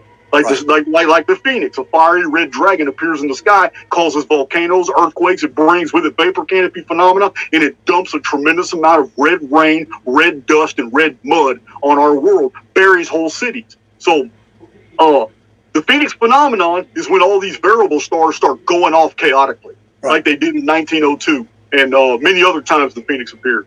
So that, I just wanted to, I just wanted to let you know that's another reason why I don't believe that the that the sky is real. I believe that we're looking into an artificial construct from within. And it is deceitful. It is designed for us to make the assumption that we're living in a heliocentric uh, model. And I get I get a lot of flat earthers that get irritated with me because they say, "Oh man, you're you're uh, you're a globe you're a globe tard or you're a yeah." Listen to me. They call me a globe tard. They call me uh. They say, "Oh, you believe in the heliocentric model, man?" You're. It says you're not even in the conversation. So listen to this. I tell them, say, "Listen, I'm a simulationist," and and and, and in a way, they're right. They say, "Oh, you just say that because uh it protects you from being in the controversy." But they don't understand. I've already moved away from flat Earth. I'm Sure. done with it. I'm done with it. If everything is a, is simulated, now we now we need to understand certain things that cannot be denied. Right. One of them, one of them is the phases of the moon. Right. The phases of the moon are specifically there to make you believe that moon is spherical, and Right. therefore the sun is spherical, Right. and therefore the shadow on the moon would necessarily infer to any intelligent observer that everything else in space would be spherical. Therefore, Right. there are planets to, to, to be to be to be looked at. So when we have the sky projecting phenomena that induces us to make certain certain deductions, then that means the sky is emanating deceit. Right. This opens up another, another can of worms. Okay, what would want to deceive us into believing that all this is travelable, that we can actually come up here, that we can go to other worlds and stuff? Why would that deception be necessary? Right. So this is what I've done. I've gone through all these deductive reasonings and chased this data to, to, to its final conclusions. That that we're in a simulation. And the only thing that I can conclude, Jay, is that we are in a simulation that is almost an exact copy of a real system. Right. And that something is being studied and that we volunteered for this. Yes. Because, and I'm at, because I don't feel danger. I don't feel No. I don't feel any bad vibrations about the future like I No. used to. My my Christian puritanical upbringing had me fearing hell, had me fearing making mistakes. But making mistakes is the greatest thing to learning new material. That's right. because once you have isolated everything that is wrong, Right. there's nothing left to look at but what is right. That's exactly right. And let me let me quantify that even deeper. You have to get to a level of awareness. And again, some of some of you guys are younger, and maybe you're there now. I spoke to some, you know, true ascended masters, as I would call them, this morning, and they're in their early 20s. They don't have the experience, but they do have many probably lifetimes. I want to get to your take on reincarnation and, and, and living life cycles and, and all that. But I agree with you. We have volunteered. You know, the new age people would say you incarnated into here because you had free will choice for of evolution and growth of your soul. You know, we could call it our chi, our orgone energy, our auric field, whatever you want to call it. But that is who we really are, Jason. As you know, we are not these avatar physical body beings. We are spiritual energy of, of, of standing waves or oscillating waves and vibrating atoms and molecules, which, as you know, you know, are very viscous and you know congealed at this low vibrational frequency. So the truth is is that we're not these bodies and people have to get to a place of awareness where you're not you're that body. You're not jason Breshears. i'm not jay campbell. I'm not this personality or this ego or this mind. I am a spiritual being having a physical avatar body experience in this third dimension of time space which you know that's a whole nother construct because we're not even in a time there is no time outside of this dimensional reality. They've got us believing in this dualistic polarized, you know, opposite, left, right, dark night, you know, good and bad. It's all bullshit to get us, as you say, to opt into the AIX. And we haven't talked about AIX and we'll define it, but AIX wants you to build a simulation of reality that they influence and they create through the narrative of the media and all those other things. And once you wake wake up to that reality that you're not what it wants you to believe you are, which is again a physical body, then you are in control of your personal reality, which you talk about and you can talk about in a second, which you can create through your words, thoughts, and actions. And we're going to talk about consciousness towards the end when, when I ask the questions. But like, it, it really is true. I'm with you. I am totally positive. You, all these guys that are watching right now that are my friends and fans and audience will say, you know, Jay is the raise your vibration guy. You know, we're building the new earth we're creating a golden age. And yes, there's a lot of dark shit happening right now with the V and Co and all that stuff. But a lot of us, especially you and I and all you guys watching, we are co-creating consciously a new experience. And so, you know, Jason can quantify that by saying that the Nemesis event is literally going to get rid of the dark side.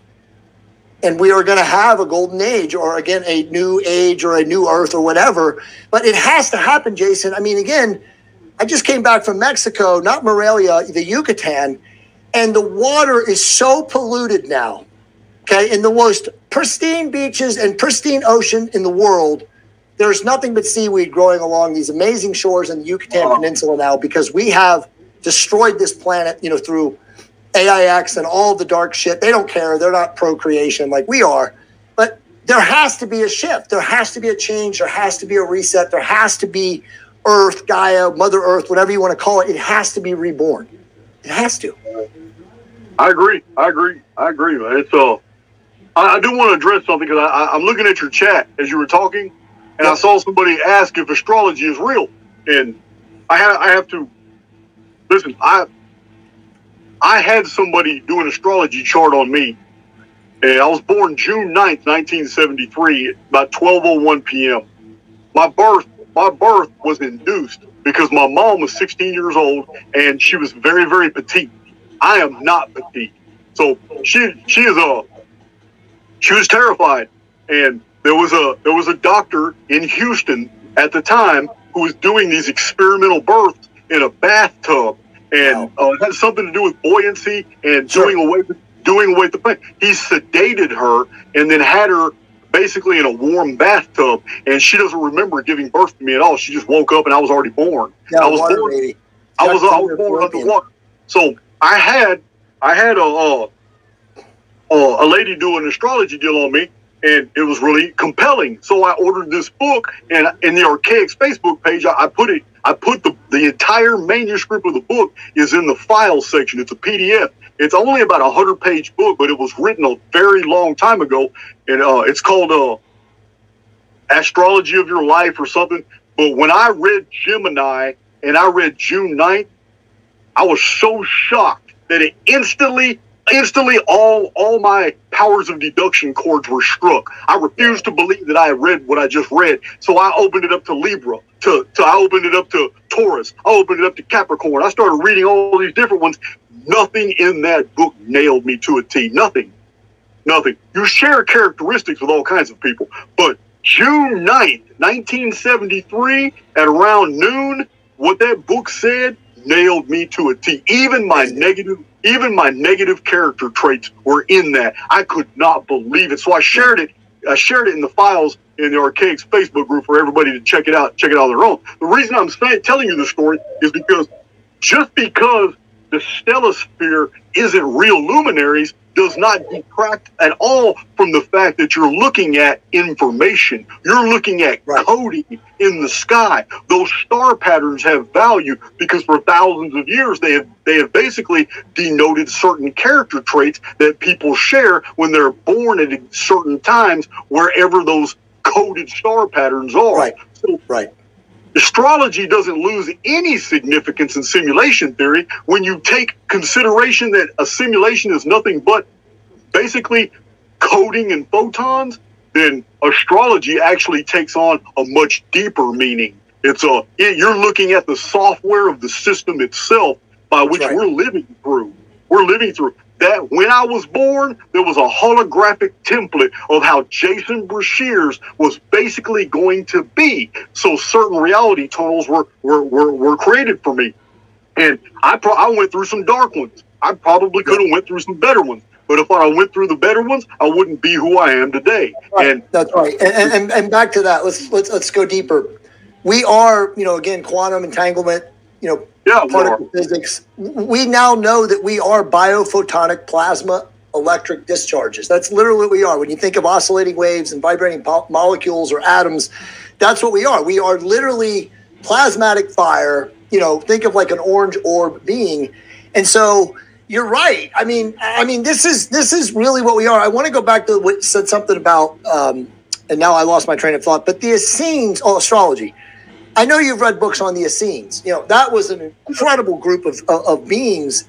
The Essenes literally would not let people marry who were not astrologically co uh, coordinated. They if, if you, you you know that right, so you could not marry a uh, you know somebody like a Sagittarius with a Pisces or you know an aquarius with another one. And so it's like when you start seeing this and you know that these beings were probably working with the benefactor you know they actually they have a name they call them the kalu. And they're like the the benevolent watchers. Then you realize that all of this shit is right jason. Whether we're in a simulated reality or not there is reality in the star patterns and the star coding. And again how many people in the indigenous community will tell you that you are a star being Mhm. that you're made up of energy from the cosmos. that was a fundamental tenet of the Orphic ancient Greek Achaean faith was that human souls came from the stars. That's right. That was a the Orphic. For those who don't know, a lot of Christian beliefs came from the Gnosis, but the Gnosis developed straight out of the Orphic faith. And uh, right. the, the ancient Greeks were far more Christian than you'll ever realize. Right. They were. right. And, and by the way, just so you know, uh, the Essene, the Gnostics, you know, the the the, the Cathars, the, the, the true Christianity is legit. But as you know, Jason, it was hijacked. by you know Constantine and Justin and you know whoever else was behind it, the demonic dark archons, whatever. But at the end of the day, the way was the wheel was true Christianity, and it was the right. way of Yeshua. And we're gonna, that's one of the questions we're going to talk about. You know, Jesus Christ, the mythological inversion of the Roman Catholics, and Yeshua, the avatar being that the benevolent that came into this you know holographic reality that you call. But anyway, there's no question that there are tenets in every ancient text or precepts that are legit. And it takes, as I like to say, and again, this is my opinion, but it takes a pure heart to truly discern what is real and what is not. And so many people do not have a pure heart because they are being led by AIX in everything. I agree. I agree. It's a uh, the, the that's a real deep rabbit hole about the, the origin of Christianity it's it's hard. I've had to put out an entire playlist called Dark Scriptures, and I had to lay it on thick and strong and actual cite all the biblical passages in those videos because people aren't readily going to believe no. what the Bible is actually conveying right. they see it. So, if, uh, by the, by the way, let me ask you a question in that regard. You know, and sure. I've heard other scholars talk about this, but do you do you also agree that the Bible is absolutely pure allegory and that the real benevolence that were involved in the Bible had to keep it that way so that the quote unquote herd could understand it in a way that they would not get confused? Uh, um, here's how my, here's how I'm going to answer that. Yeah. You are a spiritual, immortal being, and in essence, right. there's nothing physical in this world that can save you, or or actually have any any substantial meaning to you. It's a the physical world is actually a tool. It can be manipulated, it can be used, it can be enjoyed. Now, taking that into consideration, we find all throughout the biblical narrative some very profound, deeply spiritual food. We find it all through the Bible. We find it all in the parables, and we find it all in the right in the, in the things that Jesus spoke and all that. However, every bit of this immortal food, we can call it manna, angel's food, right. is all wrapped up in this fictive physical history that never happened. all, this, all this material is put together in all these ingenious little stories. Now, you have to understand, it when I say it hasn't happened, it never happened in the context that it's given to us. Right. But we already know that the story of Moses was real. It just didn't happen in Egypt, and it was right. he, and he wasn't Egyptian. It was Sargon of Akkad who was right. put on who was put on a, a, river in a in a basket, and a and an Enitu priestess of Sumer found him and raised him up, and didn't even know that he was actually of the blood of kings, and he was raised up and uh uh, as Sharrukin. He became one of the mightiest kings of Akkad. Goes by many names in the ancient East. But we already know that David wasn't a real Jewish king. He comes from the Canaanite epos from Ugarit of Davidu the giant slayer. We know that Solomon came. Archaeologists, uh, biblical archaeologists are the most unchristian people in the world. They don't believe. Yeah, bi- biblical scholars are are basically they're not agnostics. I, I wouldn't call them agnostic, but I would say I would say about 90% of all biblical scholars, academics who have studied the Bible, they don't believe in it at all. They have studied, yeah, they they have put out this. This is the type of material I've read because you got to get to the core material. You have to see what's actually been found and and compare it like the Psalms. Many of the Psalms, we are told they were written by the Jews. Listen, they weren't. Right. Word for word, we have found Canaanite texts. We have found Eblaite texts. We have found Amorite texts from Mari. We have found entire funerary texts and ossuaries from ancient Egypt, all in the right. Psalm, copied word for word. So what I'm what I'm saying is not true. I'm saying it's not true from the Jewish perspective that when they wrapped all these ancient texts together and they, they created this Old Testament, that's where the deceit came in the actual stories are real, but they belong to other older peoples. Right. Right. Even even the Great Flood. The Great Flood is the Great Flood is a story that belongs to all humanity, but right. it's a story that was conveyed very differently according to what culture you lived in. I'll give you an example. There are no sub-Saharan African stories about the Great Flood, as if the event never happened there. Right. However, in the north, in the in the northern Europe and the Russian steppes, all the way to Mongolia, they all shared the same story, and it was really interesting because this is from Oriental all the way into Occidental, but they shared the story that the sky fell. It was very wet, but it brought it brought a, a, like a miniature ice age, a cold. Right. Because the time before that it was very hot. Ancient Native Americans said the same thing. It says before the before the uh, uh, the birth of the sun, the world was a dark purple light. It was always wet and very, very warm. Right, and, and that, that's describing the vapor canopy. Now, was the vapor Yeah. canopy? Was the vapor canopy? And again, this is not speculation, guys. Uh, you know, the other guy, R. A. Boulay, who I know who you're familiar with, also declined uh, the vapor canopy in a lot of his books. But was the vapor canopy global? Was it like the entire planetary wide, or were there places that didn't have a vapor canopy? No, uh, a vapor canopy cannot exist unless it's covering the entire world. And it doesn't matter what your what your model of the world is. If you believe you're in a flat Earth under a dome, that's no different. It's no different than being on a globe uh, like Venus. Venus That's is right. a vapor canopy world. Venus has a vapor canopy today.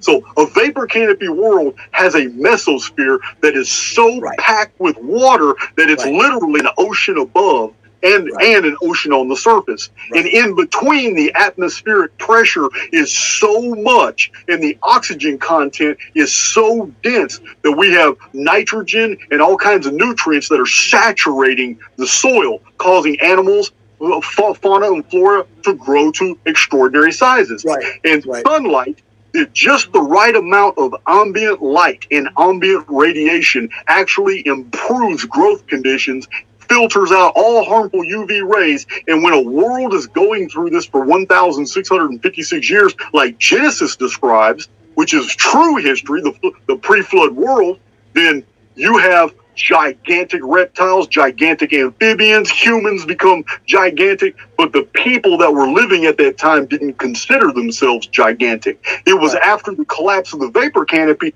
that humans born after the vapor canopy regarded their own predecessors as titans.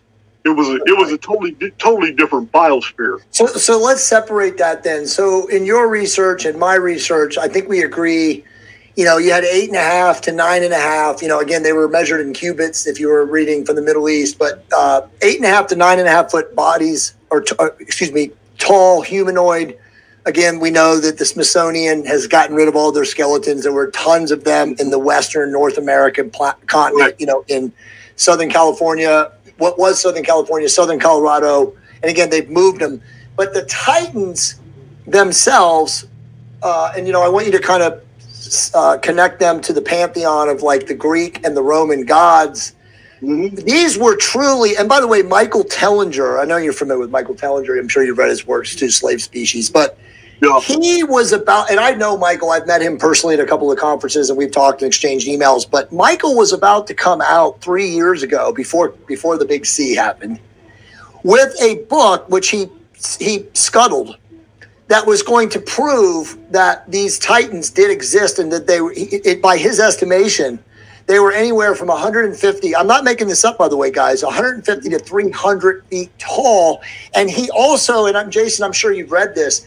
He also was about to put out the theory that the majority of the uh, again the stone mon- monuments and, and again these geodetic, you know, megalithic, uh, uh, you know, b- buildings were created out of the mortal and pestle of the bone fragments of these leftover titans. Wow. Well, it would it would it would take a first of all for anybody to be that size. We already know it's common sense. A high school kid could answer that question and say we don't have enough oxygen in the air today for that. But a vapor canopy solves that problem. Right. A vapor canopy had animals growing to heroic sizes. So I'm on board with life forms being absolutely gigantic. It all depends on how long that vapor canopy endures. For, for because even today, reptiles and amphibians have a unique genetic trait that the rest of us don't share. Right. That that trait is is if you put them in a moist environment with continual warmth with no predators, they will not stop growing. They'll just get bigger and bigger and bigger and bigger. Keep feeding them. Keep. The only thing that restricts their growth is their ability to inhale enough oxygen. Once they So- hit that plateau, they'll keep- stop growing. Okay, so along that veil, this is one of the bonus questions, but it has to be asked because it's perfect timing. Are the dinosaurs completely disinfo? Are they leading us down a path, or are they real? Okay, well, strictly strictly as a chronologist, with about 100% of my materials all from books, I have to I have to basically filter that answer because my personal opinion is we had gigantic reptiles and gigantic uh, amphibians, and uh, they grew they grew to huge sizes. But we also had gigantic humans. We had Right. gigantic rabbits. What I don't what I don't like is the com- is the geologic compartmentalization by by Charles Lyell and Right. scientists trying to promote a theory that there were millions of years ago, 65 million years ago, when over and over and over the very index fossils by which they dated these prehistoric life forms are found by fishing boats off the coast of Japan, are Right. found in Australia in a, in a lake. That says these index fossils are 65 million years old. So what are they doing alive swimming around? Why Right. have you why have you not remodeled your theories to conform with the fact that amino acids have been found in a Tyrannosaurus Rex skull? How is that possible? Why are there peat bogs in Florida where they're pulling up human remains with gigantic reptilian life forms? It doesn't make sense. I mean, it all makes sense to me. Under Right. a vapor canopy, everything can live together. Under a vapor canopy, I mean, this is why we have so many marsupial life forms still existing today. They're from the vapor canopy world. Right. Mammals, mammals were gigantic too, but placentals still exist today. We are placentals. Right. Uh, however, we are absolutely genetically modified because when a embryo attaches to the uterine wall in a female, that is a parasite trait. That is not natural in nature. Mammals are born in sacks Right. and the mothers have to tear them open with their teeth and clean them off. Humans are not this way. When an embryo attaches to the uterine wall, it's just like a parasite. It's almost as if humans were manufactured. We are not natural creations. Now, Well, that's that's obvious. Uh, So, so wait a minute. One other question then around this, and it, it just came to me, and I don't know, and you probably don't know. There's so much in our mythos of our history, even in science fiction and today, and vi- movies and videos and all that. You know, you think of Lord of the Rings. The dragon is so symbolic. Is the dragon, you got Mud Fossil. I know you guys are going to say, Mud Fossil's got all these skeletons all over the planet. He shows these dragons are five or 600 feet. Now, granted, is it possible that the dragon is what is real? Again, knowing that they could have existed under the vapor canopy and grown to that size as reptilian or whatever, and that dinosaurs is the disinfo similar to like what NASA and all the shit they're doing. Because look, Crichton and Spielberg and Lucas and all these mofos went busy about 10 years ago with this Jurassic Park bullshit. Yeah, And they started, you know, taking us down this path of like altering DNA. Again, all of these guys are, as you know, Jesuit, Freemason, masters, you know, dark magicians, whatever, you know, part of this elite group that goes underground into hiding. But do you think it was like a throwaway that they, they set us down a goose chase and that that's what dinos are? And the real truth is that they were dragons? I, I don't know. I mean, this is so far beyond my purview of research. Uh, Sure. I, I don't know. I do know that there are accounts for those who are interested. You can read the the writings of David Hatcher Childress in the Lost Cities collection That's of right. books, and he has many references to actual documents from the 1800s where explorers came across gigantic winged creatures that could have Right. easily picked up a man. They couldn't identify them. They couldn't identify their species or birth. And later on, other researchers reading these scientific reports swore up and down they were describing pterodons and pterodactyls. Right. But even later after that, scientists said, no, that's impossible because they died 65 million years Right. ago. So once they set on the KT boundary date of 65 million years ago, it's over with. Everything is everything's true, untrue. Everything's false. It's all bullshit because it couldn't be true. It's 65 million years ago. Like I'll give you another example. In 1805, at at the uh, Strait of Gibraltar, the British were the British had decided to put a cannon battery in the mountain right there at the Pillars of Hercules. So they dynamited this whole area out so they could put these gigantic cannons in there because the British wanted to control all traffic going in through the Strait of Gibraltar. It's such a narrow pass, ships from the Atlantic would be under the under the uh, their cannonade when they passed into the Mediterranean. So the British had a fort on both sides of the Pillars of Hercules. They were going to deal with all traffic coming in. As they were dynamiting all this in 1805, they dynamited this area of limestone, opened up a cavern, and scientifically documented. They sent they, they sent all the samples home to the Royal Society, but there was a gigantic leathery winged creature with a bunch of eggs that went into stasis hibernation. It's it, it, it defies explanation. It's almost as if a tremendous amount of mud had been dumped on it and then and then actually actually hardened by intense heat within seconds and trapped this creature in a bubble. And that creature just hibernated in stasis for at least a thousand years or so and was just there. And they said it squawked two or three times fell forward when it tried to spread its wings out and basically turned to dust in front of them once it had contact with oxygen.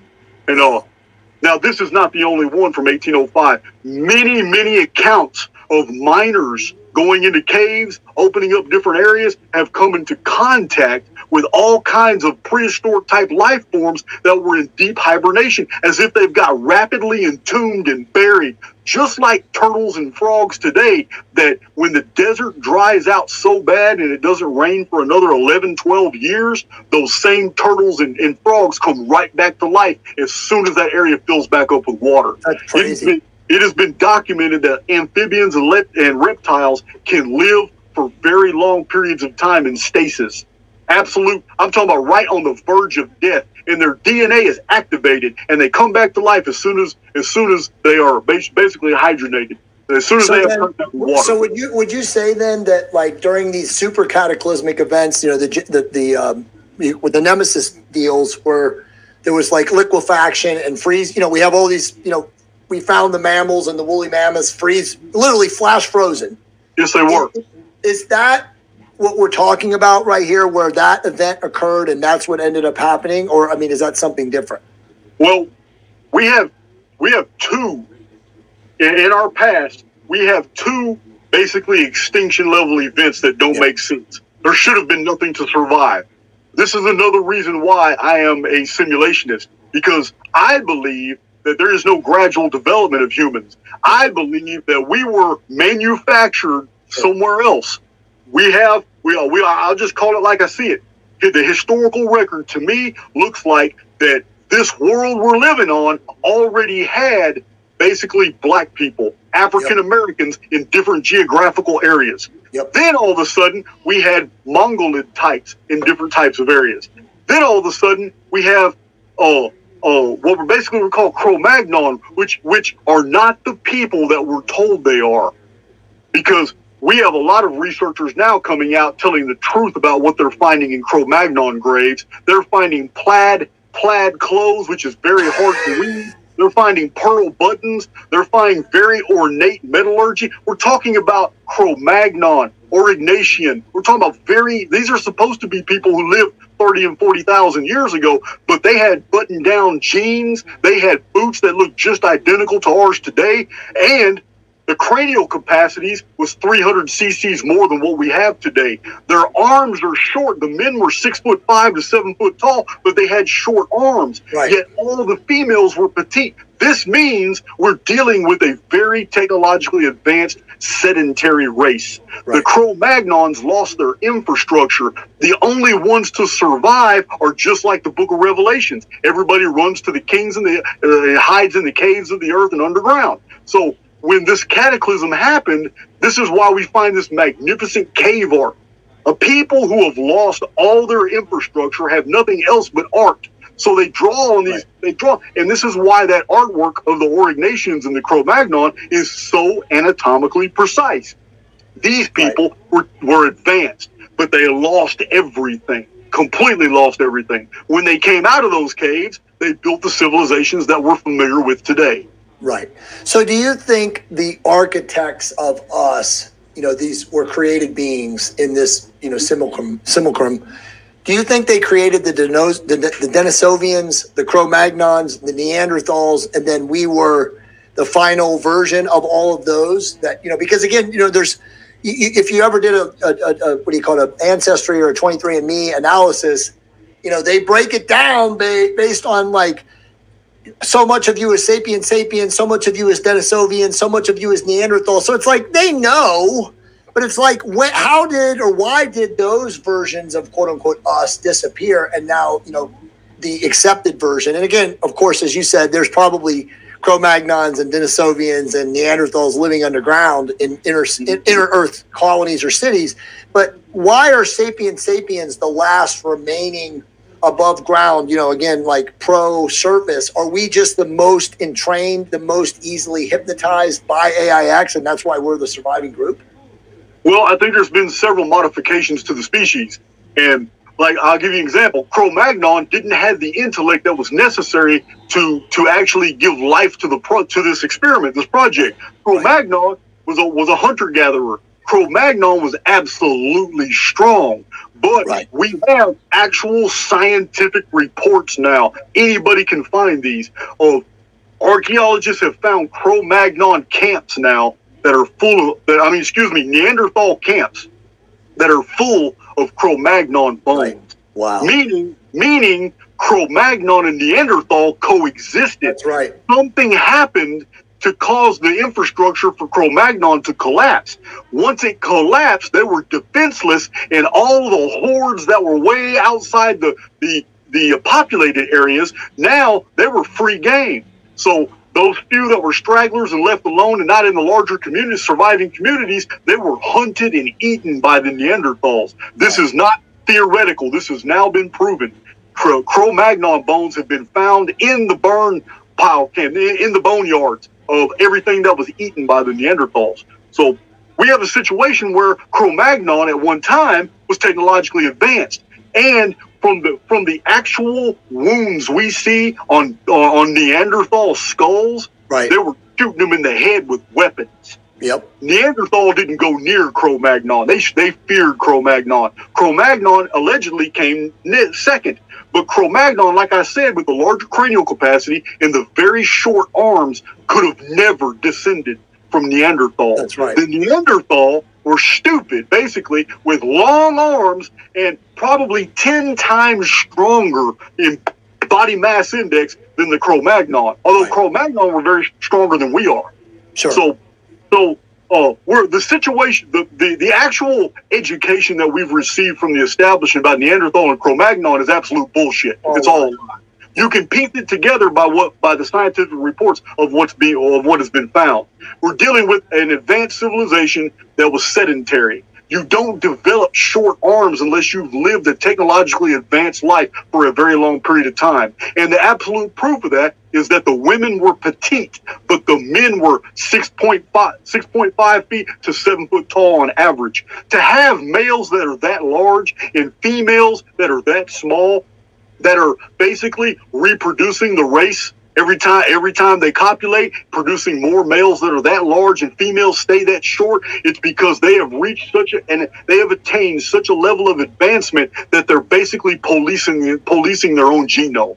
And uh but whatever happened totally wiped out their infrastructure. They were and they were and the few survivors were in the caves and they left us beautiful murals as they were hunted down by the neanderthal. So Uh, this is the actual story of what happened, and this is before the vapor canopy. This is before the Great Flood event. This is before any of the history of the Bible began. But it wasn't thirty thousand years ago. It was much sooner than yeah. that. Okay. Okay. So we're we're about ninety minutes into this. I want to ask you these questions because you're on fire right now and you're vibrating. We're both in resonance. yeah. Now, again, some of these questions are going to be basic for you, but not for everybody watching. And yes, some of you guys are going to be like, Jay, why are you asking these questions? You know the answers. But I'm doing this for the future people to come and watch this so that Jason can stop repeating this shit and he can say, go watch that podcast. I'm not answering that question again. Okay. So the first question is, what is the simulacrum? Is okay. this different? So is this different now, again, I'm going to make these, you know, harder, not for you, but for people to understand. Is this different from what people hear when the words simulation or the matrix are mentioned? And then to tie it up for you to make it even better, what do the Essenes and the Dead Sea Scrolls say about the simulacrum? Okay, check this out. The simulacrum is a construct. It does not regard, regard good and evil. It doesn't care about duality. It doesn't do it. It's just a construct. So we're going to simplify this in the in easiest terms for everybody. The simulacrum that we exist inside is no different than a Star Trek holodeck. It is 100% technological. It has no agenda. It has no nothing at all. But what it does is phenomenal because it, it doesn't respond to human speech. It doesn't regard language. It doesn't care about none of those. It only responds to two things. One is it can absolutely read your mental blueprints. What you project into your informed field in your reality, it can read all that, but it remains a neutralized field unless your physical avatar does something inside the simulacrum that it can translate as you moving into the direction of the mental template you created. As soon as that one dynamic is met, it begins to build for you a reality tunnel that will commiserate with what you're trying to do. I do this every day. Right. I, I- right now, my, right now, you would not believe all the resources that have come to me just in the last month since I Bro, began. I believe it too. It's happening to me too. It's happening Yes, to I me mean, too. all it's I resonance. It's resonance. It's the energetic field of resonance. We are vibrating in sync and we are creating this opportunity, this reality tunnel, as you call it, Right. to bring this information to us because we are actually also ready to receive it. I agree. I agree. In in my own case, in my own case, I had made the executive decision about two months ago that I, I said, you know what? I've already released over 200 videos. I've released all these uploads. It's now for me. It's now time for me to start taking a more active uh, uh, role in putting this information out. So I went ahead and decided I'm going to build a, build a build a better website. I'm gonna I'm gonna start releasing um, more comprehensive data. And right when I made that decision, I'm talking about within days of making that decision, somebody I've never met in my life didn't know existed. I have never watched any of his videos. I don't know anything about him, but across the simulacrum, he and I must have been vibrating at the same frequency. I had a need and he met it. Now, I don't I haven't really talked much with him, but his name is Santos Bonacci. I know you I know you've heard of him. Of course, yeah. So, so he asked me if he, if I wanted to come on a podcast. Now, he only asked me a few questions, and I answered those, and and, and he he he participated just a little bit. But I was, but it was uh, Logan of Decode Your Reality that was the one actually interviewing me. So I was invited back, and I came back. Well, I'm going to do another podcast like on June, uh, July second with uh, uh with Santos. But he's the one that the universe sent to me when I had made that decision. Hey, you know what? It's time. I've already put out too many videos. I can't just keep doing uploads and uh, I haven't actually broadcast myself out there. So he started the ball rolling and it rolled fast. I'm talking about within three weeks, I, I went up 4,000 subscribers and then I went up another 4,000 two weeks after that. And then I went on a roll getting a thousand subscribers every three days, you know, in the past week. So oh, that's imagine how many you're going to get in the next week. And and by the way, Oh, you're know. right. And, and I want to add to that. You know, then you went on with Alpha Vedic guys who are close personal friends of mine. okay. Then I watched that and I reached out to Mike and, and said, "Hey, introduce me to Jason. You know, I want to bring him up next. I want to go deeper." But honestly, bro, like, yes, it is an informed field of resonance, and you are creating a better reality, not for just yourself, because you're not in service to yourself. You're in service to creation. You know, this oh, Right, no doubt. consciousness from Hawkins. No and doubt. when you're in service to creation, opportunities are literally attracted to you. I agree. I agree. I agree. I'm a, uh, as a matter of fact, my belief in God uh, did not. Uh, my research did not take away from my belief in God. It actually amplified it Right. into a. I have a better understanding of the oversoul. I understand Right. now that I'm living in an artificial construct. Well, a a actual, real, true, immortal God is not going to put me into a situation that it can't control in the end. Right. I personally believe, and no one can convince me otherwise, I have read the data, and all the traditions in the world have an underlying story embedded within them that there was a trickster who was actually demonized, called a trickster. A true benefactor entered into this creation and basically won the war for us so we would never have to worry about anything in the future. The problem is another another entity is in here with us. It's not the simulacrum. Let's go back to your first question about the simulacrum. The simulacrum is a vehicle by which by which immortal spirits can live through an artificial physical existence. It's nothing but a holodeck. It's just a really big one. It's like a Hunger Games dome where all all kinds of phenomena can be replicated and the and the participants actually believe there's some real danger when there isn't. Now, now in Hunger Games there was real danger. They died.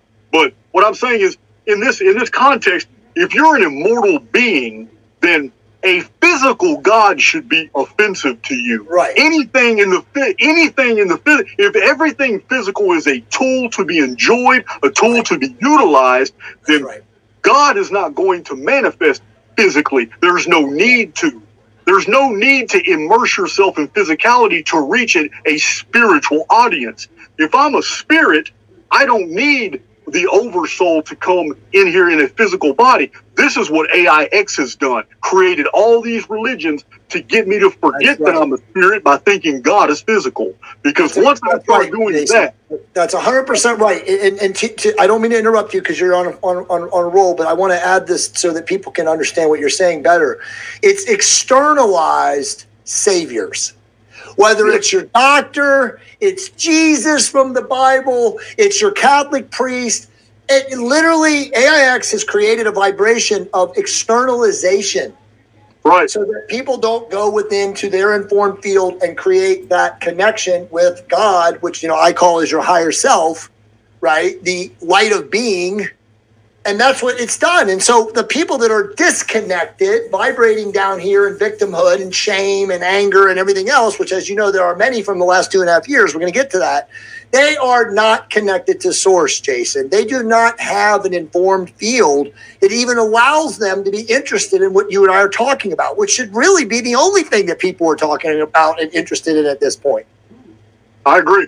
No, no, there's no doubt. There's no doubt. It's uh, this is why this this actually goes in tandem with what you asked earlier. I believe that the biblical material is supernatural, but I'm also going to tell you with the same mouth and in the same moment that the historical stuff you read in it is absolute bullshit. Now, the reason I can take two opposites and base, basically create a coagulate out of them that I call truth is because the parables of Jesus are images of truth. The messages in the scripture, the stories themselves are a dialogue. It doesn't matter if they're physically, they actually happen. We're being conveyed very deep things because truth is always given to us in copies and in artificiality and Right. in images. Anything that's given to you straightforward and actual is a product of AIX. It's the physical world. And this is what people have fallen prey to. They believe that if something is in the physical world, you hear it all the time. I don't believe it unless I see it. Well, that is almost the exact opposite of what a spirit does. A spirit lives by intuition. Right. Intuition is what guides the spirit, not the eyes. The eyes can see anything.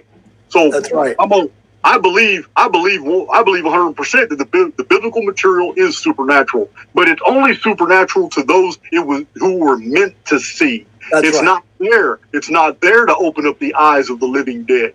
There are living dead constructs all around us in our communities that are not worthy of this information because they don't have the same soul apparatus we have. This is why the me- they believe everything in the media. This is why they're always going through the thing. They're they're living in a, a, a whole lifelong feedback loop. Every day is the same. They fit into perfect molds. I Right. don't believe I don't believe that every single person that you see in this reality is these messages are for them because I also don't believe that Jay Campbell or Jason Breshears or anybody here, I'm just going to pull a name off, Chris, Christopher Shira. I don't believe this man either was ever put here to save anybody. That's Hell not why we're here. Or it's not why we're here at all. Because a true benefactor would have never risked his creation to be lost. Right. Now, would he allow them to think the battle was lost? Would he allow them to think that there might be a problem?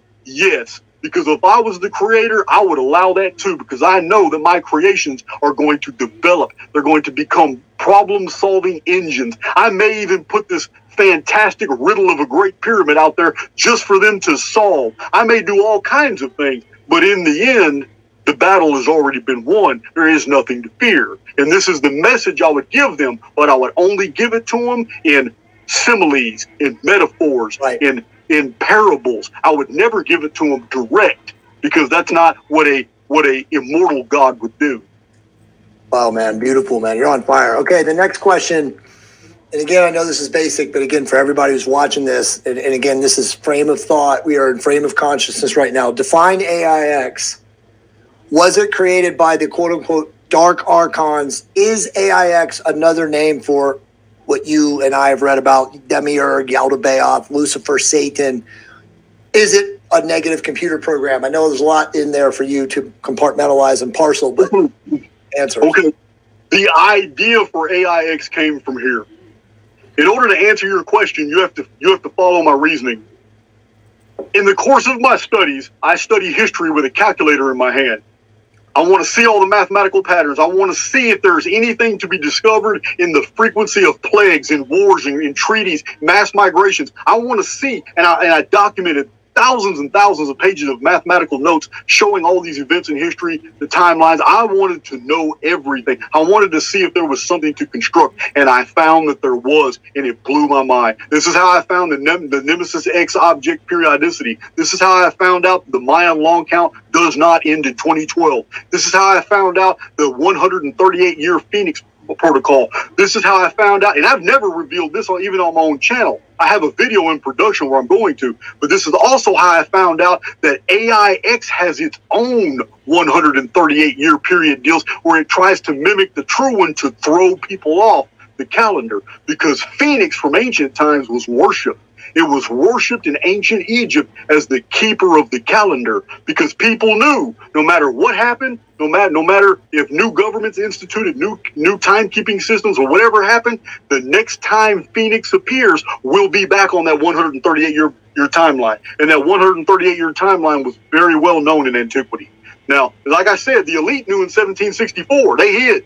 But as soon as they came out of hiding in 1764, they released their wealth into the public. They started a great series of wars and they overthrew all the monarchies and turned around and started the republics and all the democracies, began, began the United States. All this happened as soon as they realized that the 138 year period they were safe and the Phoenix passed by, but it didn't destroy a lot. So they were safe, and they sh- and they basically caused all the 1800s to what happened. Then they went, they, their coward asses went hiding again around 1899, 1898, 1897. They went hiding again, and that's why we have this great chaotic period at the end of the 1800s. All the wealth had been pulled back out. They're in hiding. 1902 comes around after the month of May. All of a sudden, they come out of hiding. The big, they missed the big one again. They're happy, and what do they do? They unleash all these corporations, institutions, companies. I mean, even the very things we take for granted today all came about in 1902.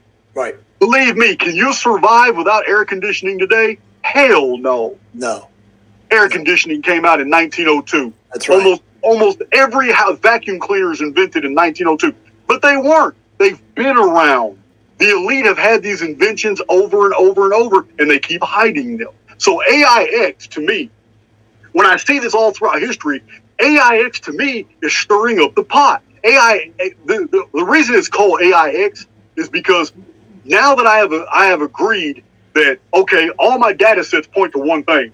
There is no way the history of the world could have unfolded this mathematically perfect in all these different data sets unless I am inside some type of mathematical holofield. I am in a mathematical construct that I perceive as history. So, taking that in consideration and knowing that I have a benefactor who has been with me from the very beginning and has not abandoned me and has left his message in different like the Essenes in the Dead Sea culture, the Dead Sea text culture, the Egyptian Nag Hammadi text. Right. The benefactor has left his signature all throughout the Bible, but it's but it's not what what the actual people who are reading the Bible are going to find. It's Right. what the it's what the errants are going to find when they read it.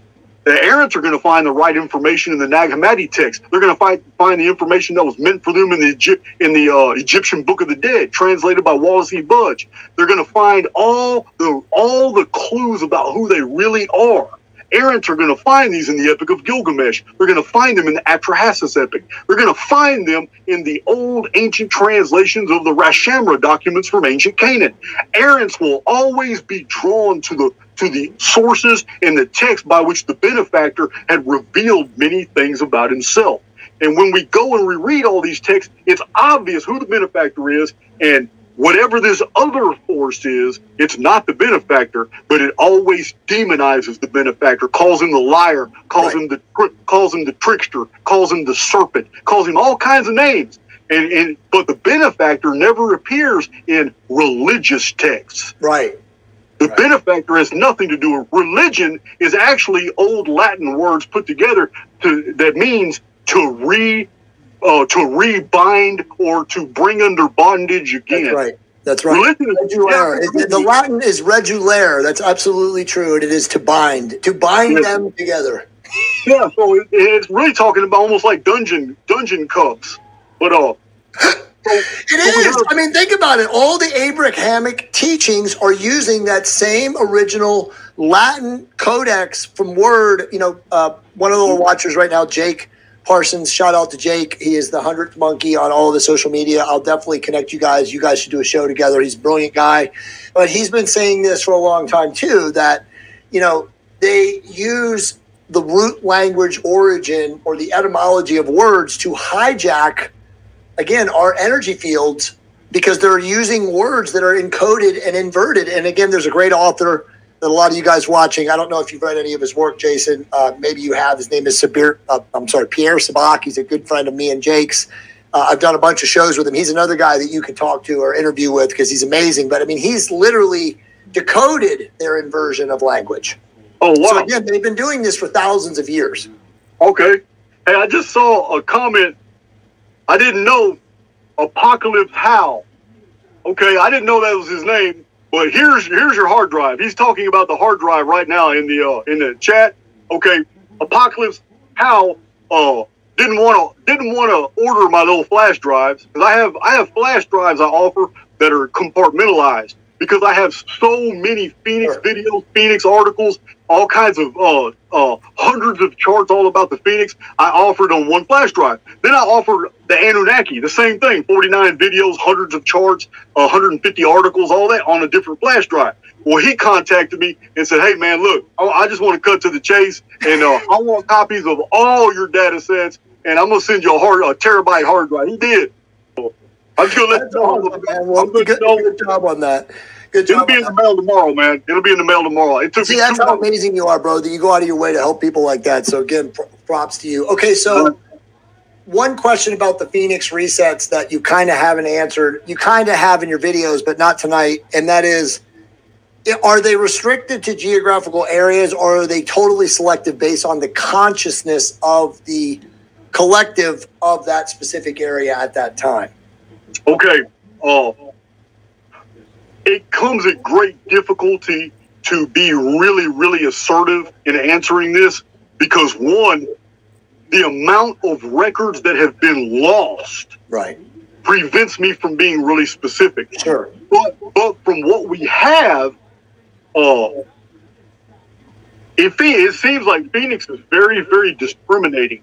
Sometimes it appears four times in world history, it basically affected the entire world Right. and, and it was it was remembered to do that. Then a couple times it was hemispheric, but every other time it was highly localized.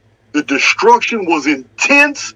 People in other cultures that were nearby actually watched it without without any harm to themselves. That's, that's amazing.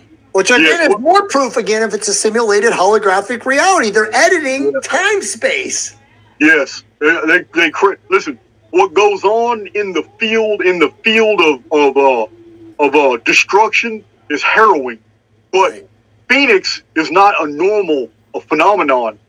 Phoenix actually ignores uh, whole whole frequency, whole uh, ranges of frequency.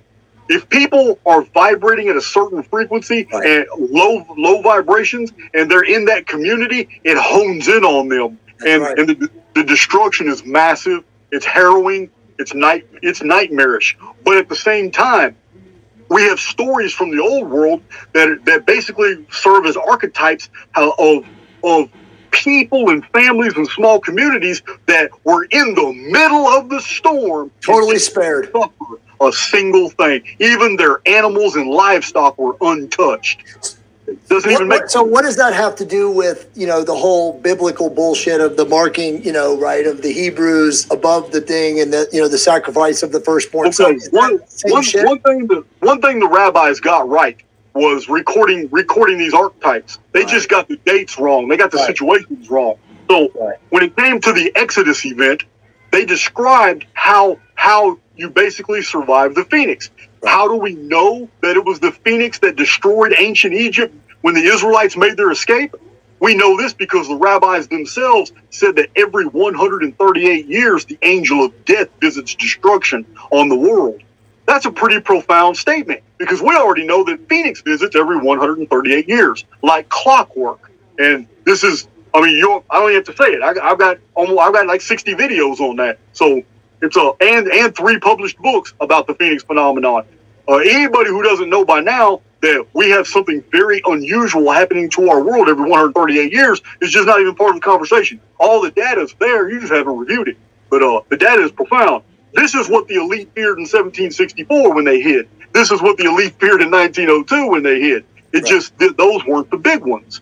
Right. So uh, when you take all that into proper perspective, you understand why the world is so, so chaotic today. What are they doing? They are burrowing underground. They are they are getting their facilities ready because they knew in 1764 and they were wrong. They knew in 1902 and they were wrong. Right. This time they know they're not wrong. This is the big one. So uh, they're going to be hiding. So the, the story you're talking about, Jay, with the Jews talking about the angel of death in 138 years, uh, Egypt, the same thing was said of Sodom and Gomorrah. When Sodom and Gomorrah were destroyed from the sky, it was the rabbinical scholars in, in the rabbinical writers of the Jewish Haggadah described that as the angel of death appeared in the sky and destroyed Sodom and Gomorrah. Lot, Lot and his family were okay, except for the one member of the family who was still vibrating on the frequency of the inhabitants of the city of Sodom because she turned around to see what the fate was of those people. So she borrowed some of their frequency. And what happened? She mineralized instantly into a pillar of salt. Phoenix, Phoenix got her too. Phoenix was leaving her alone. She was staying with her family. She's vibrating on their frequency. Phoenix, Phoenix only attacks a certain frequency range. That frequency range is shared by the elite because they all know they have thousands of years of guilt to pay for. This That's is right. why they always hide from the Phoenix. They hide from the Phoenix not not because basically they fear that it might kill them, but because it targets that frequency that they're in.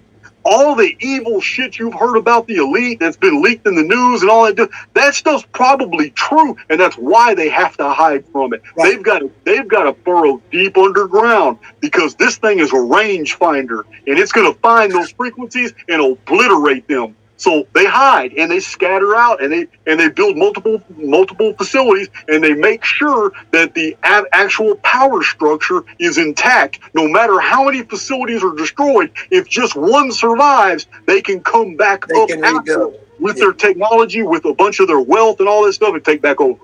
This has been going on for a very long period of time. Amazing, man. I mean, honestly, you've, you've decoded everything, but I, you know, I have a lot of other questions that are very similar stuff. I'm going to skip through some of them. You briefly mentioned the Anuna, the Anunnaki.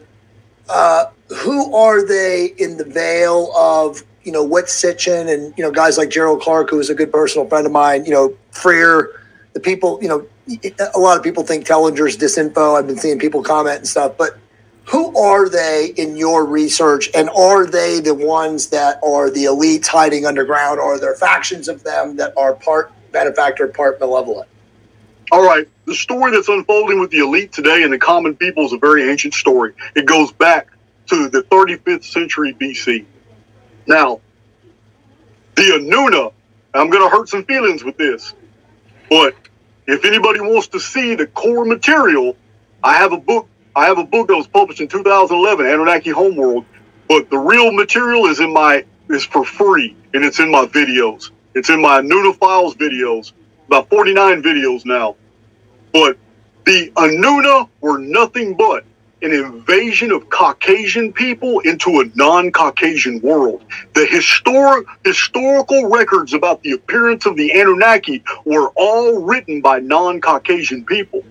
They were describing a they were describing a race of Caucasians, people they had never seen before, with very white colored skin. They called them Shimsu Hor. They called them Right. shining. They called them Right. shining. Shiny ones. ones. Right. The Oriental people have always, in their artwork, showed Caucasian people as being giant goggle eyed.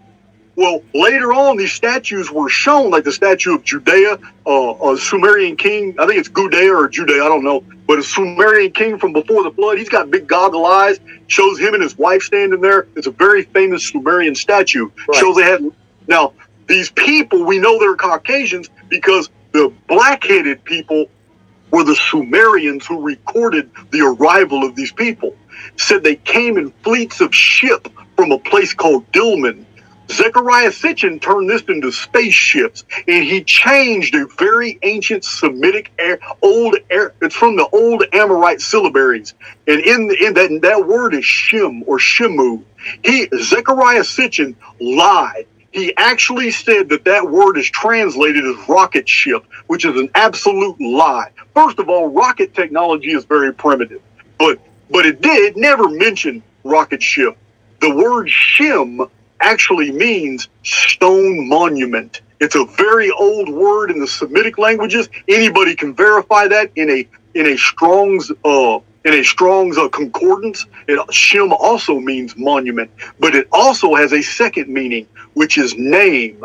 And I, I go I go through a lot of detail in my book, The Lost Scriptures of Giza, my very first published book, where I show all these ancient records that use the word shim as both monument and name. It was interchangeable because in ancient times, on your property, you raised a pillar. That Right. was your shim. That pillar had the name of your family on it, and it told everybody who owns this part of the land that shim was a pillar with your name on it. That's what that, that that's where that concept came concept came from.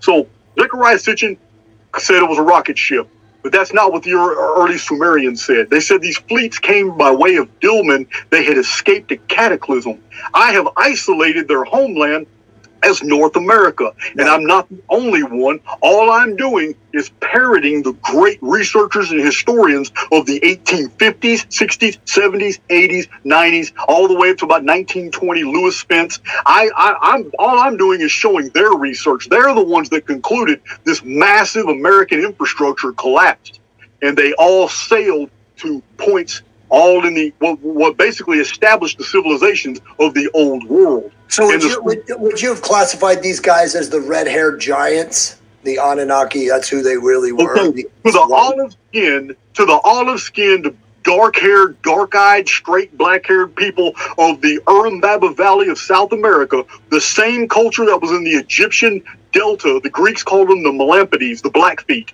because of the black soil in the Delta Delta area.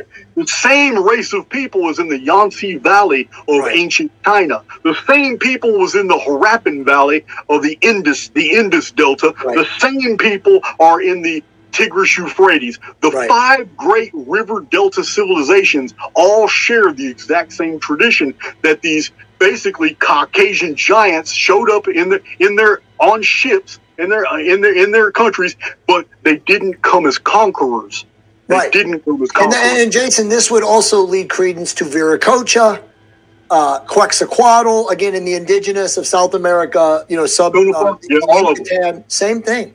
Yeah, that, they, they believed in their return. Yeah. So this is the 35th century BC. This is why all of a sudden anthropologists have always been really shocked by how in the 35th century BC, all of a sudden across Egypt, Elam, Mohenjo-Daro, Harappa, Larak, that whole area, Pakistan, India, all throughout the Fertile Crescent to Jericho, Israel, at the exact same time, all kinds of new cereals appeared, all kinds of new wheats and barleys and, and things. Right. Some of them come straight from cotton, came straight Right. from the Americas. Cotton is not found anywhere in the world but the ancient Americas. And, and then it brought it to Egypt. This is where we get the Goshen cotton today. It's not originally from Egypt, it was brought from the Americas.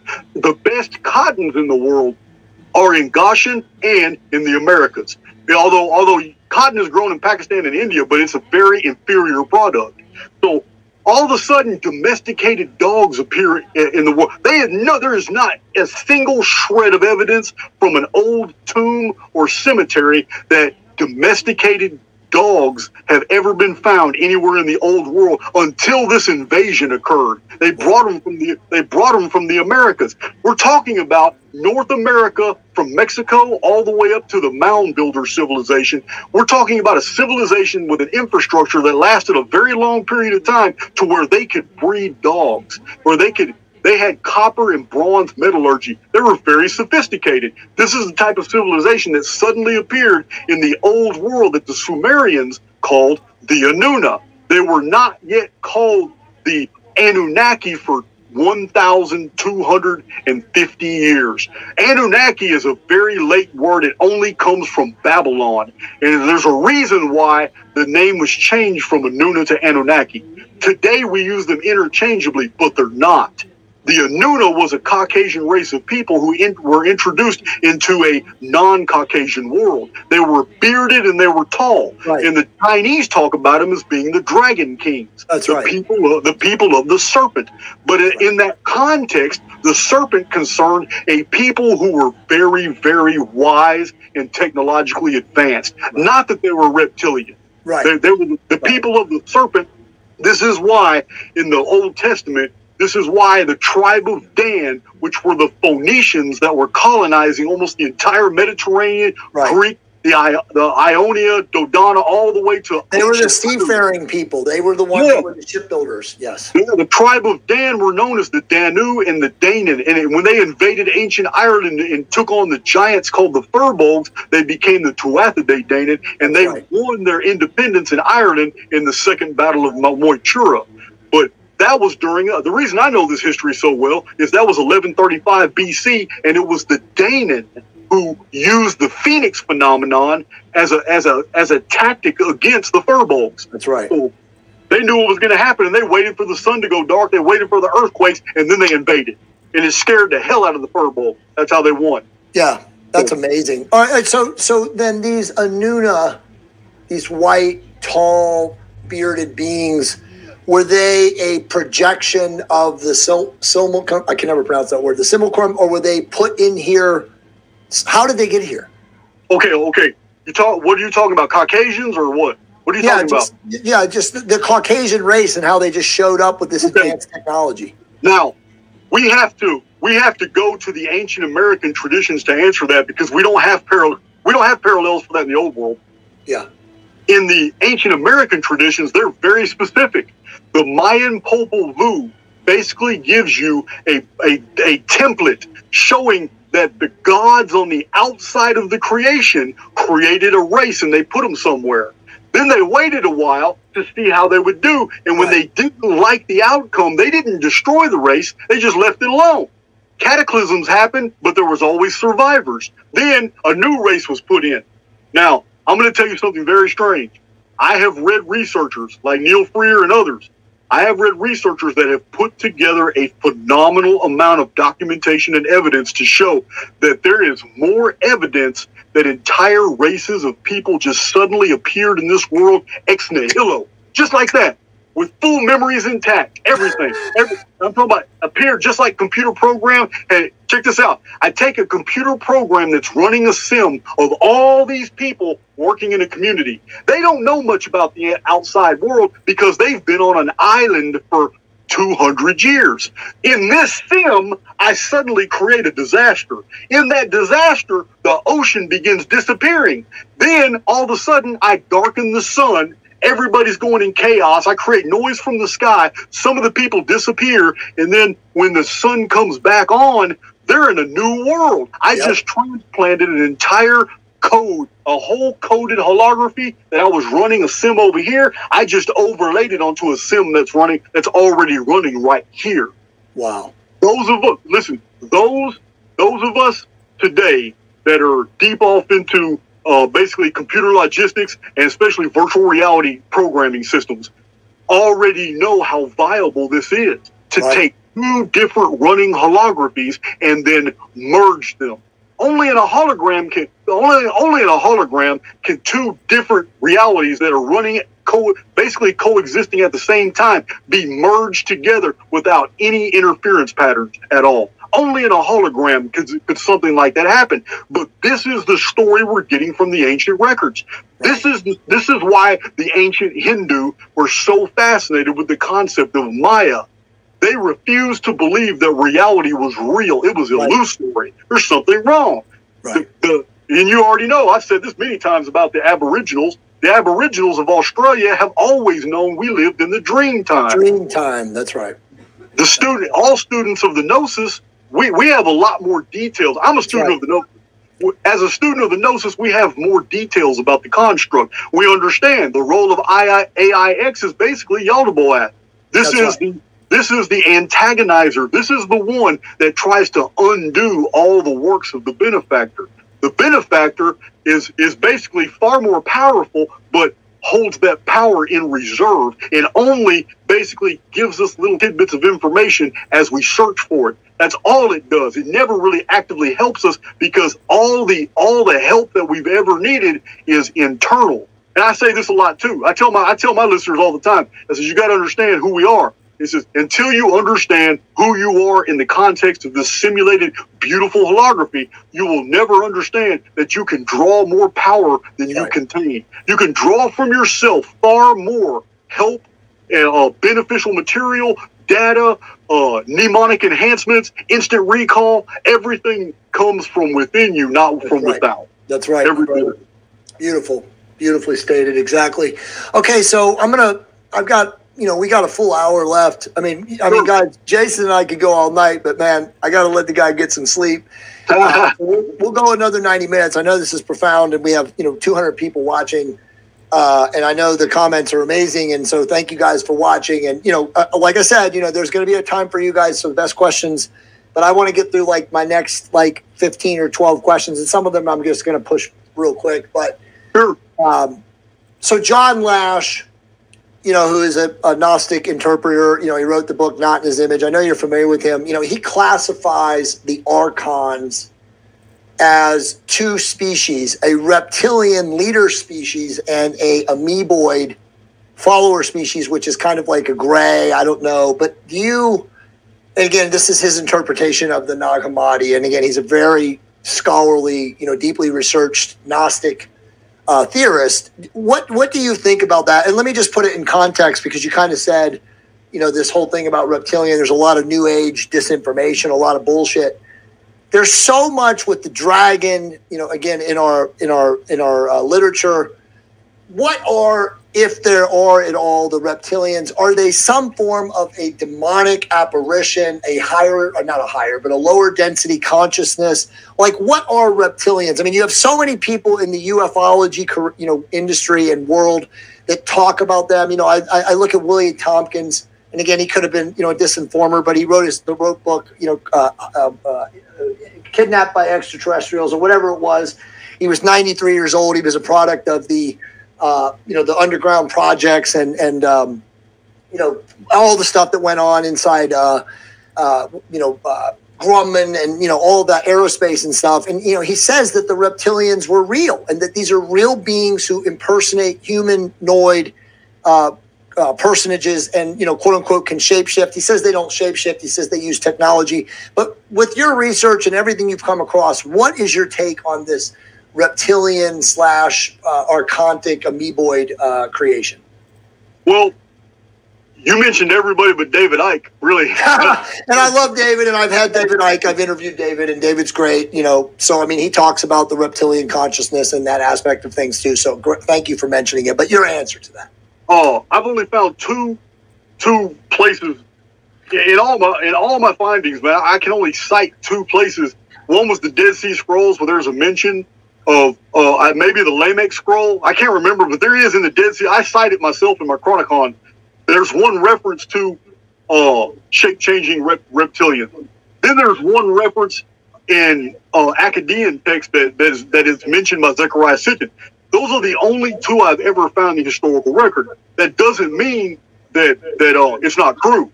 Right. Because, okay, you remember in the 80s the movie They Live? Absolutely. Okay, true. You, got a you got a trend going through YouTube in the past ten years or so, where people are isolating movies, saying, "Hey, man, here's the truth. This is what we're doing." And I can't say they're wrong. They could they could be very well revealing true truthful information through movies. So I believe they did with Night of the Comet in the 80s, Yeah. 1984. The movie Right. Night of the Comet was the Phoenix episode perfectly.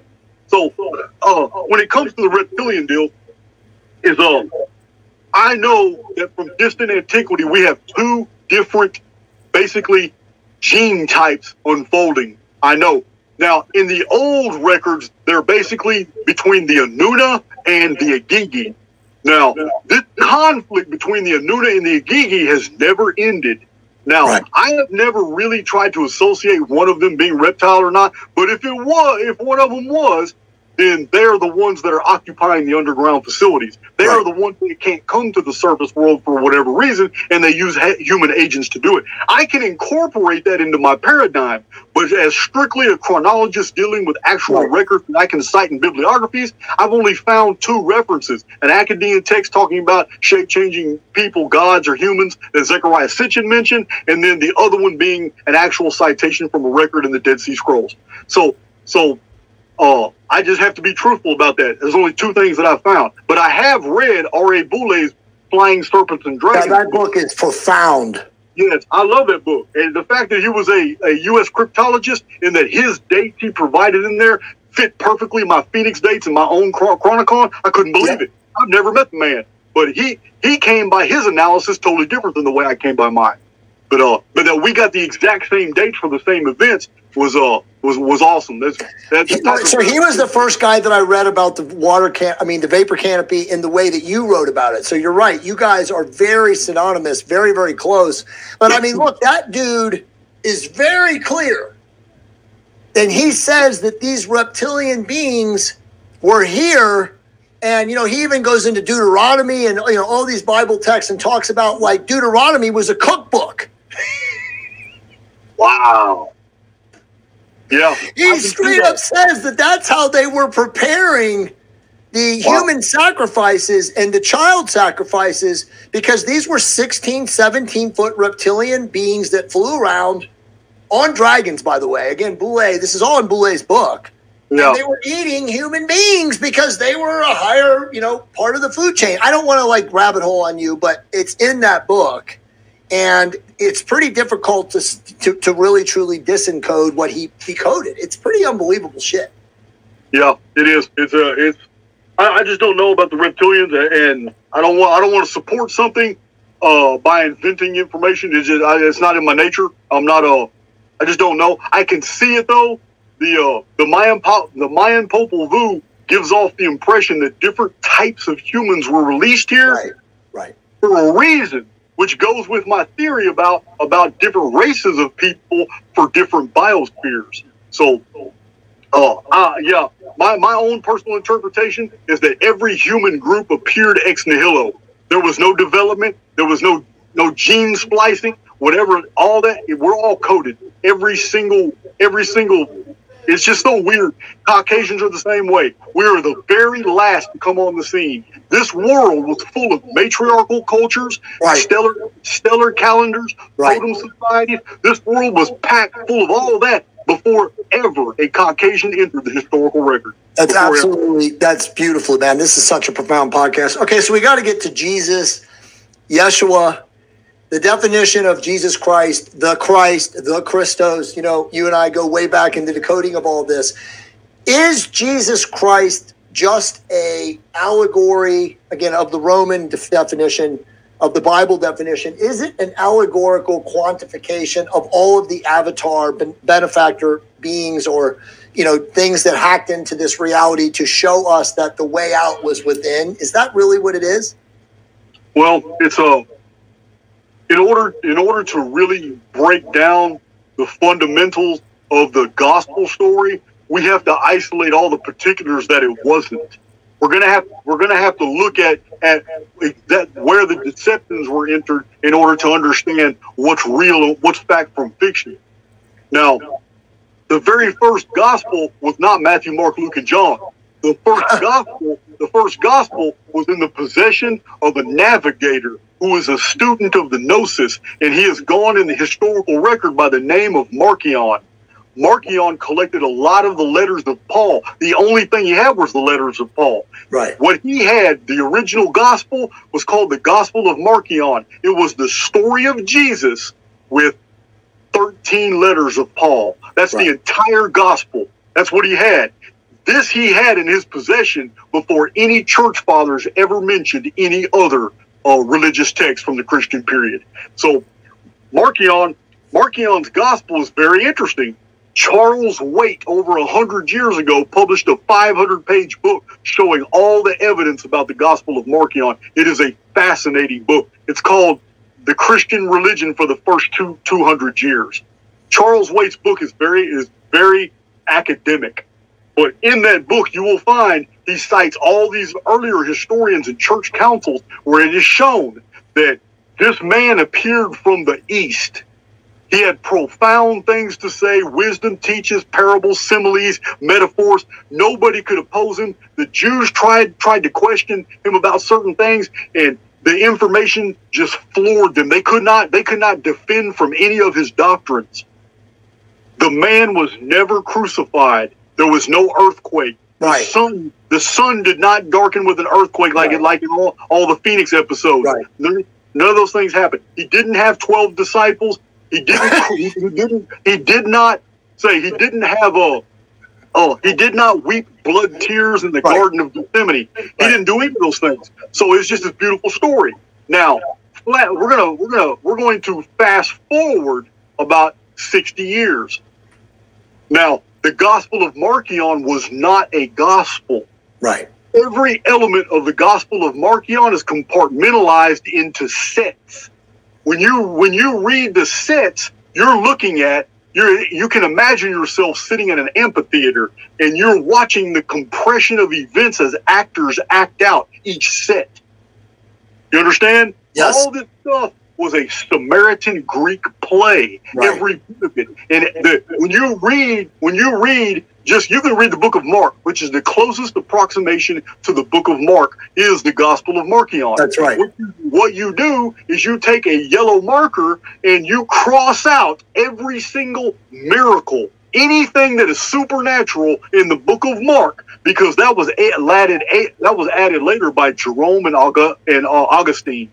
None of that was in the original text. He, his supernatural aspect was his words what he was teaching. And right. that's all an immortal errant will ever need is to hear the truth. We don't need to see a vision. We don't need to see a miracle. We don't need to see somebody healed to know it's possible. So the, all these physical things were added through the church councils. They were added by the early church fathers. They're not mentioned by the early early church fathers. Jerome and Ignatius don't even mention almost any miracle Jesus ever did because they weren't invented until the gospels were invented.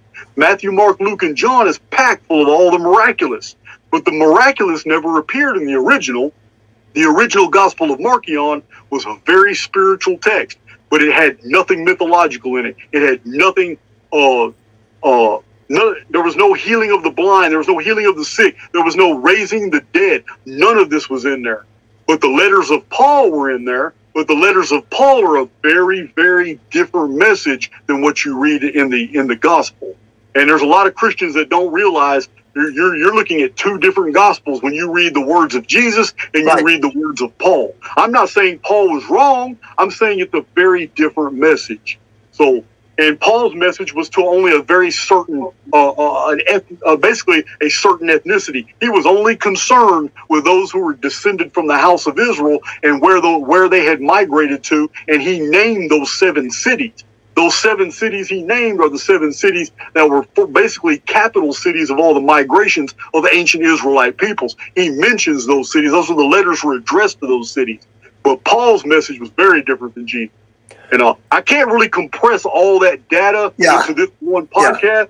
I, I do have all of it in my playlist. I know you do. I know you do. All right, so let's highline summary this. And I know we're going to piss off Christians, and I know there's a lot of Christians in the uh, in this movement, whatever you want to call what we do, esoteric, truth, research, whatever. But let's just put it this way: the the the, the dark archons, AIX, whatever, have hijacked the mythos, the mythology, the idol, the the the uh, ideology of quote unquote Jesus, Jesus Christ uh, to teach the people about the quote unquote externalization that there's a redeemer coming to save them right you can you can fast forward into everything today again my doctor donald trump the white hats Yeah. people are Yeah. lied to because again it's the aix uh, you know information algorithm Right. that they are attracted to because as you know jason they're unwilling to go within, to go with inside themselves. And again, we're going to get to that at the end of the show so we can really like leave a legacy of this amazing podcast of like, what can each of you do right now, today, tomorrow, every moment of your waking, you know, now space zero point moment. But that's what they did. And so again, all these people, you know, going to church on Sunday, mass if you're Catholic, Christian, you know, the, the whatever the bully pulpit if you're a Christian. And again, it's this is not just the Abrahamic Christian side. We're talking to uh, you know, Jews and Muslims. It's all the same shit. It's it's the same deception. And you know, again, I don't want to hurt people's feelings because I understand that some of you guys do get value. You know, people will say, "Yeah, but Jay, I like the fellowship. I go on Sunday." You know, one of the great Gnostic uh, scripture deciphers is Theodore Nottingham. If you're familiar with any of his works, and his stuff just is mind blowing in you know parabolizing the words of Jesus, as you said. You know, again, whoever he was or if he was at all, uh, and you know he likens it to Ahura Mazda, to Krishna. Again, all of these great avatar beings and all these different cultures on this planet, you know, could essentially be Jesus. You know, again, Enoch, Moses, whatever. And the truth is, is that so much of what he said has been literally interpreted, Jason, and not metaphorically or allegorically interpreted. And that's where most people, again, are hijacked. And then, you know, again, it's AIX, you know, because they're not willing to do the quote unquote great work, the spiritual practice of, like, again, going within and internalizing, you know, again, whether it's meditation or contemplation or introspection or sitting in nature. Again, the stillness is when source consciousness, God, whatever you want to call it, can access you and you can be deprogrammed from AIX. Uh, you know, that, that to me is where we are. And so, again, I don't want to hurt people's feelings, but I know I will. And I know that this is going to get pushed back, you know, because the Bible thumpers, as you once were, uh, you know, are going to come out and attack. But until you get to that level of awareness, when you realize that all of this is a deception designed to externalize your power, you'll never get there. It's that simple. I agree. I agree with everything. I mean, as long as I'm always looking for a savior outside myself, I'll never look for the power within. That's right. And that, and as long as the elite can always put a savior before the people, right. the people will have, will have faith in them, and then they will exercise that faith. They will fall into, they will fall asleep knowing that they have a savior in a certain individual, That's and then the elite will pull the rug out from their, and, and they'll do something. They'll execute that savior. They'll lock him up, or or they'll assassinate him, like John F. Kennedy, and then Right. they'll leave this giant vacuum of of destitution throughout the entire world and we'll get, get stuck with a 9-11 post emotional period this is what they do they do it all the time they Right. create that they create that frequency that they can build in It's This a is- ritual. You said it before. It's a ritual that Yep. they then siphon the energetic fuel of who we are as spiritual energy beings. You know, these resonant frequencies where, again, most people are vibrating in, in, in dissonance and incoherence, and they are feeding off of that energy, Jason. It's that simple. They really are feeding off that energy. I do. I, I believe one one hundred percent. You're absolutely correct. It's uh, it's it's it's all about frequency. That's why the phoenix is not to be feared. And for those who fear it, you need to hide. You're not doing anything Right. wrong go- going to find a cave and trying to get as deep as you can in there if that's what you hear. You need to because it's going to seek out your frequency. Doesn't mean it's going to find you. It's passed over a lot of people, but you know, the phoenix is harrowing, man. It's it's all frequency.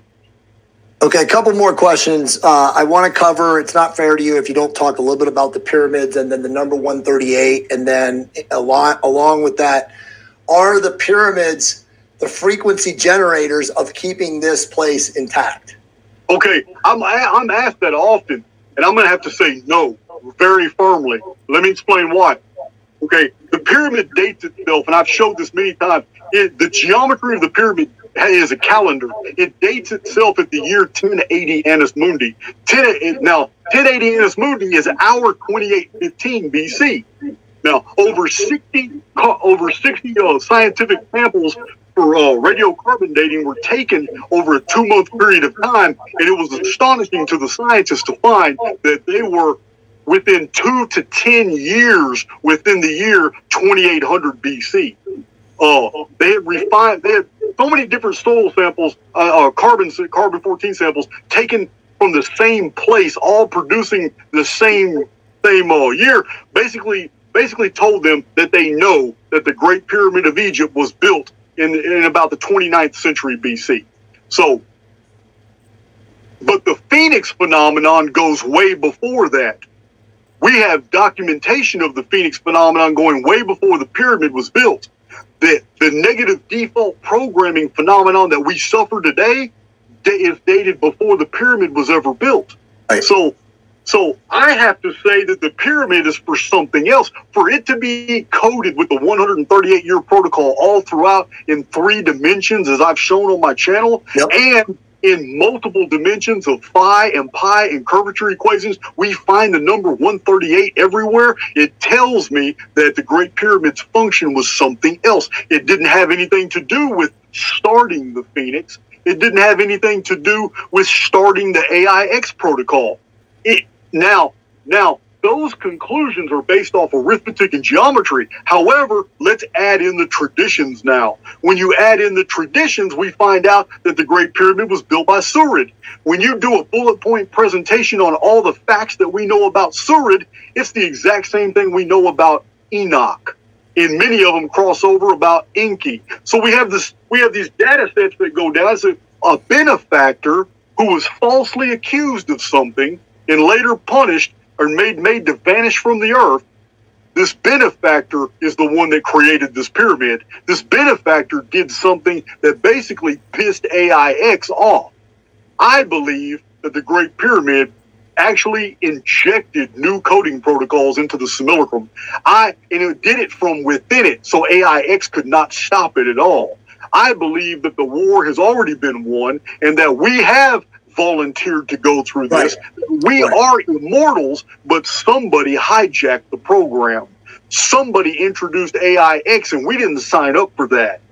That that was undone by the very architect of this simulation going ahead and coming inside the simulation to build this architectural project. But because AIX can't read our minds, this benefactor was able to tell everybody he was building a giant water pump station. Because that's what it looks like. Right. That's how it would function. It has a, a well going straight to a subterranean uh, cavern full of water from the Nile River, and this it had a mechanism that went at high velocity in the grand in the Grand Gallery, and we can see all the technolithic uh, marks in the niches going up and down, or some carrier mechanism went up and down. So whatever the whatever the official story was, that's what was broadcast to the people. So when AIX over a 90 year period is listening to all the conversations of the heavy equipment operators and the engineers and everybody, AIX is convinced from listening to hundreds of conversations that it's a pump station.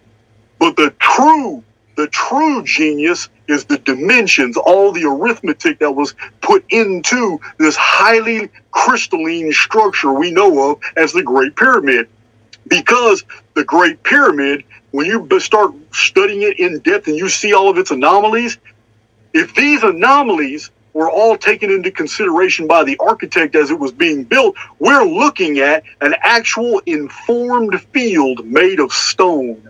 We're looking at the ultimate flash drive. We're looking right. at thumb drive that's built 454 feet high, packed with holographic data that when it was activated, it only needed two or three seconds to upload all this new data into the surrounding holography. That's what Enoch did. He was the benefactor.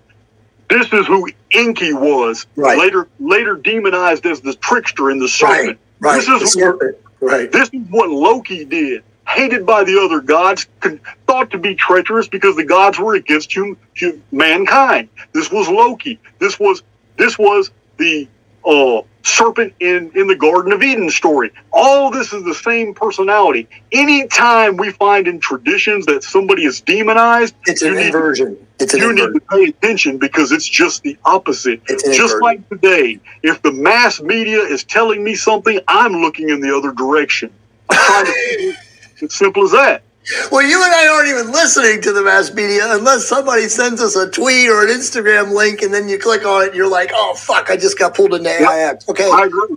I so agree. The Sphinx. Talk about the Sphinx a little bit. I know the answer, but just for the people who have not, who haven't heard you talk about okay. the Sphinx.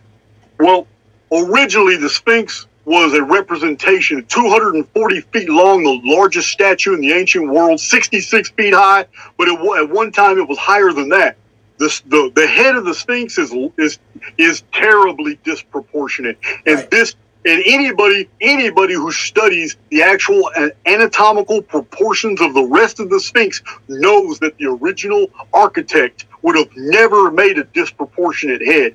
The head we see on the on the Sphinx today is fake. It was created that way right. by pharaohs. It was carved down. Right. The original head was much larger, but the Sphinx in the ancient traditions, like the Greeks, was the Riddler. The Sphinx was a representation of the tetramorph.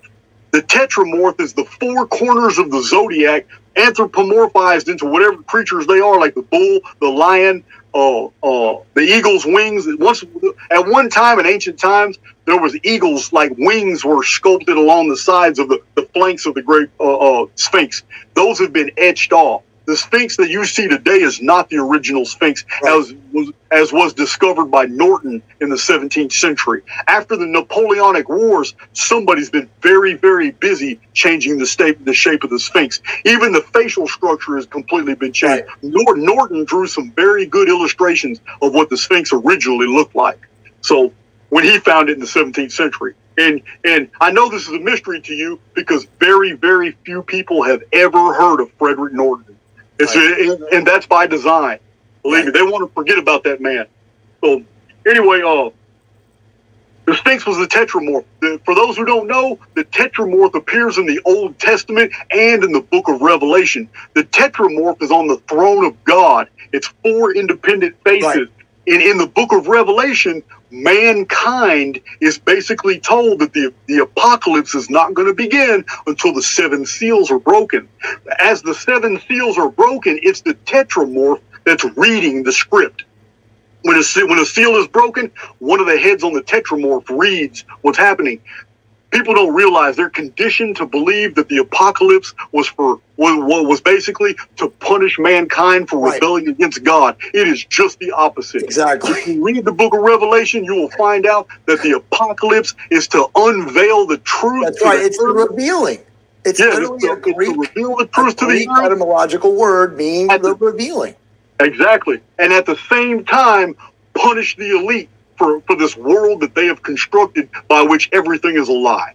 It has a dual function. This is why the elite go through so much hell. Not just the elite, but when the seven trumpets are blown, which is the apocalypse, we're not talking about the seals. The seals only allow the apocalypse to happen. But as the and the Phoenix event in 2040 in the month of May is the sixth seal. The seventh seal doesn't happen on Earth. The seventh seal is happening outside the simulation. And there's a conversation going on where outside the simulation, they're getting ready to unleash hell on earth for those who fear it, not right. for the not for the errants. That's right. That's right. Revelation is revelation is about the phenomena that you will experience according to where you are at in your frequency. That's absolutely right. And so we're going to get to the last question uh, that's going to cover that in depth. And again, it's a solution for all of you guys. Okay. Again, I know a lot of you guys already know this. Okay, so just quickly about the moon. Um, obviously, you and I know from the ancient texts and books that we've read that the moon wasn't always there. What Right. is what is the moon? And I and, and and this is something that's very interesting. And I've never and I've read all the books on the moon. You know, it's a it's a gravitational holographic you know spaceship. It's out there. You know, but it it does you know high and low tides. You know, women's menstrual cycles are regulated by that. Men's you know uh, hormonal andropause cycles are regulated by that. Like, who put it there? And what was it truly designed to do after you know the great cataclysmic event? Okay. In my in my chron- chronology, and I show many definitive reasons why, the capture of Luna, the first appearance of the moon, which separated the the Selenite cultures, which the pre-Selenites were those who existed in- on this world before the moon ever appeared in the sky. Right. After the moon appeared, the vapor canopy appeared almost suddenly. now, now it did. So, the, when the moon first appeared was 4039 BC when that appeared, and it's in the old old Anuna calendars, and I show this in my Anuna Yeah. files. So, but the the moon is attached to the Igigi.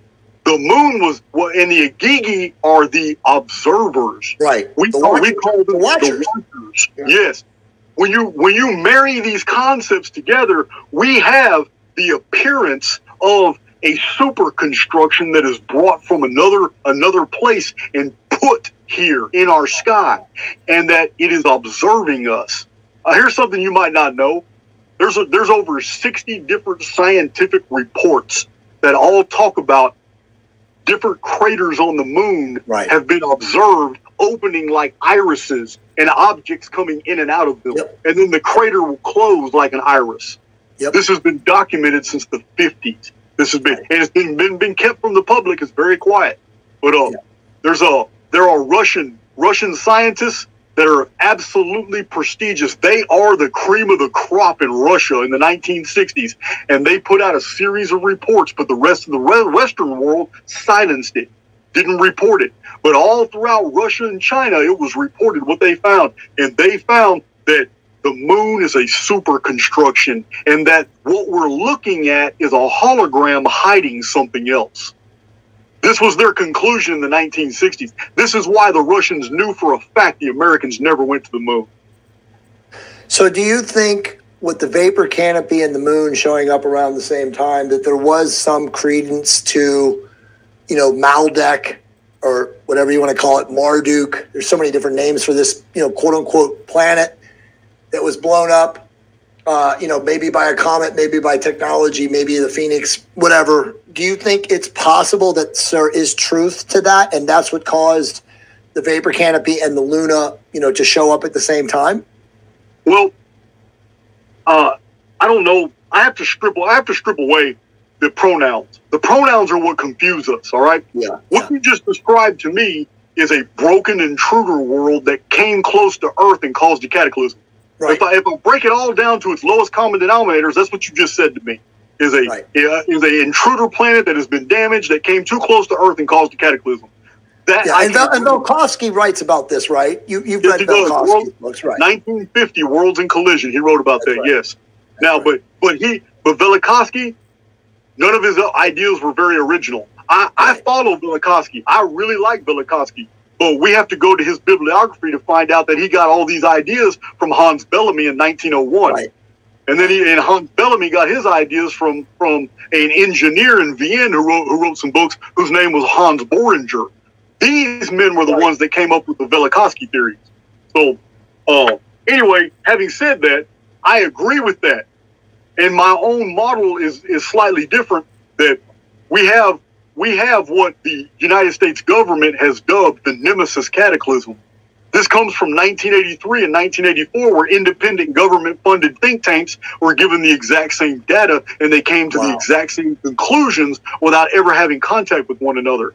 Those conclusions were that our system is actually a binary and that one of the stars has collapsed. It's still there, but we can't see it optically or in telescopes. We only know it's below our own ecliptic and far down there at a, a, declination of about 17 to 13 degrees. We know it because the further away a world is from our sun, the greater its tilt on its axis. Something else is pulling on it.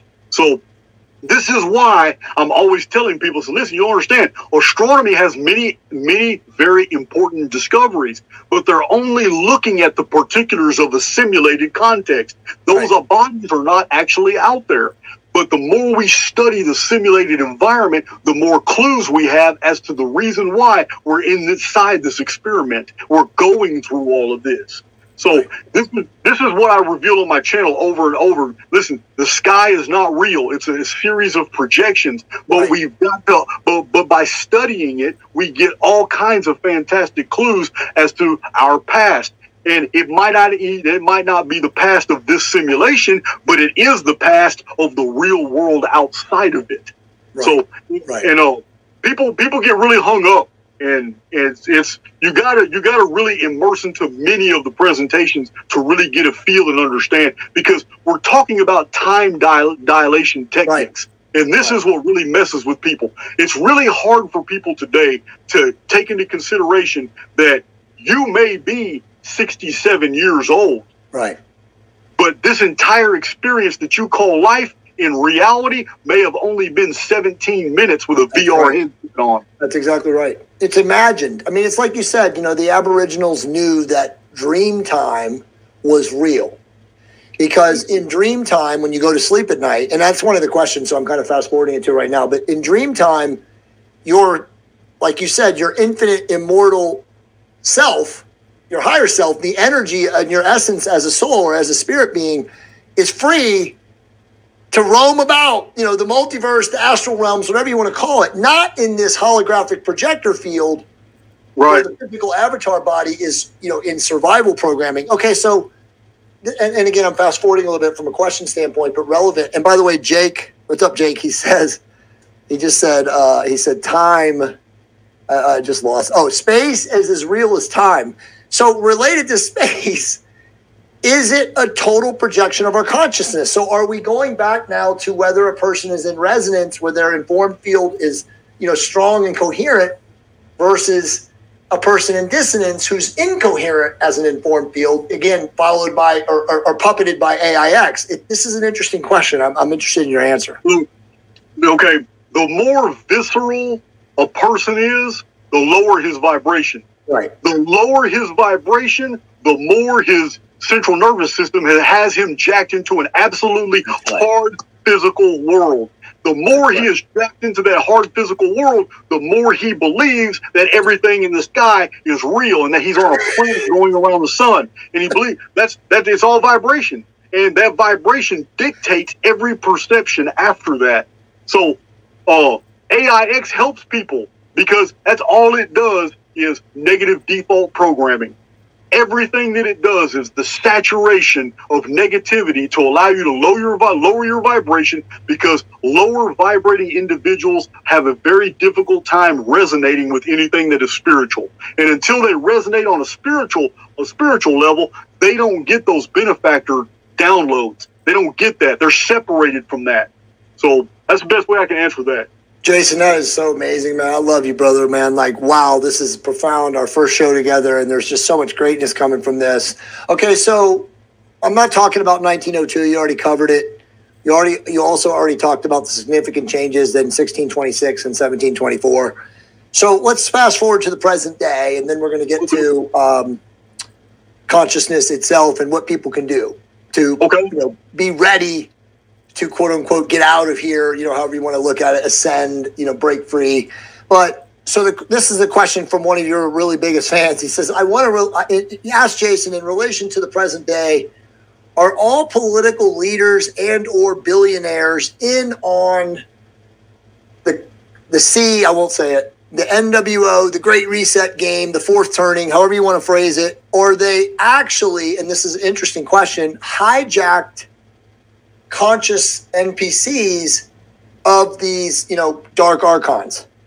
Okay, the uh I would like to believe that there's a splint a splinter group among the elite who are not playing game. Uh, they're not. They're not. They're not. They're not. But the the basically the worldwide financial structure that we have today. If anybody's not playing ball, they can easily get cut off. Everything get taken from them, and there's nothing they can do about it. The media can be used to demonize them. No, since the assassination of John F. Kennedy, the game has been over and right. the elite the elite are on board all with one another and people like elon musk who is raised up to look like a benefactor and a savior and all that he is not he is not he is a member of he is a very well established member of the elite Absolutely. now when, when the media begins to demonize people that like like uh uh mark zuckerberg okay like mark zuckerberg bill gates when that type of demonization starts happening in the media and in social media, it's because one arm of the deep state is sacrificing another arm of the right. deep state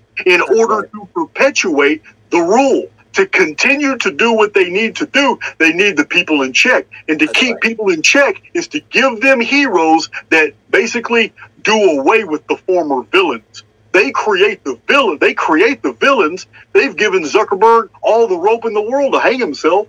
They've given Oh, and, and, and don't get me wrong, a lot of them have been dealt with. A lot of them have been neutralized because it's all about controlling the population. And they only need to control the population just long enough to seal their last bunker because the elite will be gone by 2036. By 2030, they're not waiting until 2040. No. They never do. They're no. they're going to wait around 2036. The last underground bunker will be sealed. They, their families, their militaries, their acolytes, henchmen, their science, their scientists, their cabals. Uh, they'll all be down there. They'll be locked in place, and they're going to ride the storm. They think they're going to ride the storm out. They're not coming up after 2040 like they did last time because it's a different this is a different time. Now they have to ride out two back-to-back cataclysms. Right. One seen by Mother Shipton, one seen by me, published published 20 years ago. I was 20 years ago. I was publishing about 2040 and 2046. I said, uh, uh, Nostradamus has, has I, I, I, don't even want to go into all those details. Well, yeah, no. So, so let's let's let's go deep. And again, thank you for that. You also know the Diebold Foundation agrees with you. 2046, and right. So, so let's clarify and go deeper for everybody watching here. This is quote unquote what the ancients, the, yugas, you know, again, all the ancient texts, the, the Maharaja, the Bhagavad Gita, they all talk about this. Again, the Popol Vuh. This is the shift. This is the true conscious explosion where the low vibrators, the elites, don't make it and the golden age occurs and you are absolutely right. You know again the secret doctrine doctrine which i know you read blavatsky you know they talk about these ages and that these are cyclical things. And so dude i'm totally with you. And that's why i have been driven by this whole raise your vibration create the new earth build the golden age. Yes there's a lot of darkness and we're going to have a question about the c and the v in a second for you. Uh, but yeah dude i'm with you. This is where it's going. The dark side knows they've lost. They've tried to take as many souls as they can, you know, again, consciously through the V, you know, through fear based programming and AIX. But you're right, dude, it is over. You just have to stay in resonance as a being, as a soul, spiritual, infinite, eternal being, not be pulled down into here, and you got nothing to worry about. Yeah. Yep. Hey, somebody in the comment section just mentioned Trump, and they yeah, I, that was my next question. Okay, Go ahead, look, cover it. Oh, uh, listen, Marco Phillips. Does anyone here know if Jason considers Trump elite? Probably. Trump is definitely a member of the elite. Now, Absolutely. Now, now let, now let me tell you this. Trump is playing a role, but he's also going to be given the very thing that he's promising America. I have already shown in my isometric analysis and my date sequence prediction that they were going to fleece America to fund the underground facilities and deep right. state operations. They were going to use American money to pay for underground facilities and do all this shit, help control the, the world. However, Trump being a member of the elite with Putin, who is actually his ally, and Putin, Trump, and maybe China, not the China that you know today, but the or nationalist China. Don't think the communist the communist regime in China is going to continue much longer. They're about to be ousted. So we're going to have a new China. It's going to be a new world scene. They're going to be they're going to be totally different than the China that we're familiar with. They're going to be the nationalists back in control of their country after a very long communist dictatorship. So what, what, what I'm seeing in my in my isometric predictive anal- analytics is that the United States, his slogan "Make America Great Again" is definitely going to happen. America, United States military is going to shock some some nations very very soon. Events are not going to go the way the media has been portraying them to go. It's going to when great events happen in the world, we're always blindsided. That's this is what the 9 11 came, it blindsided us. You know what I mean? When the tsunami happened in Japan and we saw the footage, that blindsided us. When we expect events, they don't blindside us at all. So what we're what we're looking at is the United States basically taking over control of its own economy again, which it's never done. It hasn't done that since the New Deal in 1935. United States will now internalize, meaning hundreds of billions of dollars that have been freely given every year to other nations will stop. United States will start building its own infrastructure back up. Trump's right. They have plans to make America great again because they have plans to build a new ultra conservative witch hunting witch hunting government that's going to absolutely do the exact opposite of this freedom liberal society that we live in today. We're going to have a Sodom and Gomorrah society where the Christian conservatives are now going to be in control and they're going to chase everybody out of the country that they don't deem as American. This is what we're going to happen. Uh, uh, the total opposite of what you think. So So- it's it's literally like an antichrist program, whereas Trump is the opposite. Again, the inversion of what he's made out to be. And again, it's like you said, to fleece the American taxpaying citizen so that they can protect themselves in their bunkers and their underground cities in the hope and belief or event that they think they're going to find themselves surviving the next event. Do you think any of them will survive, or are they all done? Well, they're going to have to be some survivors because the way the revelation plays out. The revelation, the revelation play, the revelation, and even Mother Shipton saw it. She's very, very clear in her in her visions. She mentions people coming out of mountains where they were hitting. She mentions that they come out of the mountains with their seeds and supplies, and and and and yeah, she mentions all that. But uh, the the the apocalypse period is way longer than they're able to stay underground. Those facilities can maybe only house them for 20, 25 years. Yeah, They're exactly. gonna have to come up. But the but when they do finally surface, it's going to be a very different world. And when they surface, it's going to be a va- vapor canopy world. I don't know if the elite are ready for that. That's Right. a totally different. Uh, that's a totally different environment. Uh, even for even humans are going to be very different. During a vapor canopy period, we heal rapidly. Right. We can hold our breath for very long periods Right. of time. We can lift incredible weight. This is why during the apocalypse, there are several references in the book of Revelation and in the second Esdras of, of prophecies that people are going to wish to die, but they can't. Right. Death will flee from them. It's because the vapor canopy biology is way different. We are we have whole entire latent gene sequences that are activated where we almost become physically immortal in the vapor canopy period. And that and that's the 700, 800, 900 year Methuselah lifespan because the uh, the latent DNA circuits are activated. Okay, so so um, and then we're going to get consciousness, and then we'll take some questions. You know, for as long as you want to keep going. So, and again, I got to use code. You guys already know this. I can't say the word, but the C and the V. What role is it? You know, again, I call it the scamdemic, playing in the evolution of humanity slash life cycles up until the 2040, which is let's say 17 years away now event. Do you see the people who have quote unquote, you know, consented to the V and you know multiple times and the B? Are these people going to quote unquote physically their avatars die off in the next two to three years? What do you see coming from this? Okay, I, I'm not qualified really to to give you anything other than an opinion. Opinion, yeah, this. of course. Yep. and I have received photographs of these victims of what has come out of their bodies, what has been taken out of their bodies. Yeah, absolutely. And I have seen photographs of these things, and I can only imagine under vapor canopy conditions what these Oh. things things would grow into, and uh, Wow. under the right under the right biosphere, what I'm seeing, what's being removed from human bodies in these photos of victims of that is harrowing. This is some Stephen King type shit. Yeah. So, do you think do you think these will be Jason? The Ne- I don't mean to interrupt you, but the Nephilim. This is be like literally twenty foot, eighteen foot demons. Well, I can answer it by asking you in your own time to read the book of Second Esdras. That's right. Because in those prophecies, he's very clear about the monsters that will suddenly appear in the last days under under under unique conditions.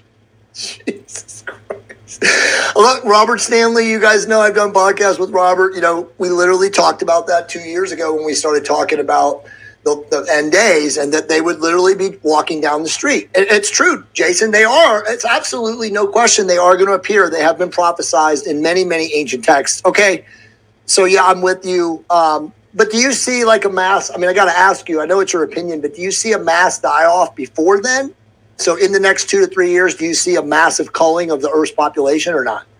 Okay, well, our birth rate is swallowing up any death, any any death rate that that is causing. All right, all right. So we have, well, if we're going to talk, if we're going to talk about this even in code, we have we have to we have to let it be known that okay, they might have they might have initiated something, but there ain't enough people dying to even call it a pandemic. You see, oh, there are stages in disease. We have disease, we have epidemic, which covers a very large area and involves a lot of people. But pandemic is is is a word they're using, but it's not applicable at all because we're still we're still increasing in population faster than people are disappearing. So so the agenda was never for a mass die-off. That was never the agenda. That was never that was never the intention. Something else is the intention.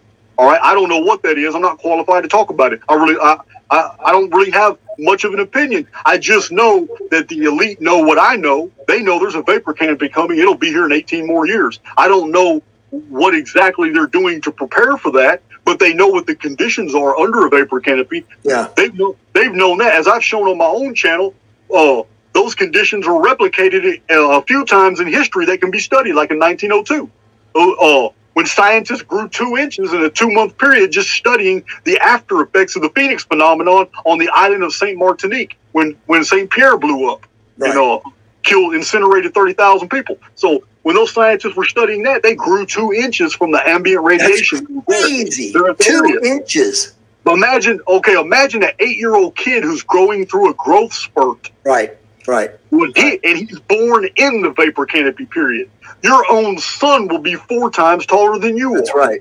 That's right. And, and by the way, to add to that, imagine a third generation, as my uh, business partner Nick Andrews says, third order effect of someone who's fully V'd and boosted with mRNA, you know, replicating proteins and viruses in their body and spike proteins. Like, Yeah. what are they going to look like? I don't want to go any further because, right, I want this deleted. It's an amazing video. Um, okay, so I have two more questions for you. Um, I think they're probably the most important, and then these are solution-based things for everybody to listen to. So if you're paying attention, and I know all of you guys are, we still have 200 people strong. Please listen. This is the most important thing that we're going to tell you guys tonight. So, the benevolence, the benefactors, as you call them, angelic beings, if we want to define them, you know, according to the scripture. How do they operate in the framework of this, you know, AIX holographic construct, this holodeck of Star Trek, as you phrased it, in relation to the dark archons, the elites, the negative parasitic entities? Well, we have to take it.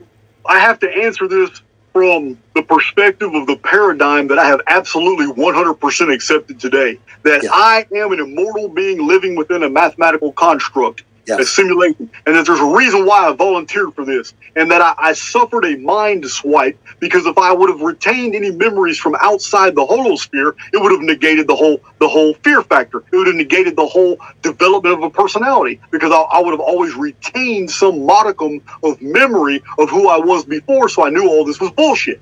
You understand? So. I have to answer this from that perspective, and I will give you a historical anecdote about this. Have you ever heard of the story of the angels of Mons? Yes, I have actually. I'm a I'm an angel, I'm an angelologist. Okay, World War One.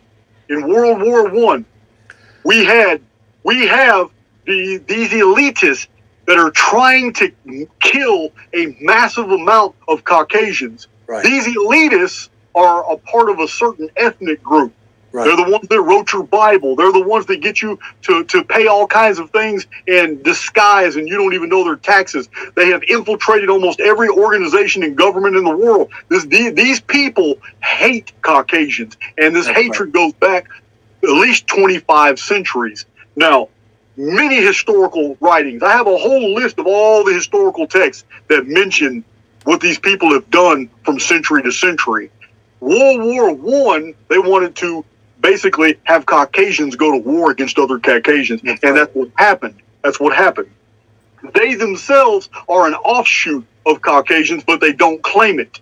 Now, these people, these people wired up this great war, but the but the two factions didn't really want to fight each other. And on Christmas night, they are praying in the German camps, Prussian camps. They're praying in the American, British camps, in the French camps, and they're on this trench warfare line. And a few of them just got together because they can hear the Germans singing Christmas carols. That's right.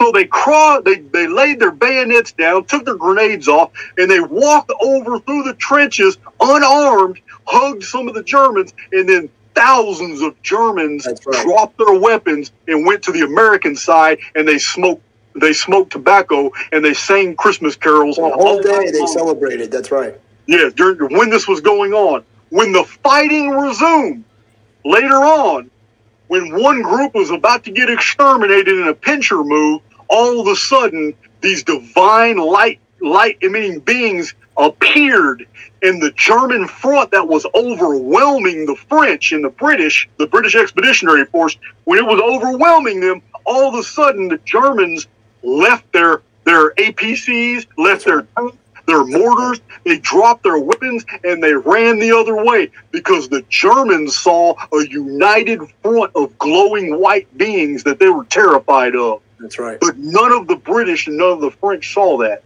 And ever since then, that's been called the Angels of Mons. And uh, uh, this is uh, I, what I'm describing here is I don't believe those are angelic beings. I don't believe any of that. I believe that those are actual us, but they're divorced of their avatars.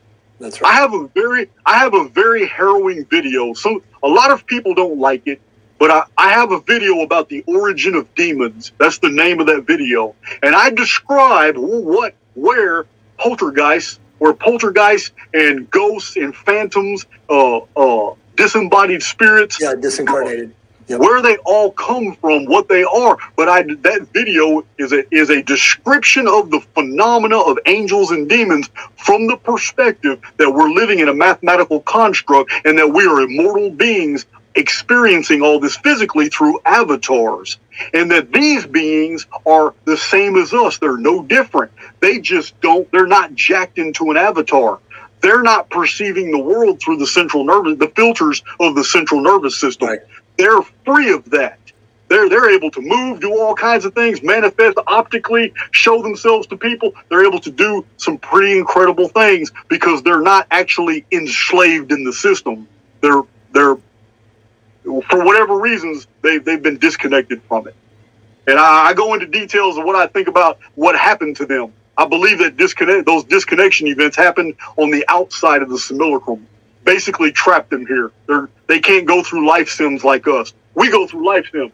If you if you leave the if you leave this a life sim from cent- from a from the central nervous system, you immediately reappear in a developing central nervous system in a, in a nearby body. And I show evidence on my own channel that reincarnation is real. You're living through life sims, and you normally you normally come right back in the same area that you left, often within the same family. That you are basically like when you you're a kid, but you're basically the returned elder who just died in a nearby family.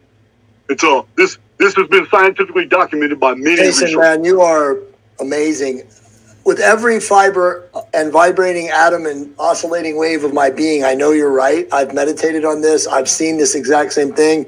It perfectly segues to the final question.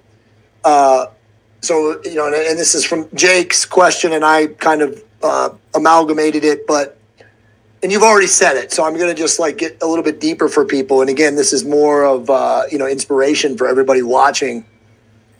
So we're talking about consciousness and vibration. You know, you say specifically about the simulacrum, the simulated reality, and then the personal reality creation that we each individually, as infinite, immortal spiritual beings, have the capability of. of.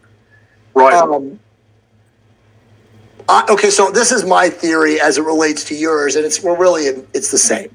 But I say, and you already said this at one point, which is mind blowing. You you said I can't believe you actually said the exact same words, but I I say that most people, which I call the herd, the masses, whatever you want to call them, the collective consciousness. Uh, John John Baines, if you ever read any of his books, Stellar Man, amazing book. He calls it the human central computer. Right? It's a collective consciousness, a low vibrating hum, a dissonant hum. Uh, they react out of fear, and you said it best earlier. Um, this is locked in, keeping them locked in an autonomic feedback loop of survival programming, which is obviously what AIX is pushing into the ether, into the ether, into this dimension. Right. Um, when you, it- it- most people watching here tonight, you and I clearly through the work that we've done and the research that we've done, when you get to that a level of awareness that you don't have to vibrate into that frequency of disinformation, of mass media, of fear-based programming, you are now again, this is my theory, you are now immune to that frequency. And you, instead of reacting out of fear, which is again 80% of humanity, and maybe it's even higher after the last two and a half years, it doesn't matter. Right. When you choose, again, remember the word choose is very important here. When you choose to respond out of love, which again is resonance and coherence, and this is done through your words, thoughts, and actions. And that's why I always tell people you got to use conscious words, focused thoughts, and massively loving, intentional actions. You have broken free of AIX and you are now creating what, you know, Neville Goddard would say, your heaven on earth as your frequency. So do you, is there anything, and, I know you, I kind of know your answer, but I want to hear you speak it. Um, is there anything in that that you disagree with? And if you do, let's feel free to, to say it, but are we on the same wavelengths? Yeah, yeah, it's all about frequency. I, I agree one hundred percent. I'm uh, I just uh, I it's I don't want to beat it up. I, I, on my own channel, I'm always telling people it's it's the the whole fear thing is so alien to me. I get it that you're scared of the future. I get it that you've got kids and you're worried about them in the future. I get all that, but I have abandoned that lifestyle years ago where I wake up in the morning and worry about the future because that that whole I'm not going to tap into a negative. I'm not going to willingly put Right. myself into a negative. I've done that my entire life, and I'm not doing that anymore. So it's uh, the message that I have for people on my channel is is is very simple. It says there are two different realities unfolding every minute of your life, and you get to choose. There's a fork in the road before you every moment of every, of, of your existence, and that choice is always there. You can go the main way, the huge road that everybody else is going on, and you can feel the feel the flow of those frequencies. You're not going to like it. You're going to be in an ocean of negativity all the time. Or you can go on the very, very least trodden path, the winding path. You can go on the narrow path. You can be like you can be like the old philosophers that said, "Oh, walk unfrequented paths, go by unexpected ways." What they meant was not actually walking on a path or finding secret deer trails. That's not what they were meaning. They were meaning that there are two different realities unfolding. If you go your own way, you don't have to participate in the collective because in the individual, all the powers that you will ever need to deal with in life and to bring everything into contact that you need in your existence are from within you. The other road teaches you that everything you need in life comes from outside you. Right. Two different, fundamentally different ways of thinking once you understand that you are an informed field and that informed field carries every emotion, every thought, everything you've ever accepted to be true, everything you've read, everything someone has told you that you resonated with, once you understand that that informed field carries all of this with you every moment of your day, you're wearing an armor that the outside world could never penetrate. And all the all the power that you ever need in life can be drawn from you because it's not even coming from you. Like I say, you draw from yourself more than you contain. Once you understand that concept, you will realize you're a conduit. You're not a singularity. You are actually built to flow. All this stuff is supposed to flow from you. And the more the more wealth that flows from you, the more wealth you will be given. The more right. peace that flows from you, the more peace you'll be given. The more wisdom that flows from you, the more wise you will become. The more the more that you absolutely give of whatever you have within you, whatever the benefactor puts within you, whatever your character traits are, the more you give that out, the more you are given. And it's a spiritual law. It's one that's even found in the Bible. Even in the Bible, it says, To him who hath, more will be given. But to him who hath not, even what he has will be taken from him and given to the one who has. It's a spiritual law. It's it's a you can't stop. Uh, you can't stop the river if it's coming out of you. You just got to let it flow. But if you're if you're not flowing, there's no stasis. If you're not flowing, then that means the world is flowing into you, and that's a different situation. You've become visceral. You've become you're vibrating on a lower frequency. If you're one, if you're one of the world, then you have basically isolated yourself away from spirituality. That's right. And I always say, by the way, that was profound, my brother. Again, love and light to you. That was, I mean, my soul. We're, we, this is a resonant field that we have created here tonight. And all of you guys are watching this, and it's a gift to the universe because, again, we consciously, co collaboratively created this all together. You know, I told Jason in my emails to him that I was manifesting this to be one of the best shows ever. A lot of people I, you know, I posted in his Archaix Facebook group, and my Facebook group, which is Decoders of Truth. I said, you guys don't miss this. It's going to be one in a million. And I, I know for a fact, as I've been listening and watching and, and, and hearing this, that it's something that is going to be profoundly shared across the world for people like us. So Lazarus Banks has a great question, and I'm going to get to as many of your questions. By the way, are you okay to go another 10, 15 minutes? Yeah, I'm good. I'm good. Okay. Just tell me when you're done because I know we were going three hours and eight minutes. By the way, this is the longest podcast I've ever done. So credit to you, man. yeah, that's good. I'm good amazing. Okay, so Lazarus Banks, who's a close personal friend of mine, very high vibrating being like us, he says, Jay, please ask do people have a choice to wake up to AIX or only a certain number of people allowed to be errants in this frequency? Uh, I don't believe it has anything to do with being allowed. I don't believe that there is a permissive context to, to the phenomena. Uh, there is a there is a number in the occult that they always referencing because they know uh, this is something that they they have known. The elite know the true parameters of our existence far better than we do, and they encode it in their degrees, in their symbols, iconography. It's all there, and that number is that no matter how many avatars are in existence at one time, only 33% of them are actually real. The rest are NPCs and living dead. And the elite have always known this. And, and the elite basically aim all their basic, all their, they're, they're the enemy. They're not among the 33%. I'm talking about the errants. It's a, they, this is a, it's a very ancient concept. It's called, it's called substitution theory. And it was really popular in the late 1800s, early 1900s among Christ, Christian academics. In, in substitution theory, the whole idea that 33% of the heavens was cast down to the earth and all that, basically mankind, our avatars, were created as a substitute to fill in that 33%. And uh, uh, it's a very old theory. It's not one. It's not one that I created and all. But that number is persistent, going back thousands of years until today. That uh, like the dragon cast forth 33 of the stars of heaven and cast them to the ground. Uh, it's not just a Christian idea. That, ref- that those references to 33% are found in Akkadian texts. It's very old con- concerning the dragon. So, and dragon being AIX, artificial intelligence X. So we're uh, it, to better answer that question, I'm just it's uh not everybody around you is real at all. Right. When you see when you see some people that have suffered some very very terrible fates and all that, don't be moved by that for two reasons. One of them, you don't even know if they were real. That's right. Two, you don't even know if the event was real. That's right. Actually, there's three reasons, and the third reason is is is why entertain anything anything that didn't happen to you?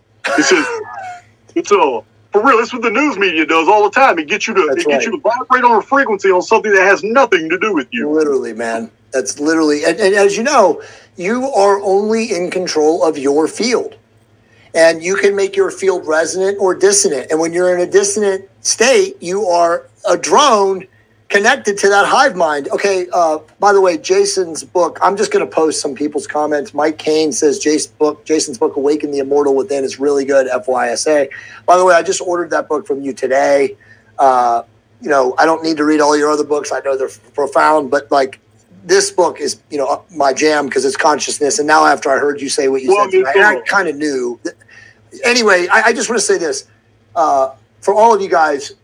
Jason has a full time job, man. He's a, a stonemason. Like, we need to get Jason not doing that shit anymore. Even if you want to do it, like, we need to start a whatever it is, a collective, uh, and I'll be, be behind orchestrating this where we create a private group for Archaix. You guys will contribute whatever you can afford to contribute. Don't tell me you can't pay a dollar thirty-three or three thirty-three or nine ninety-nine or whatever it is.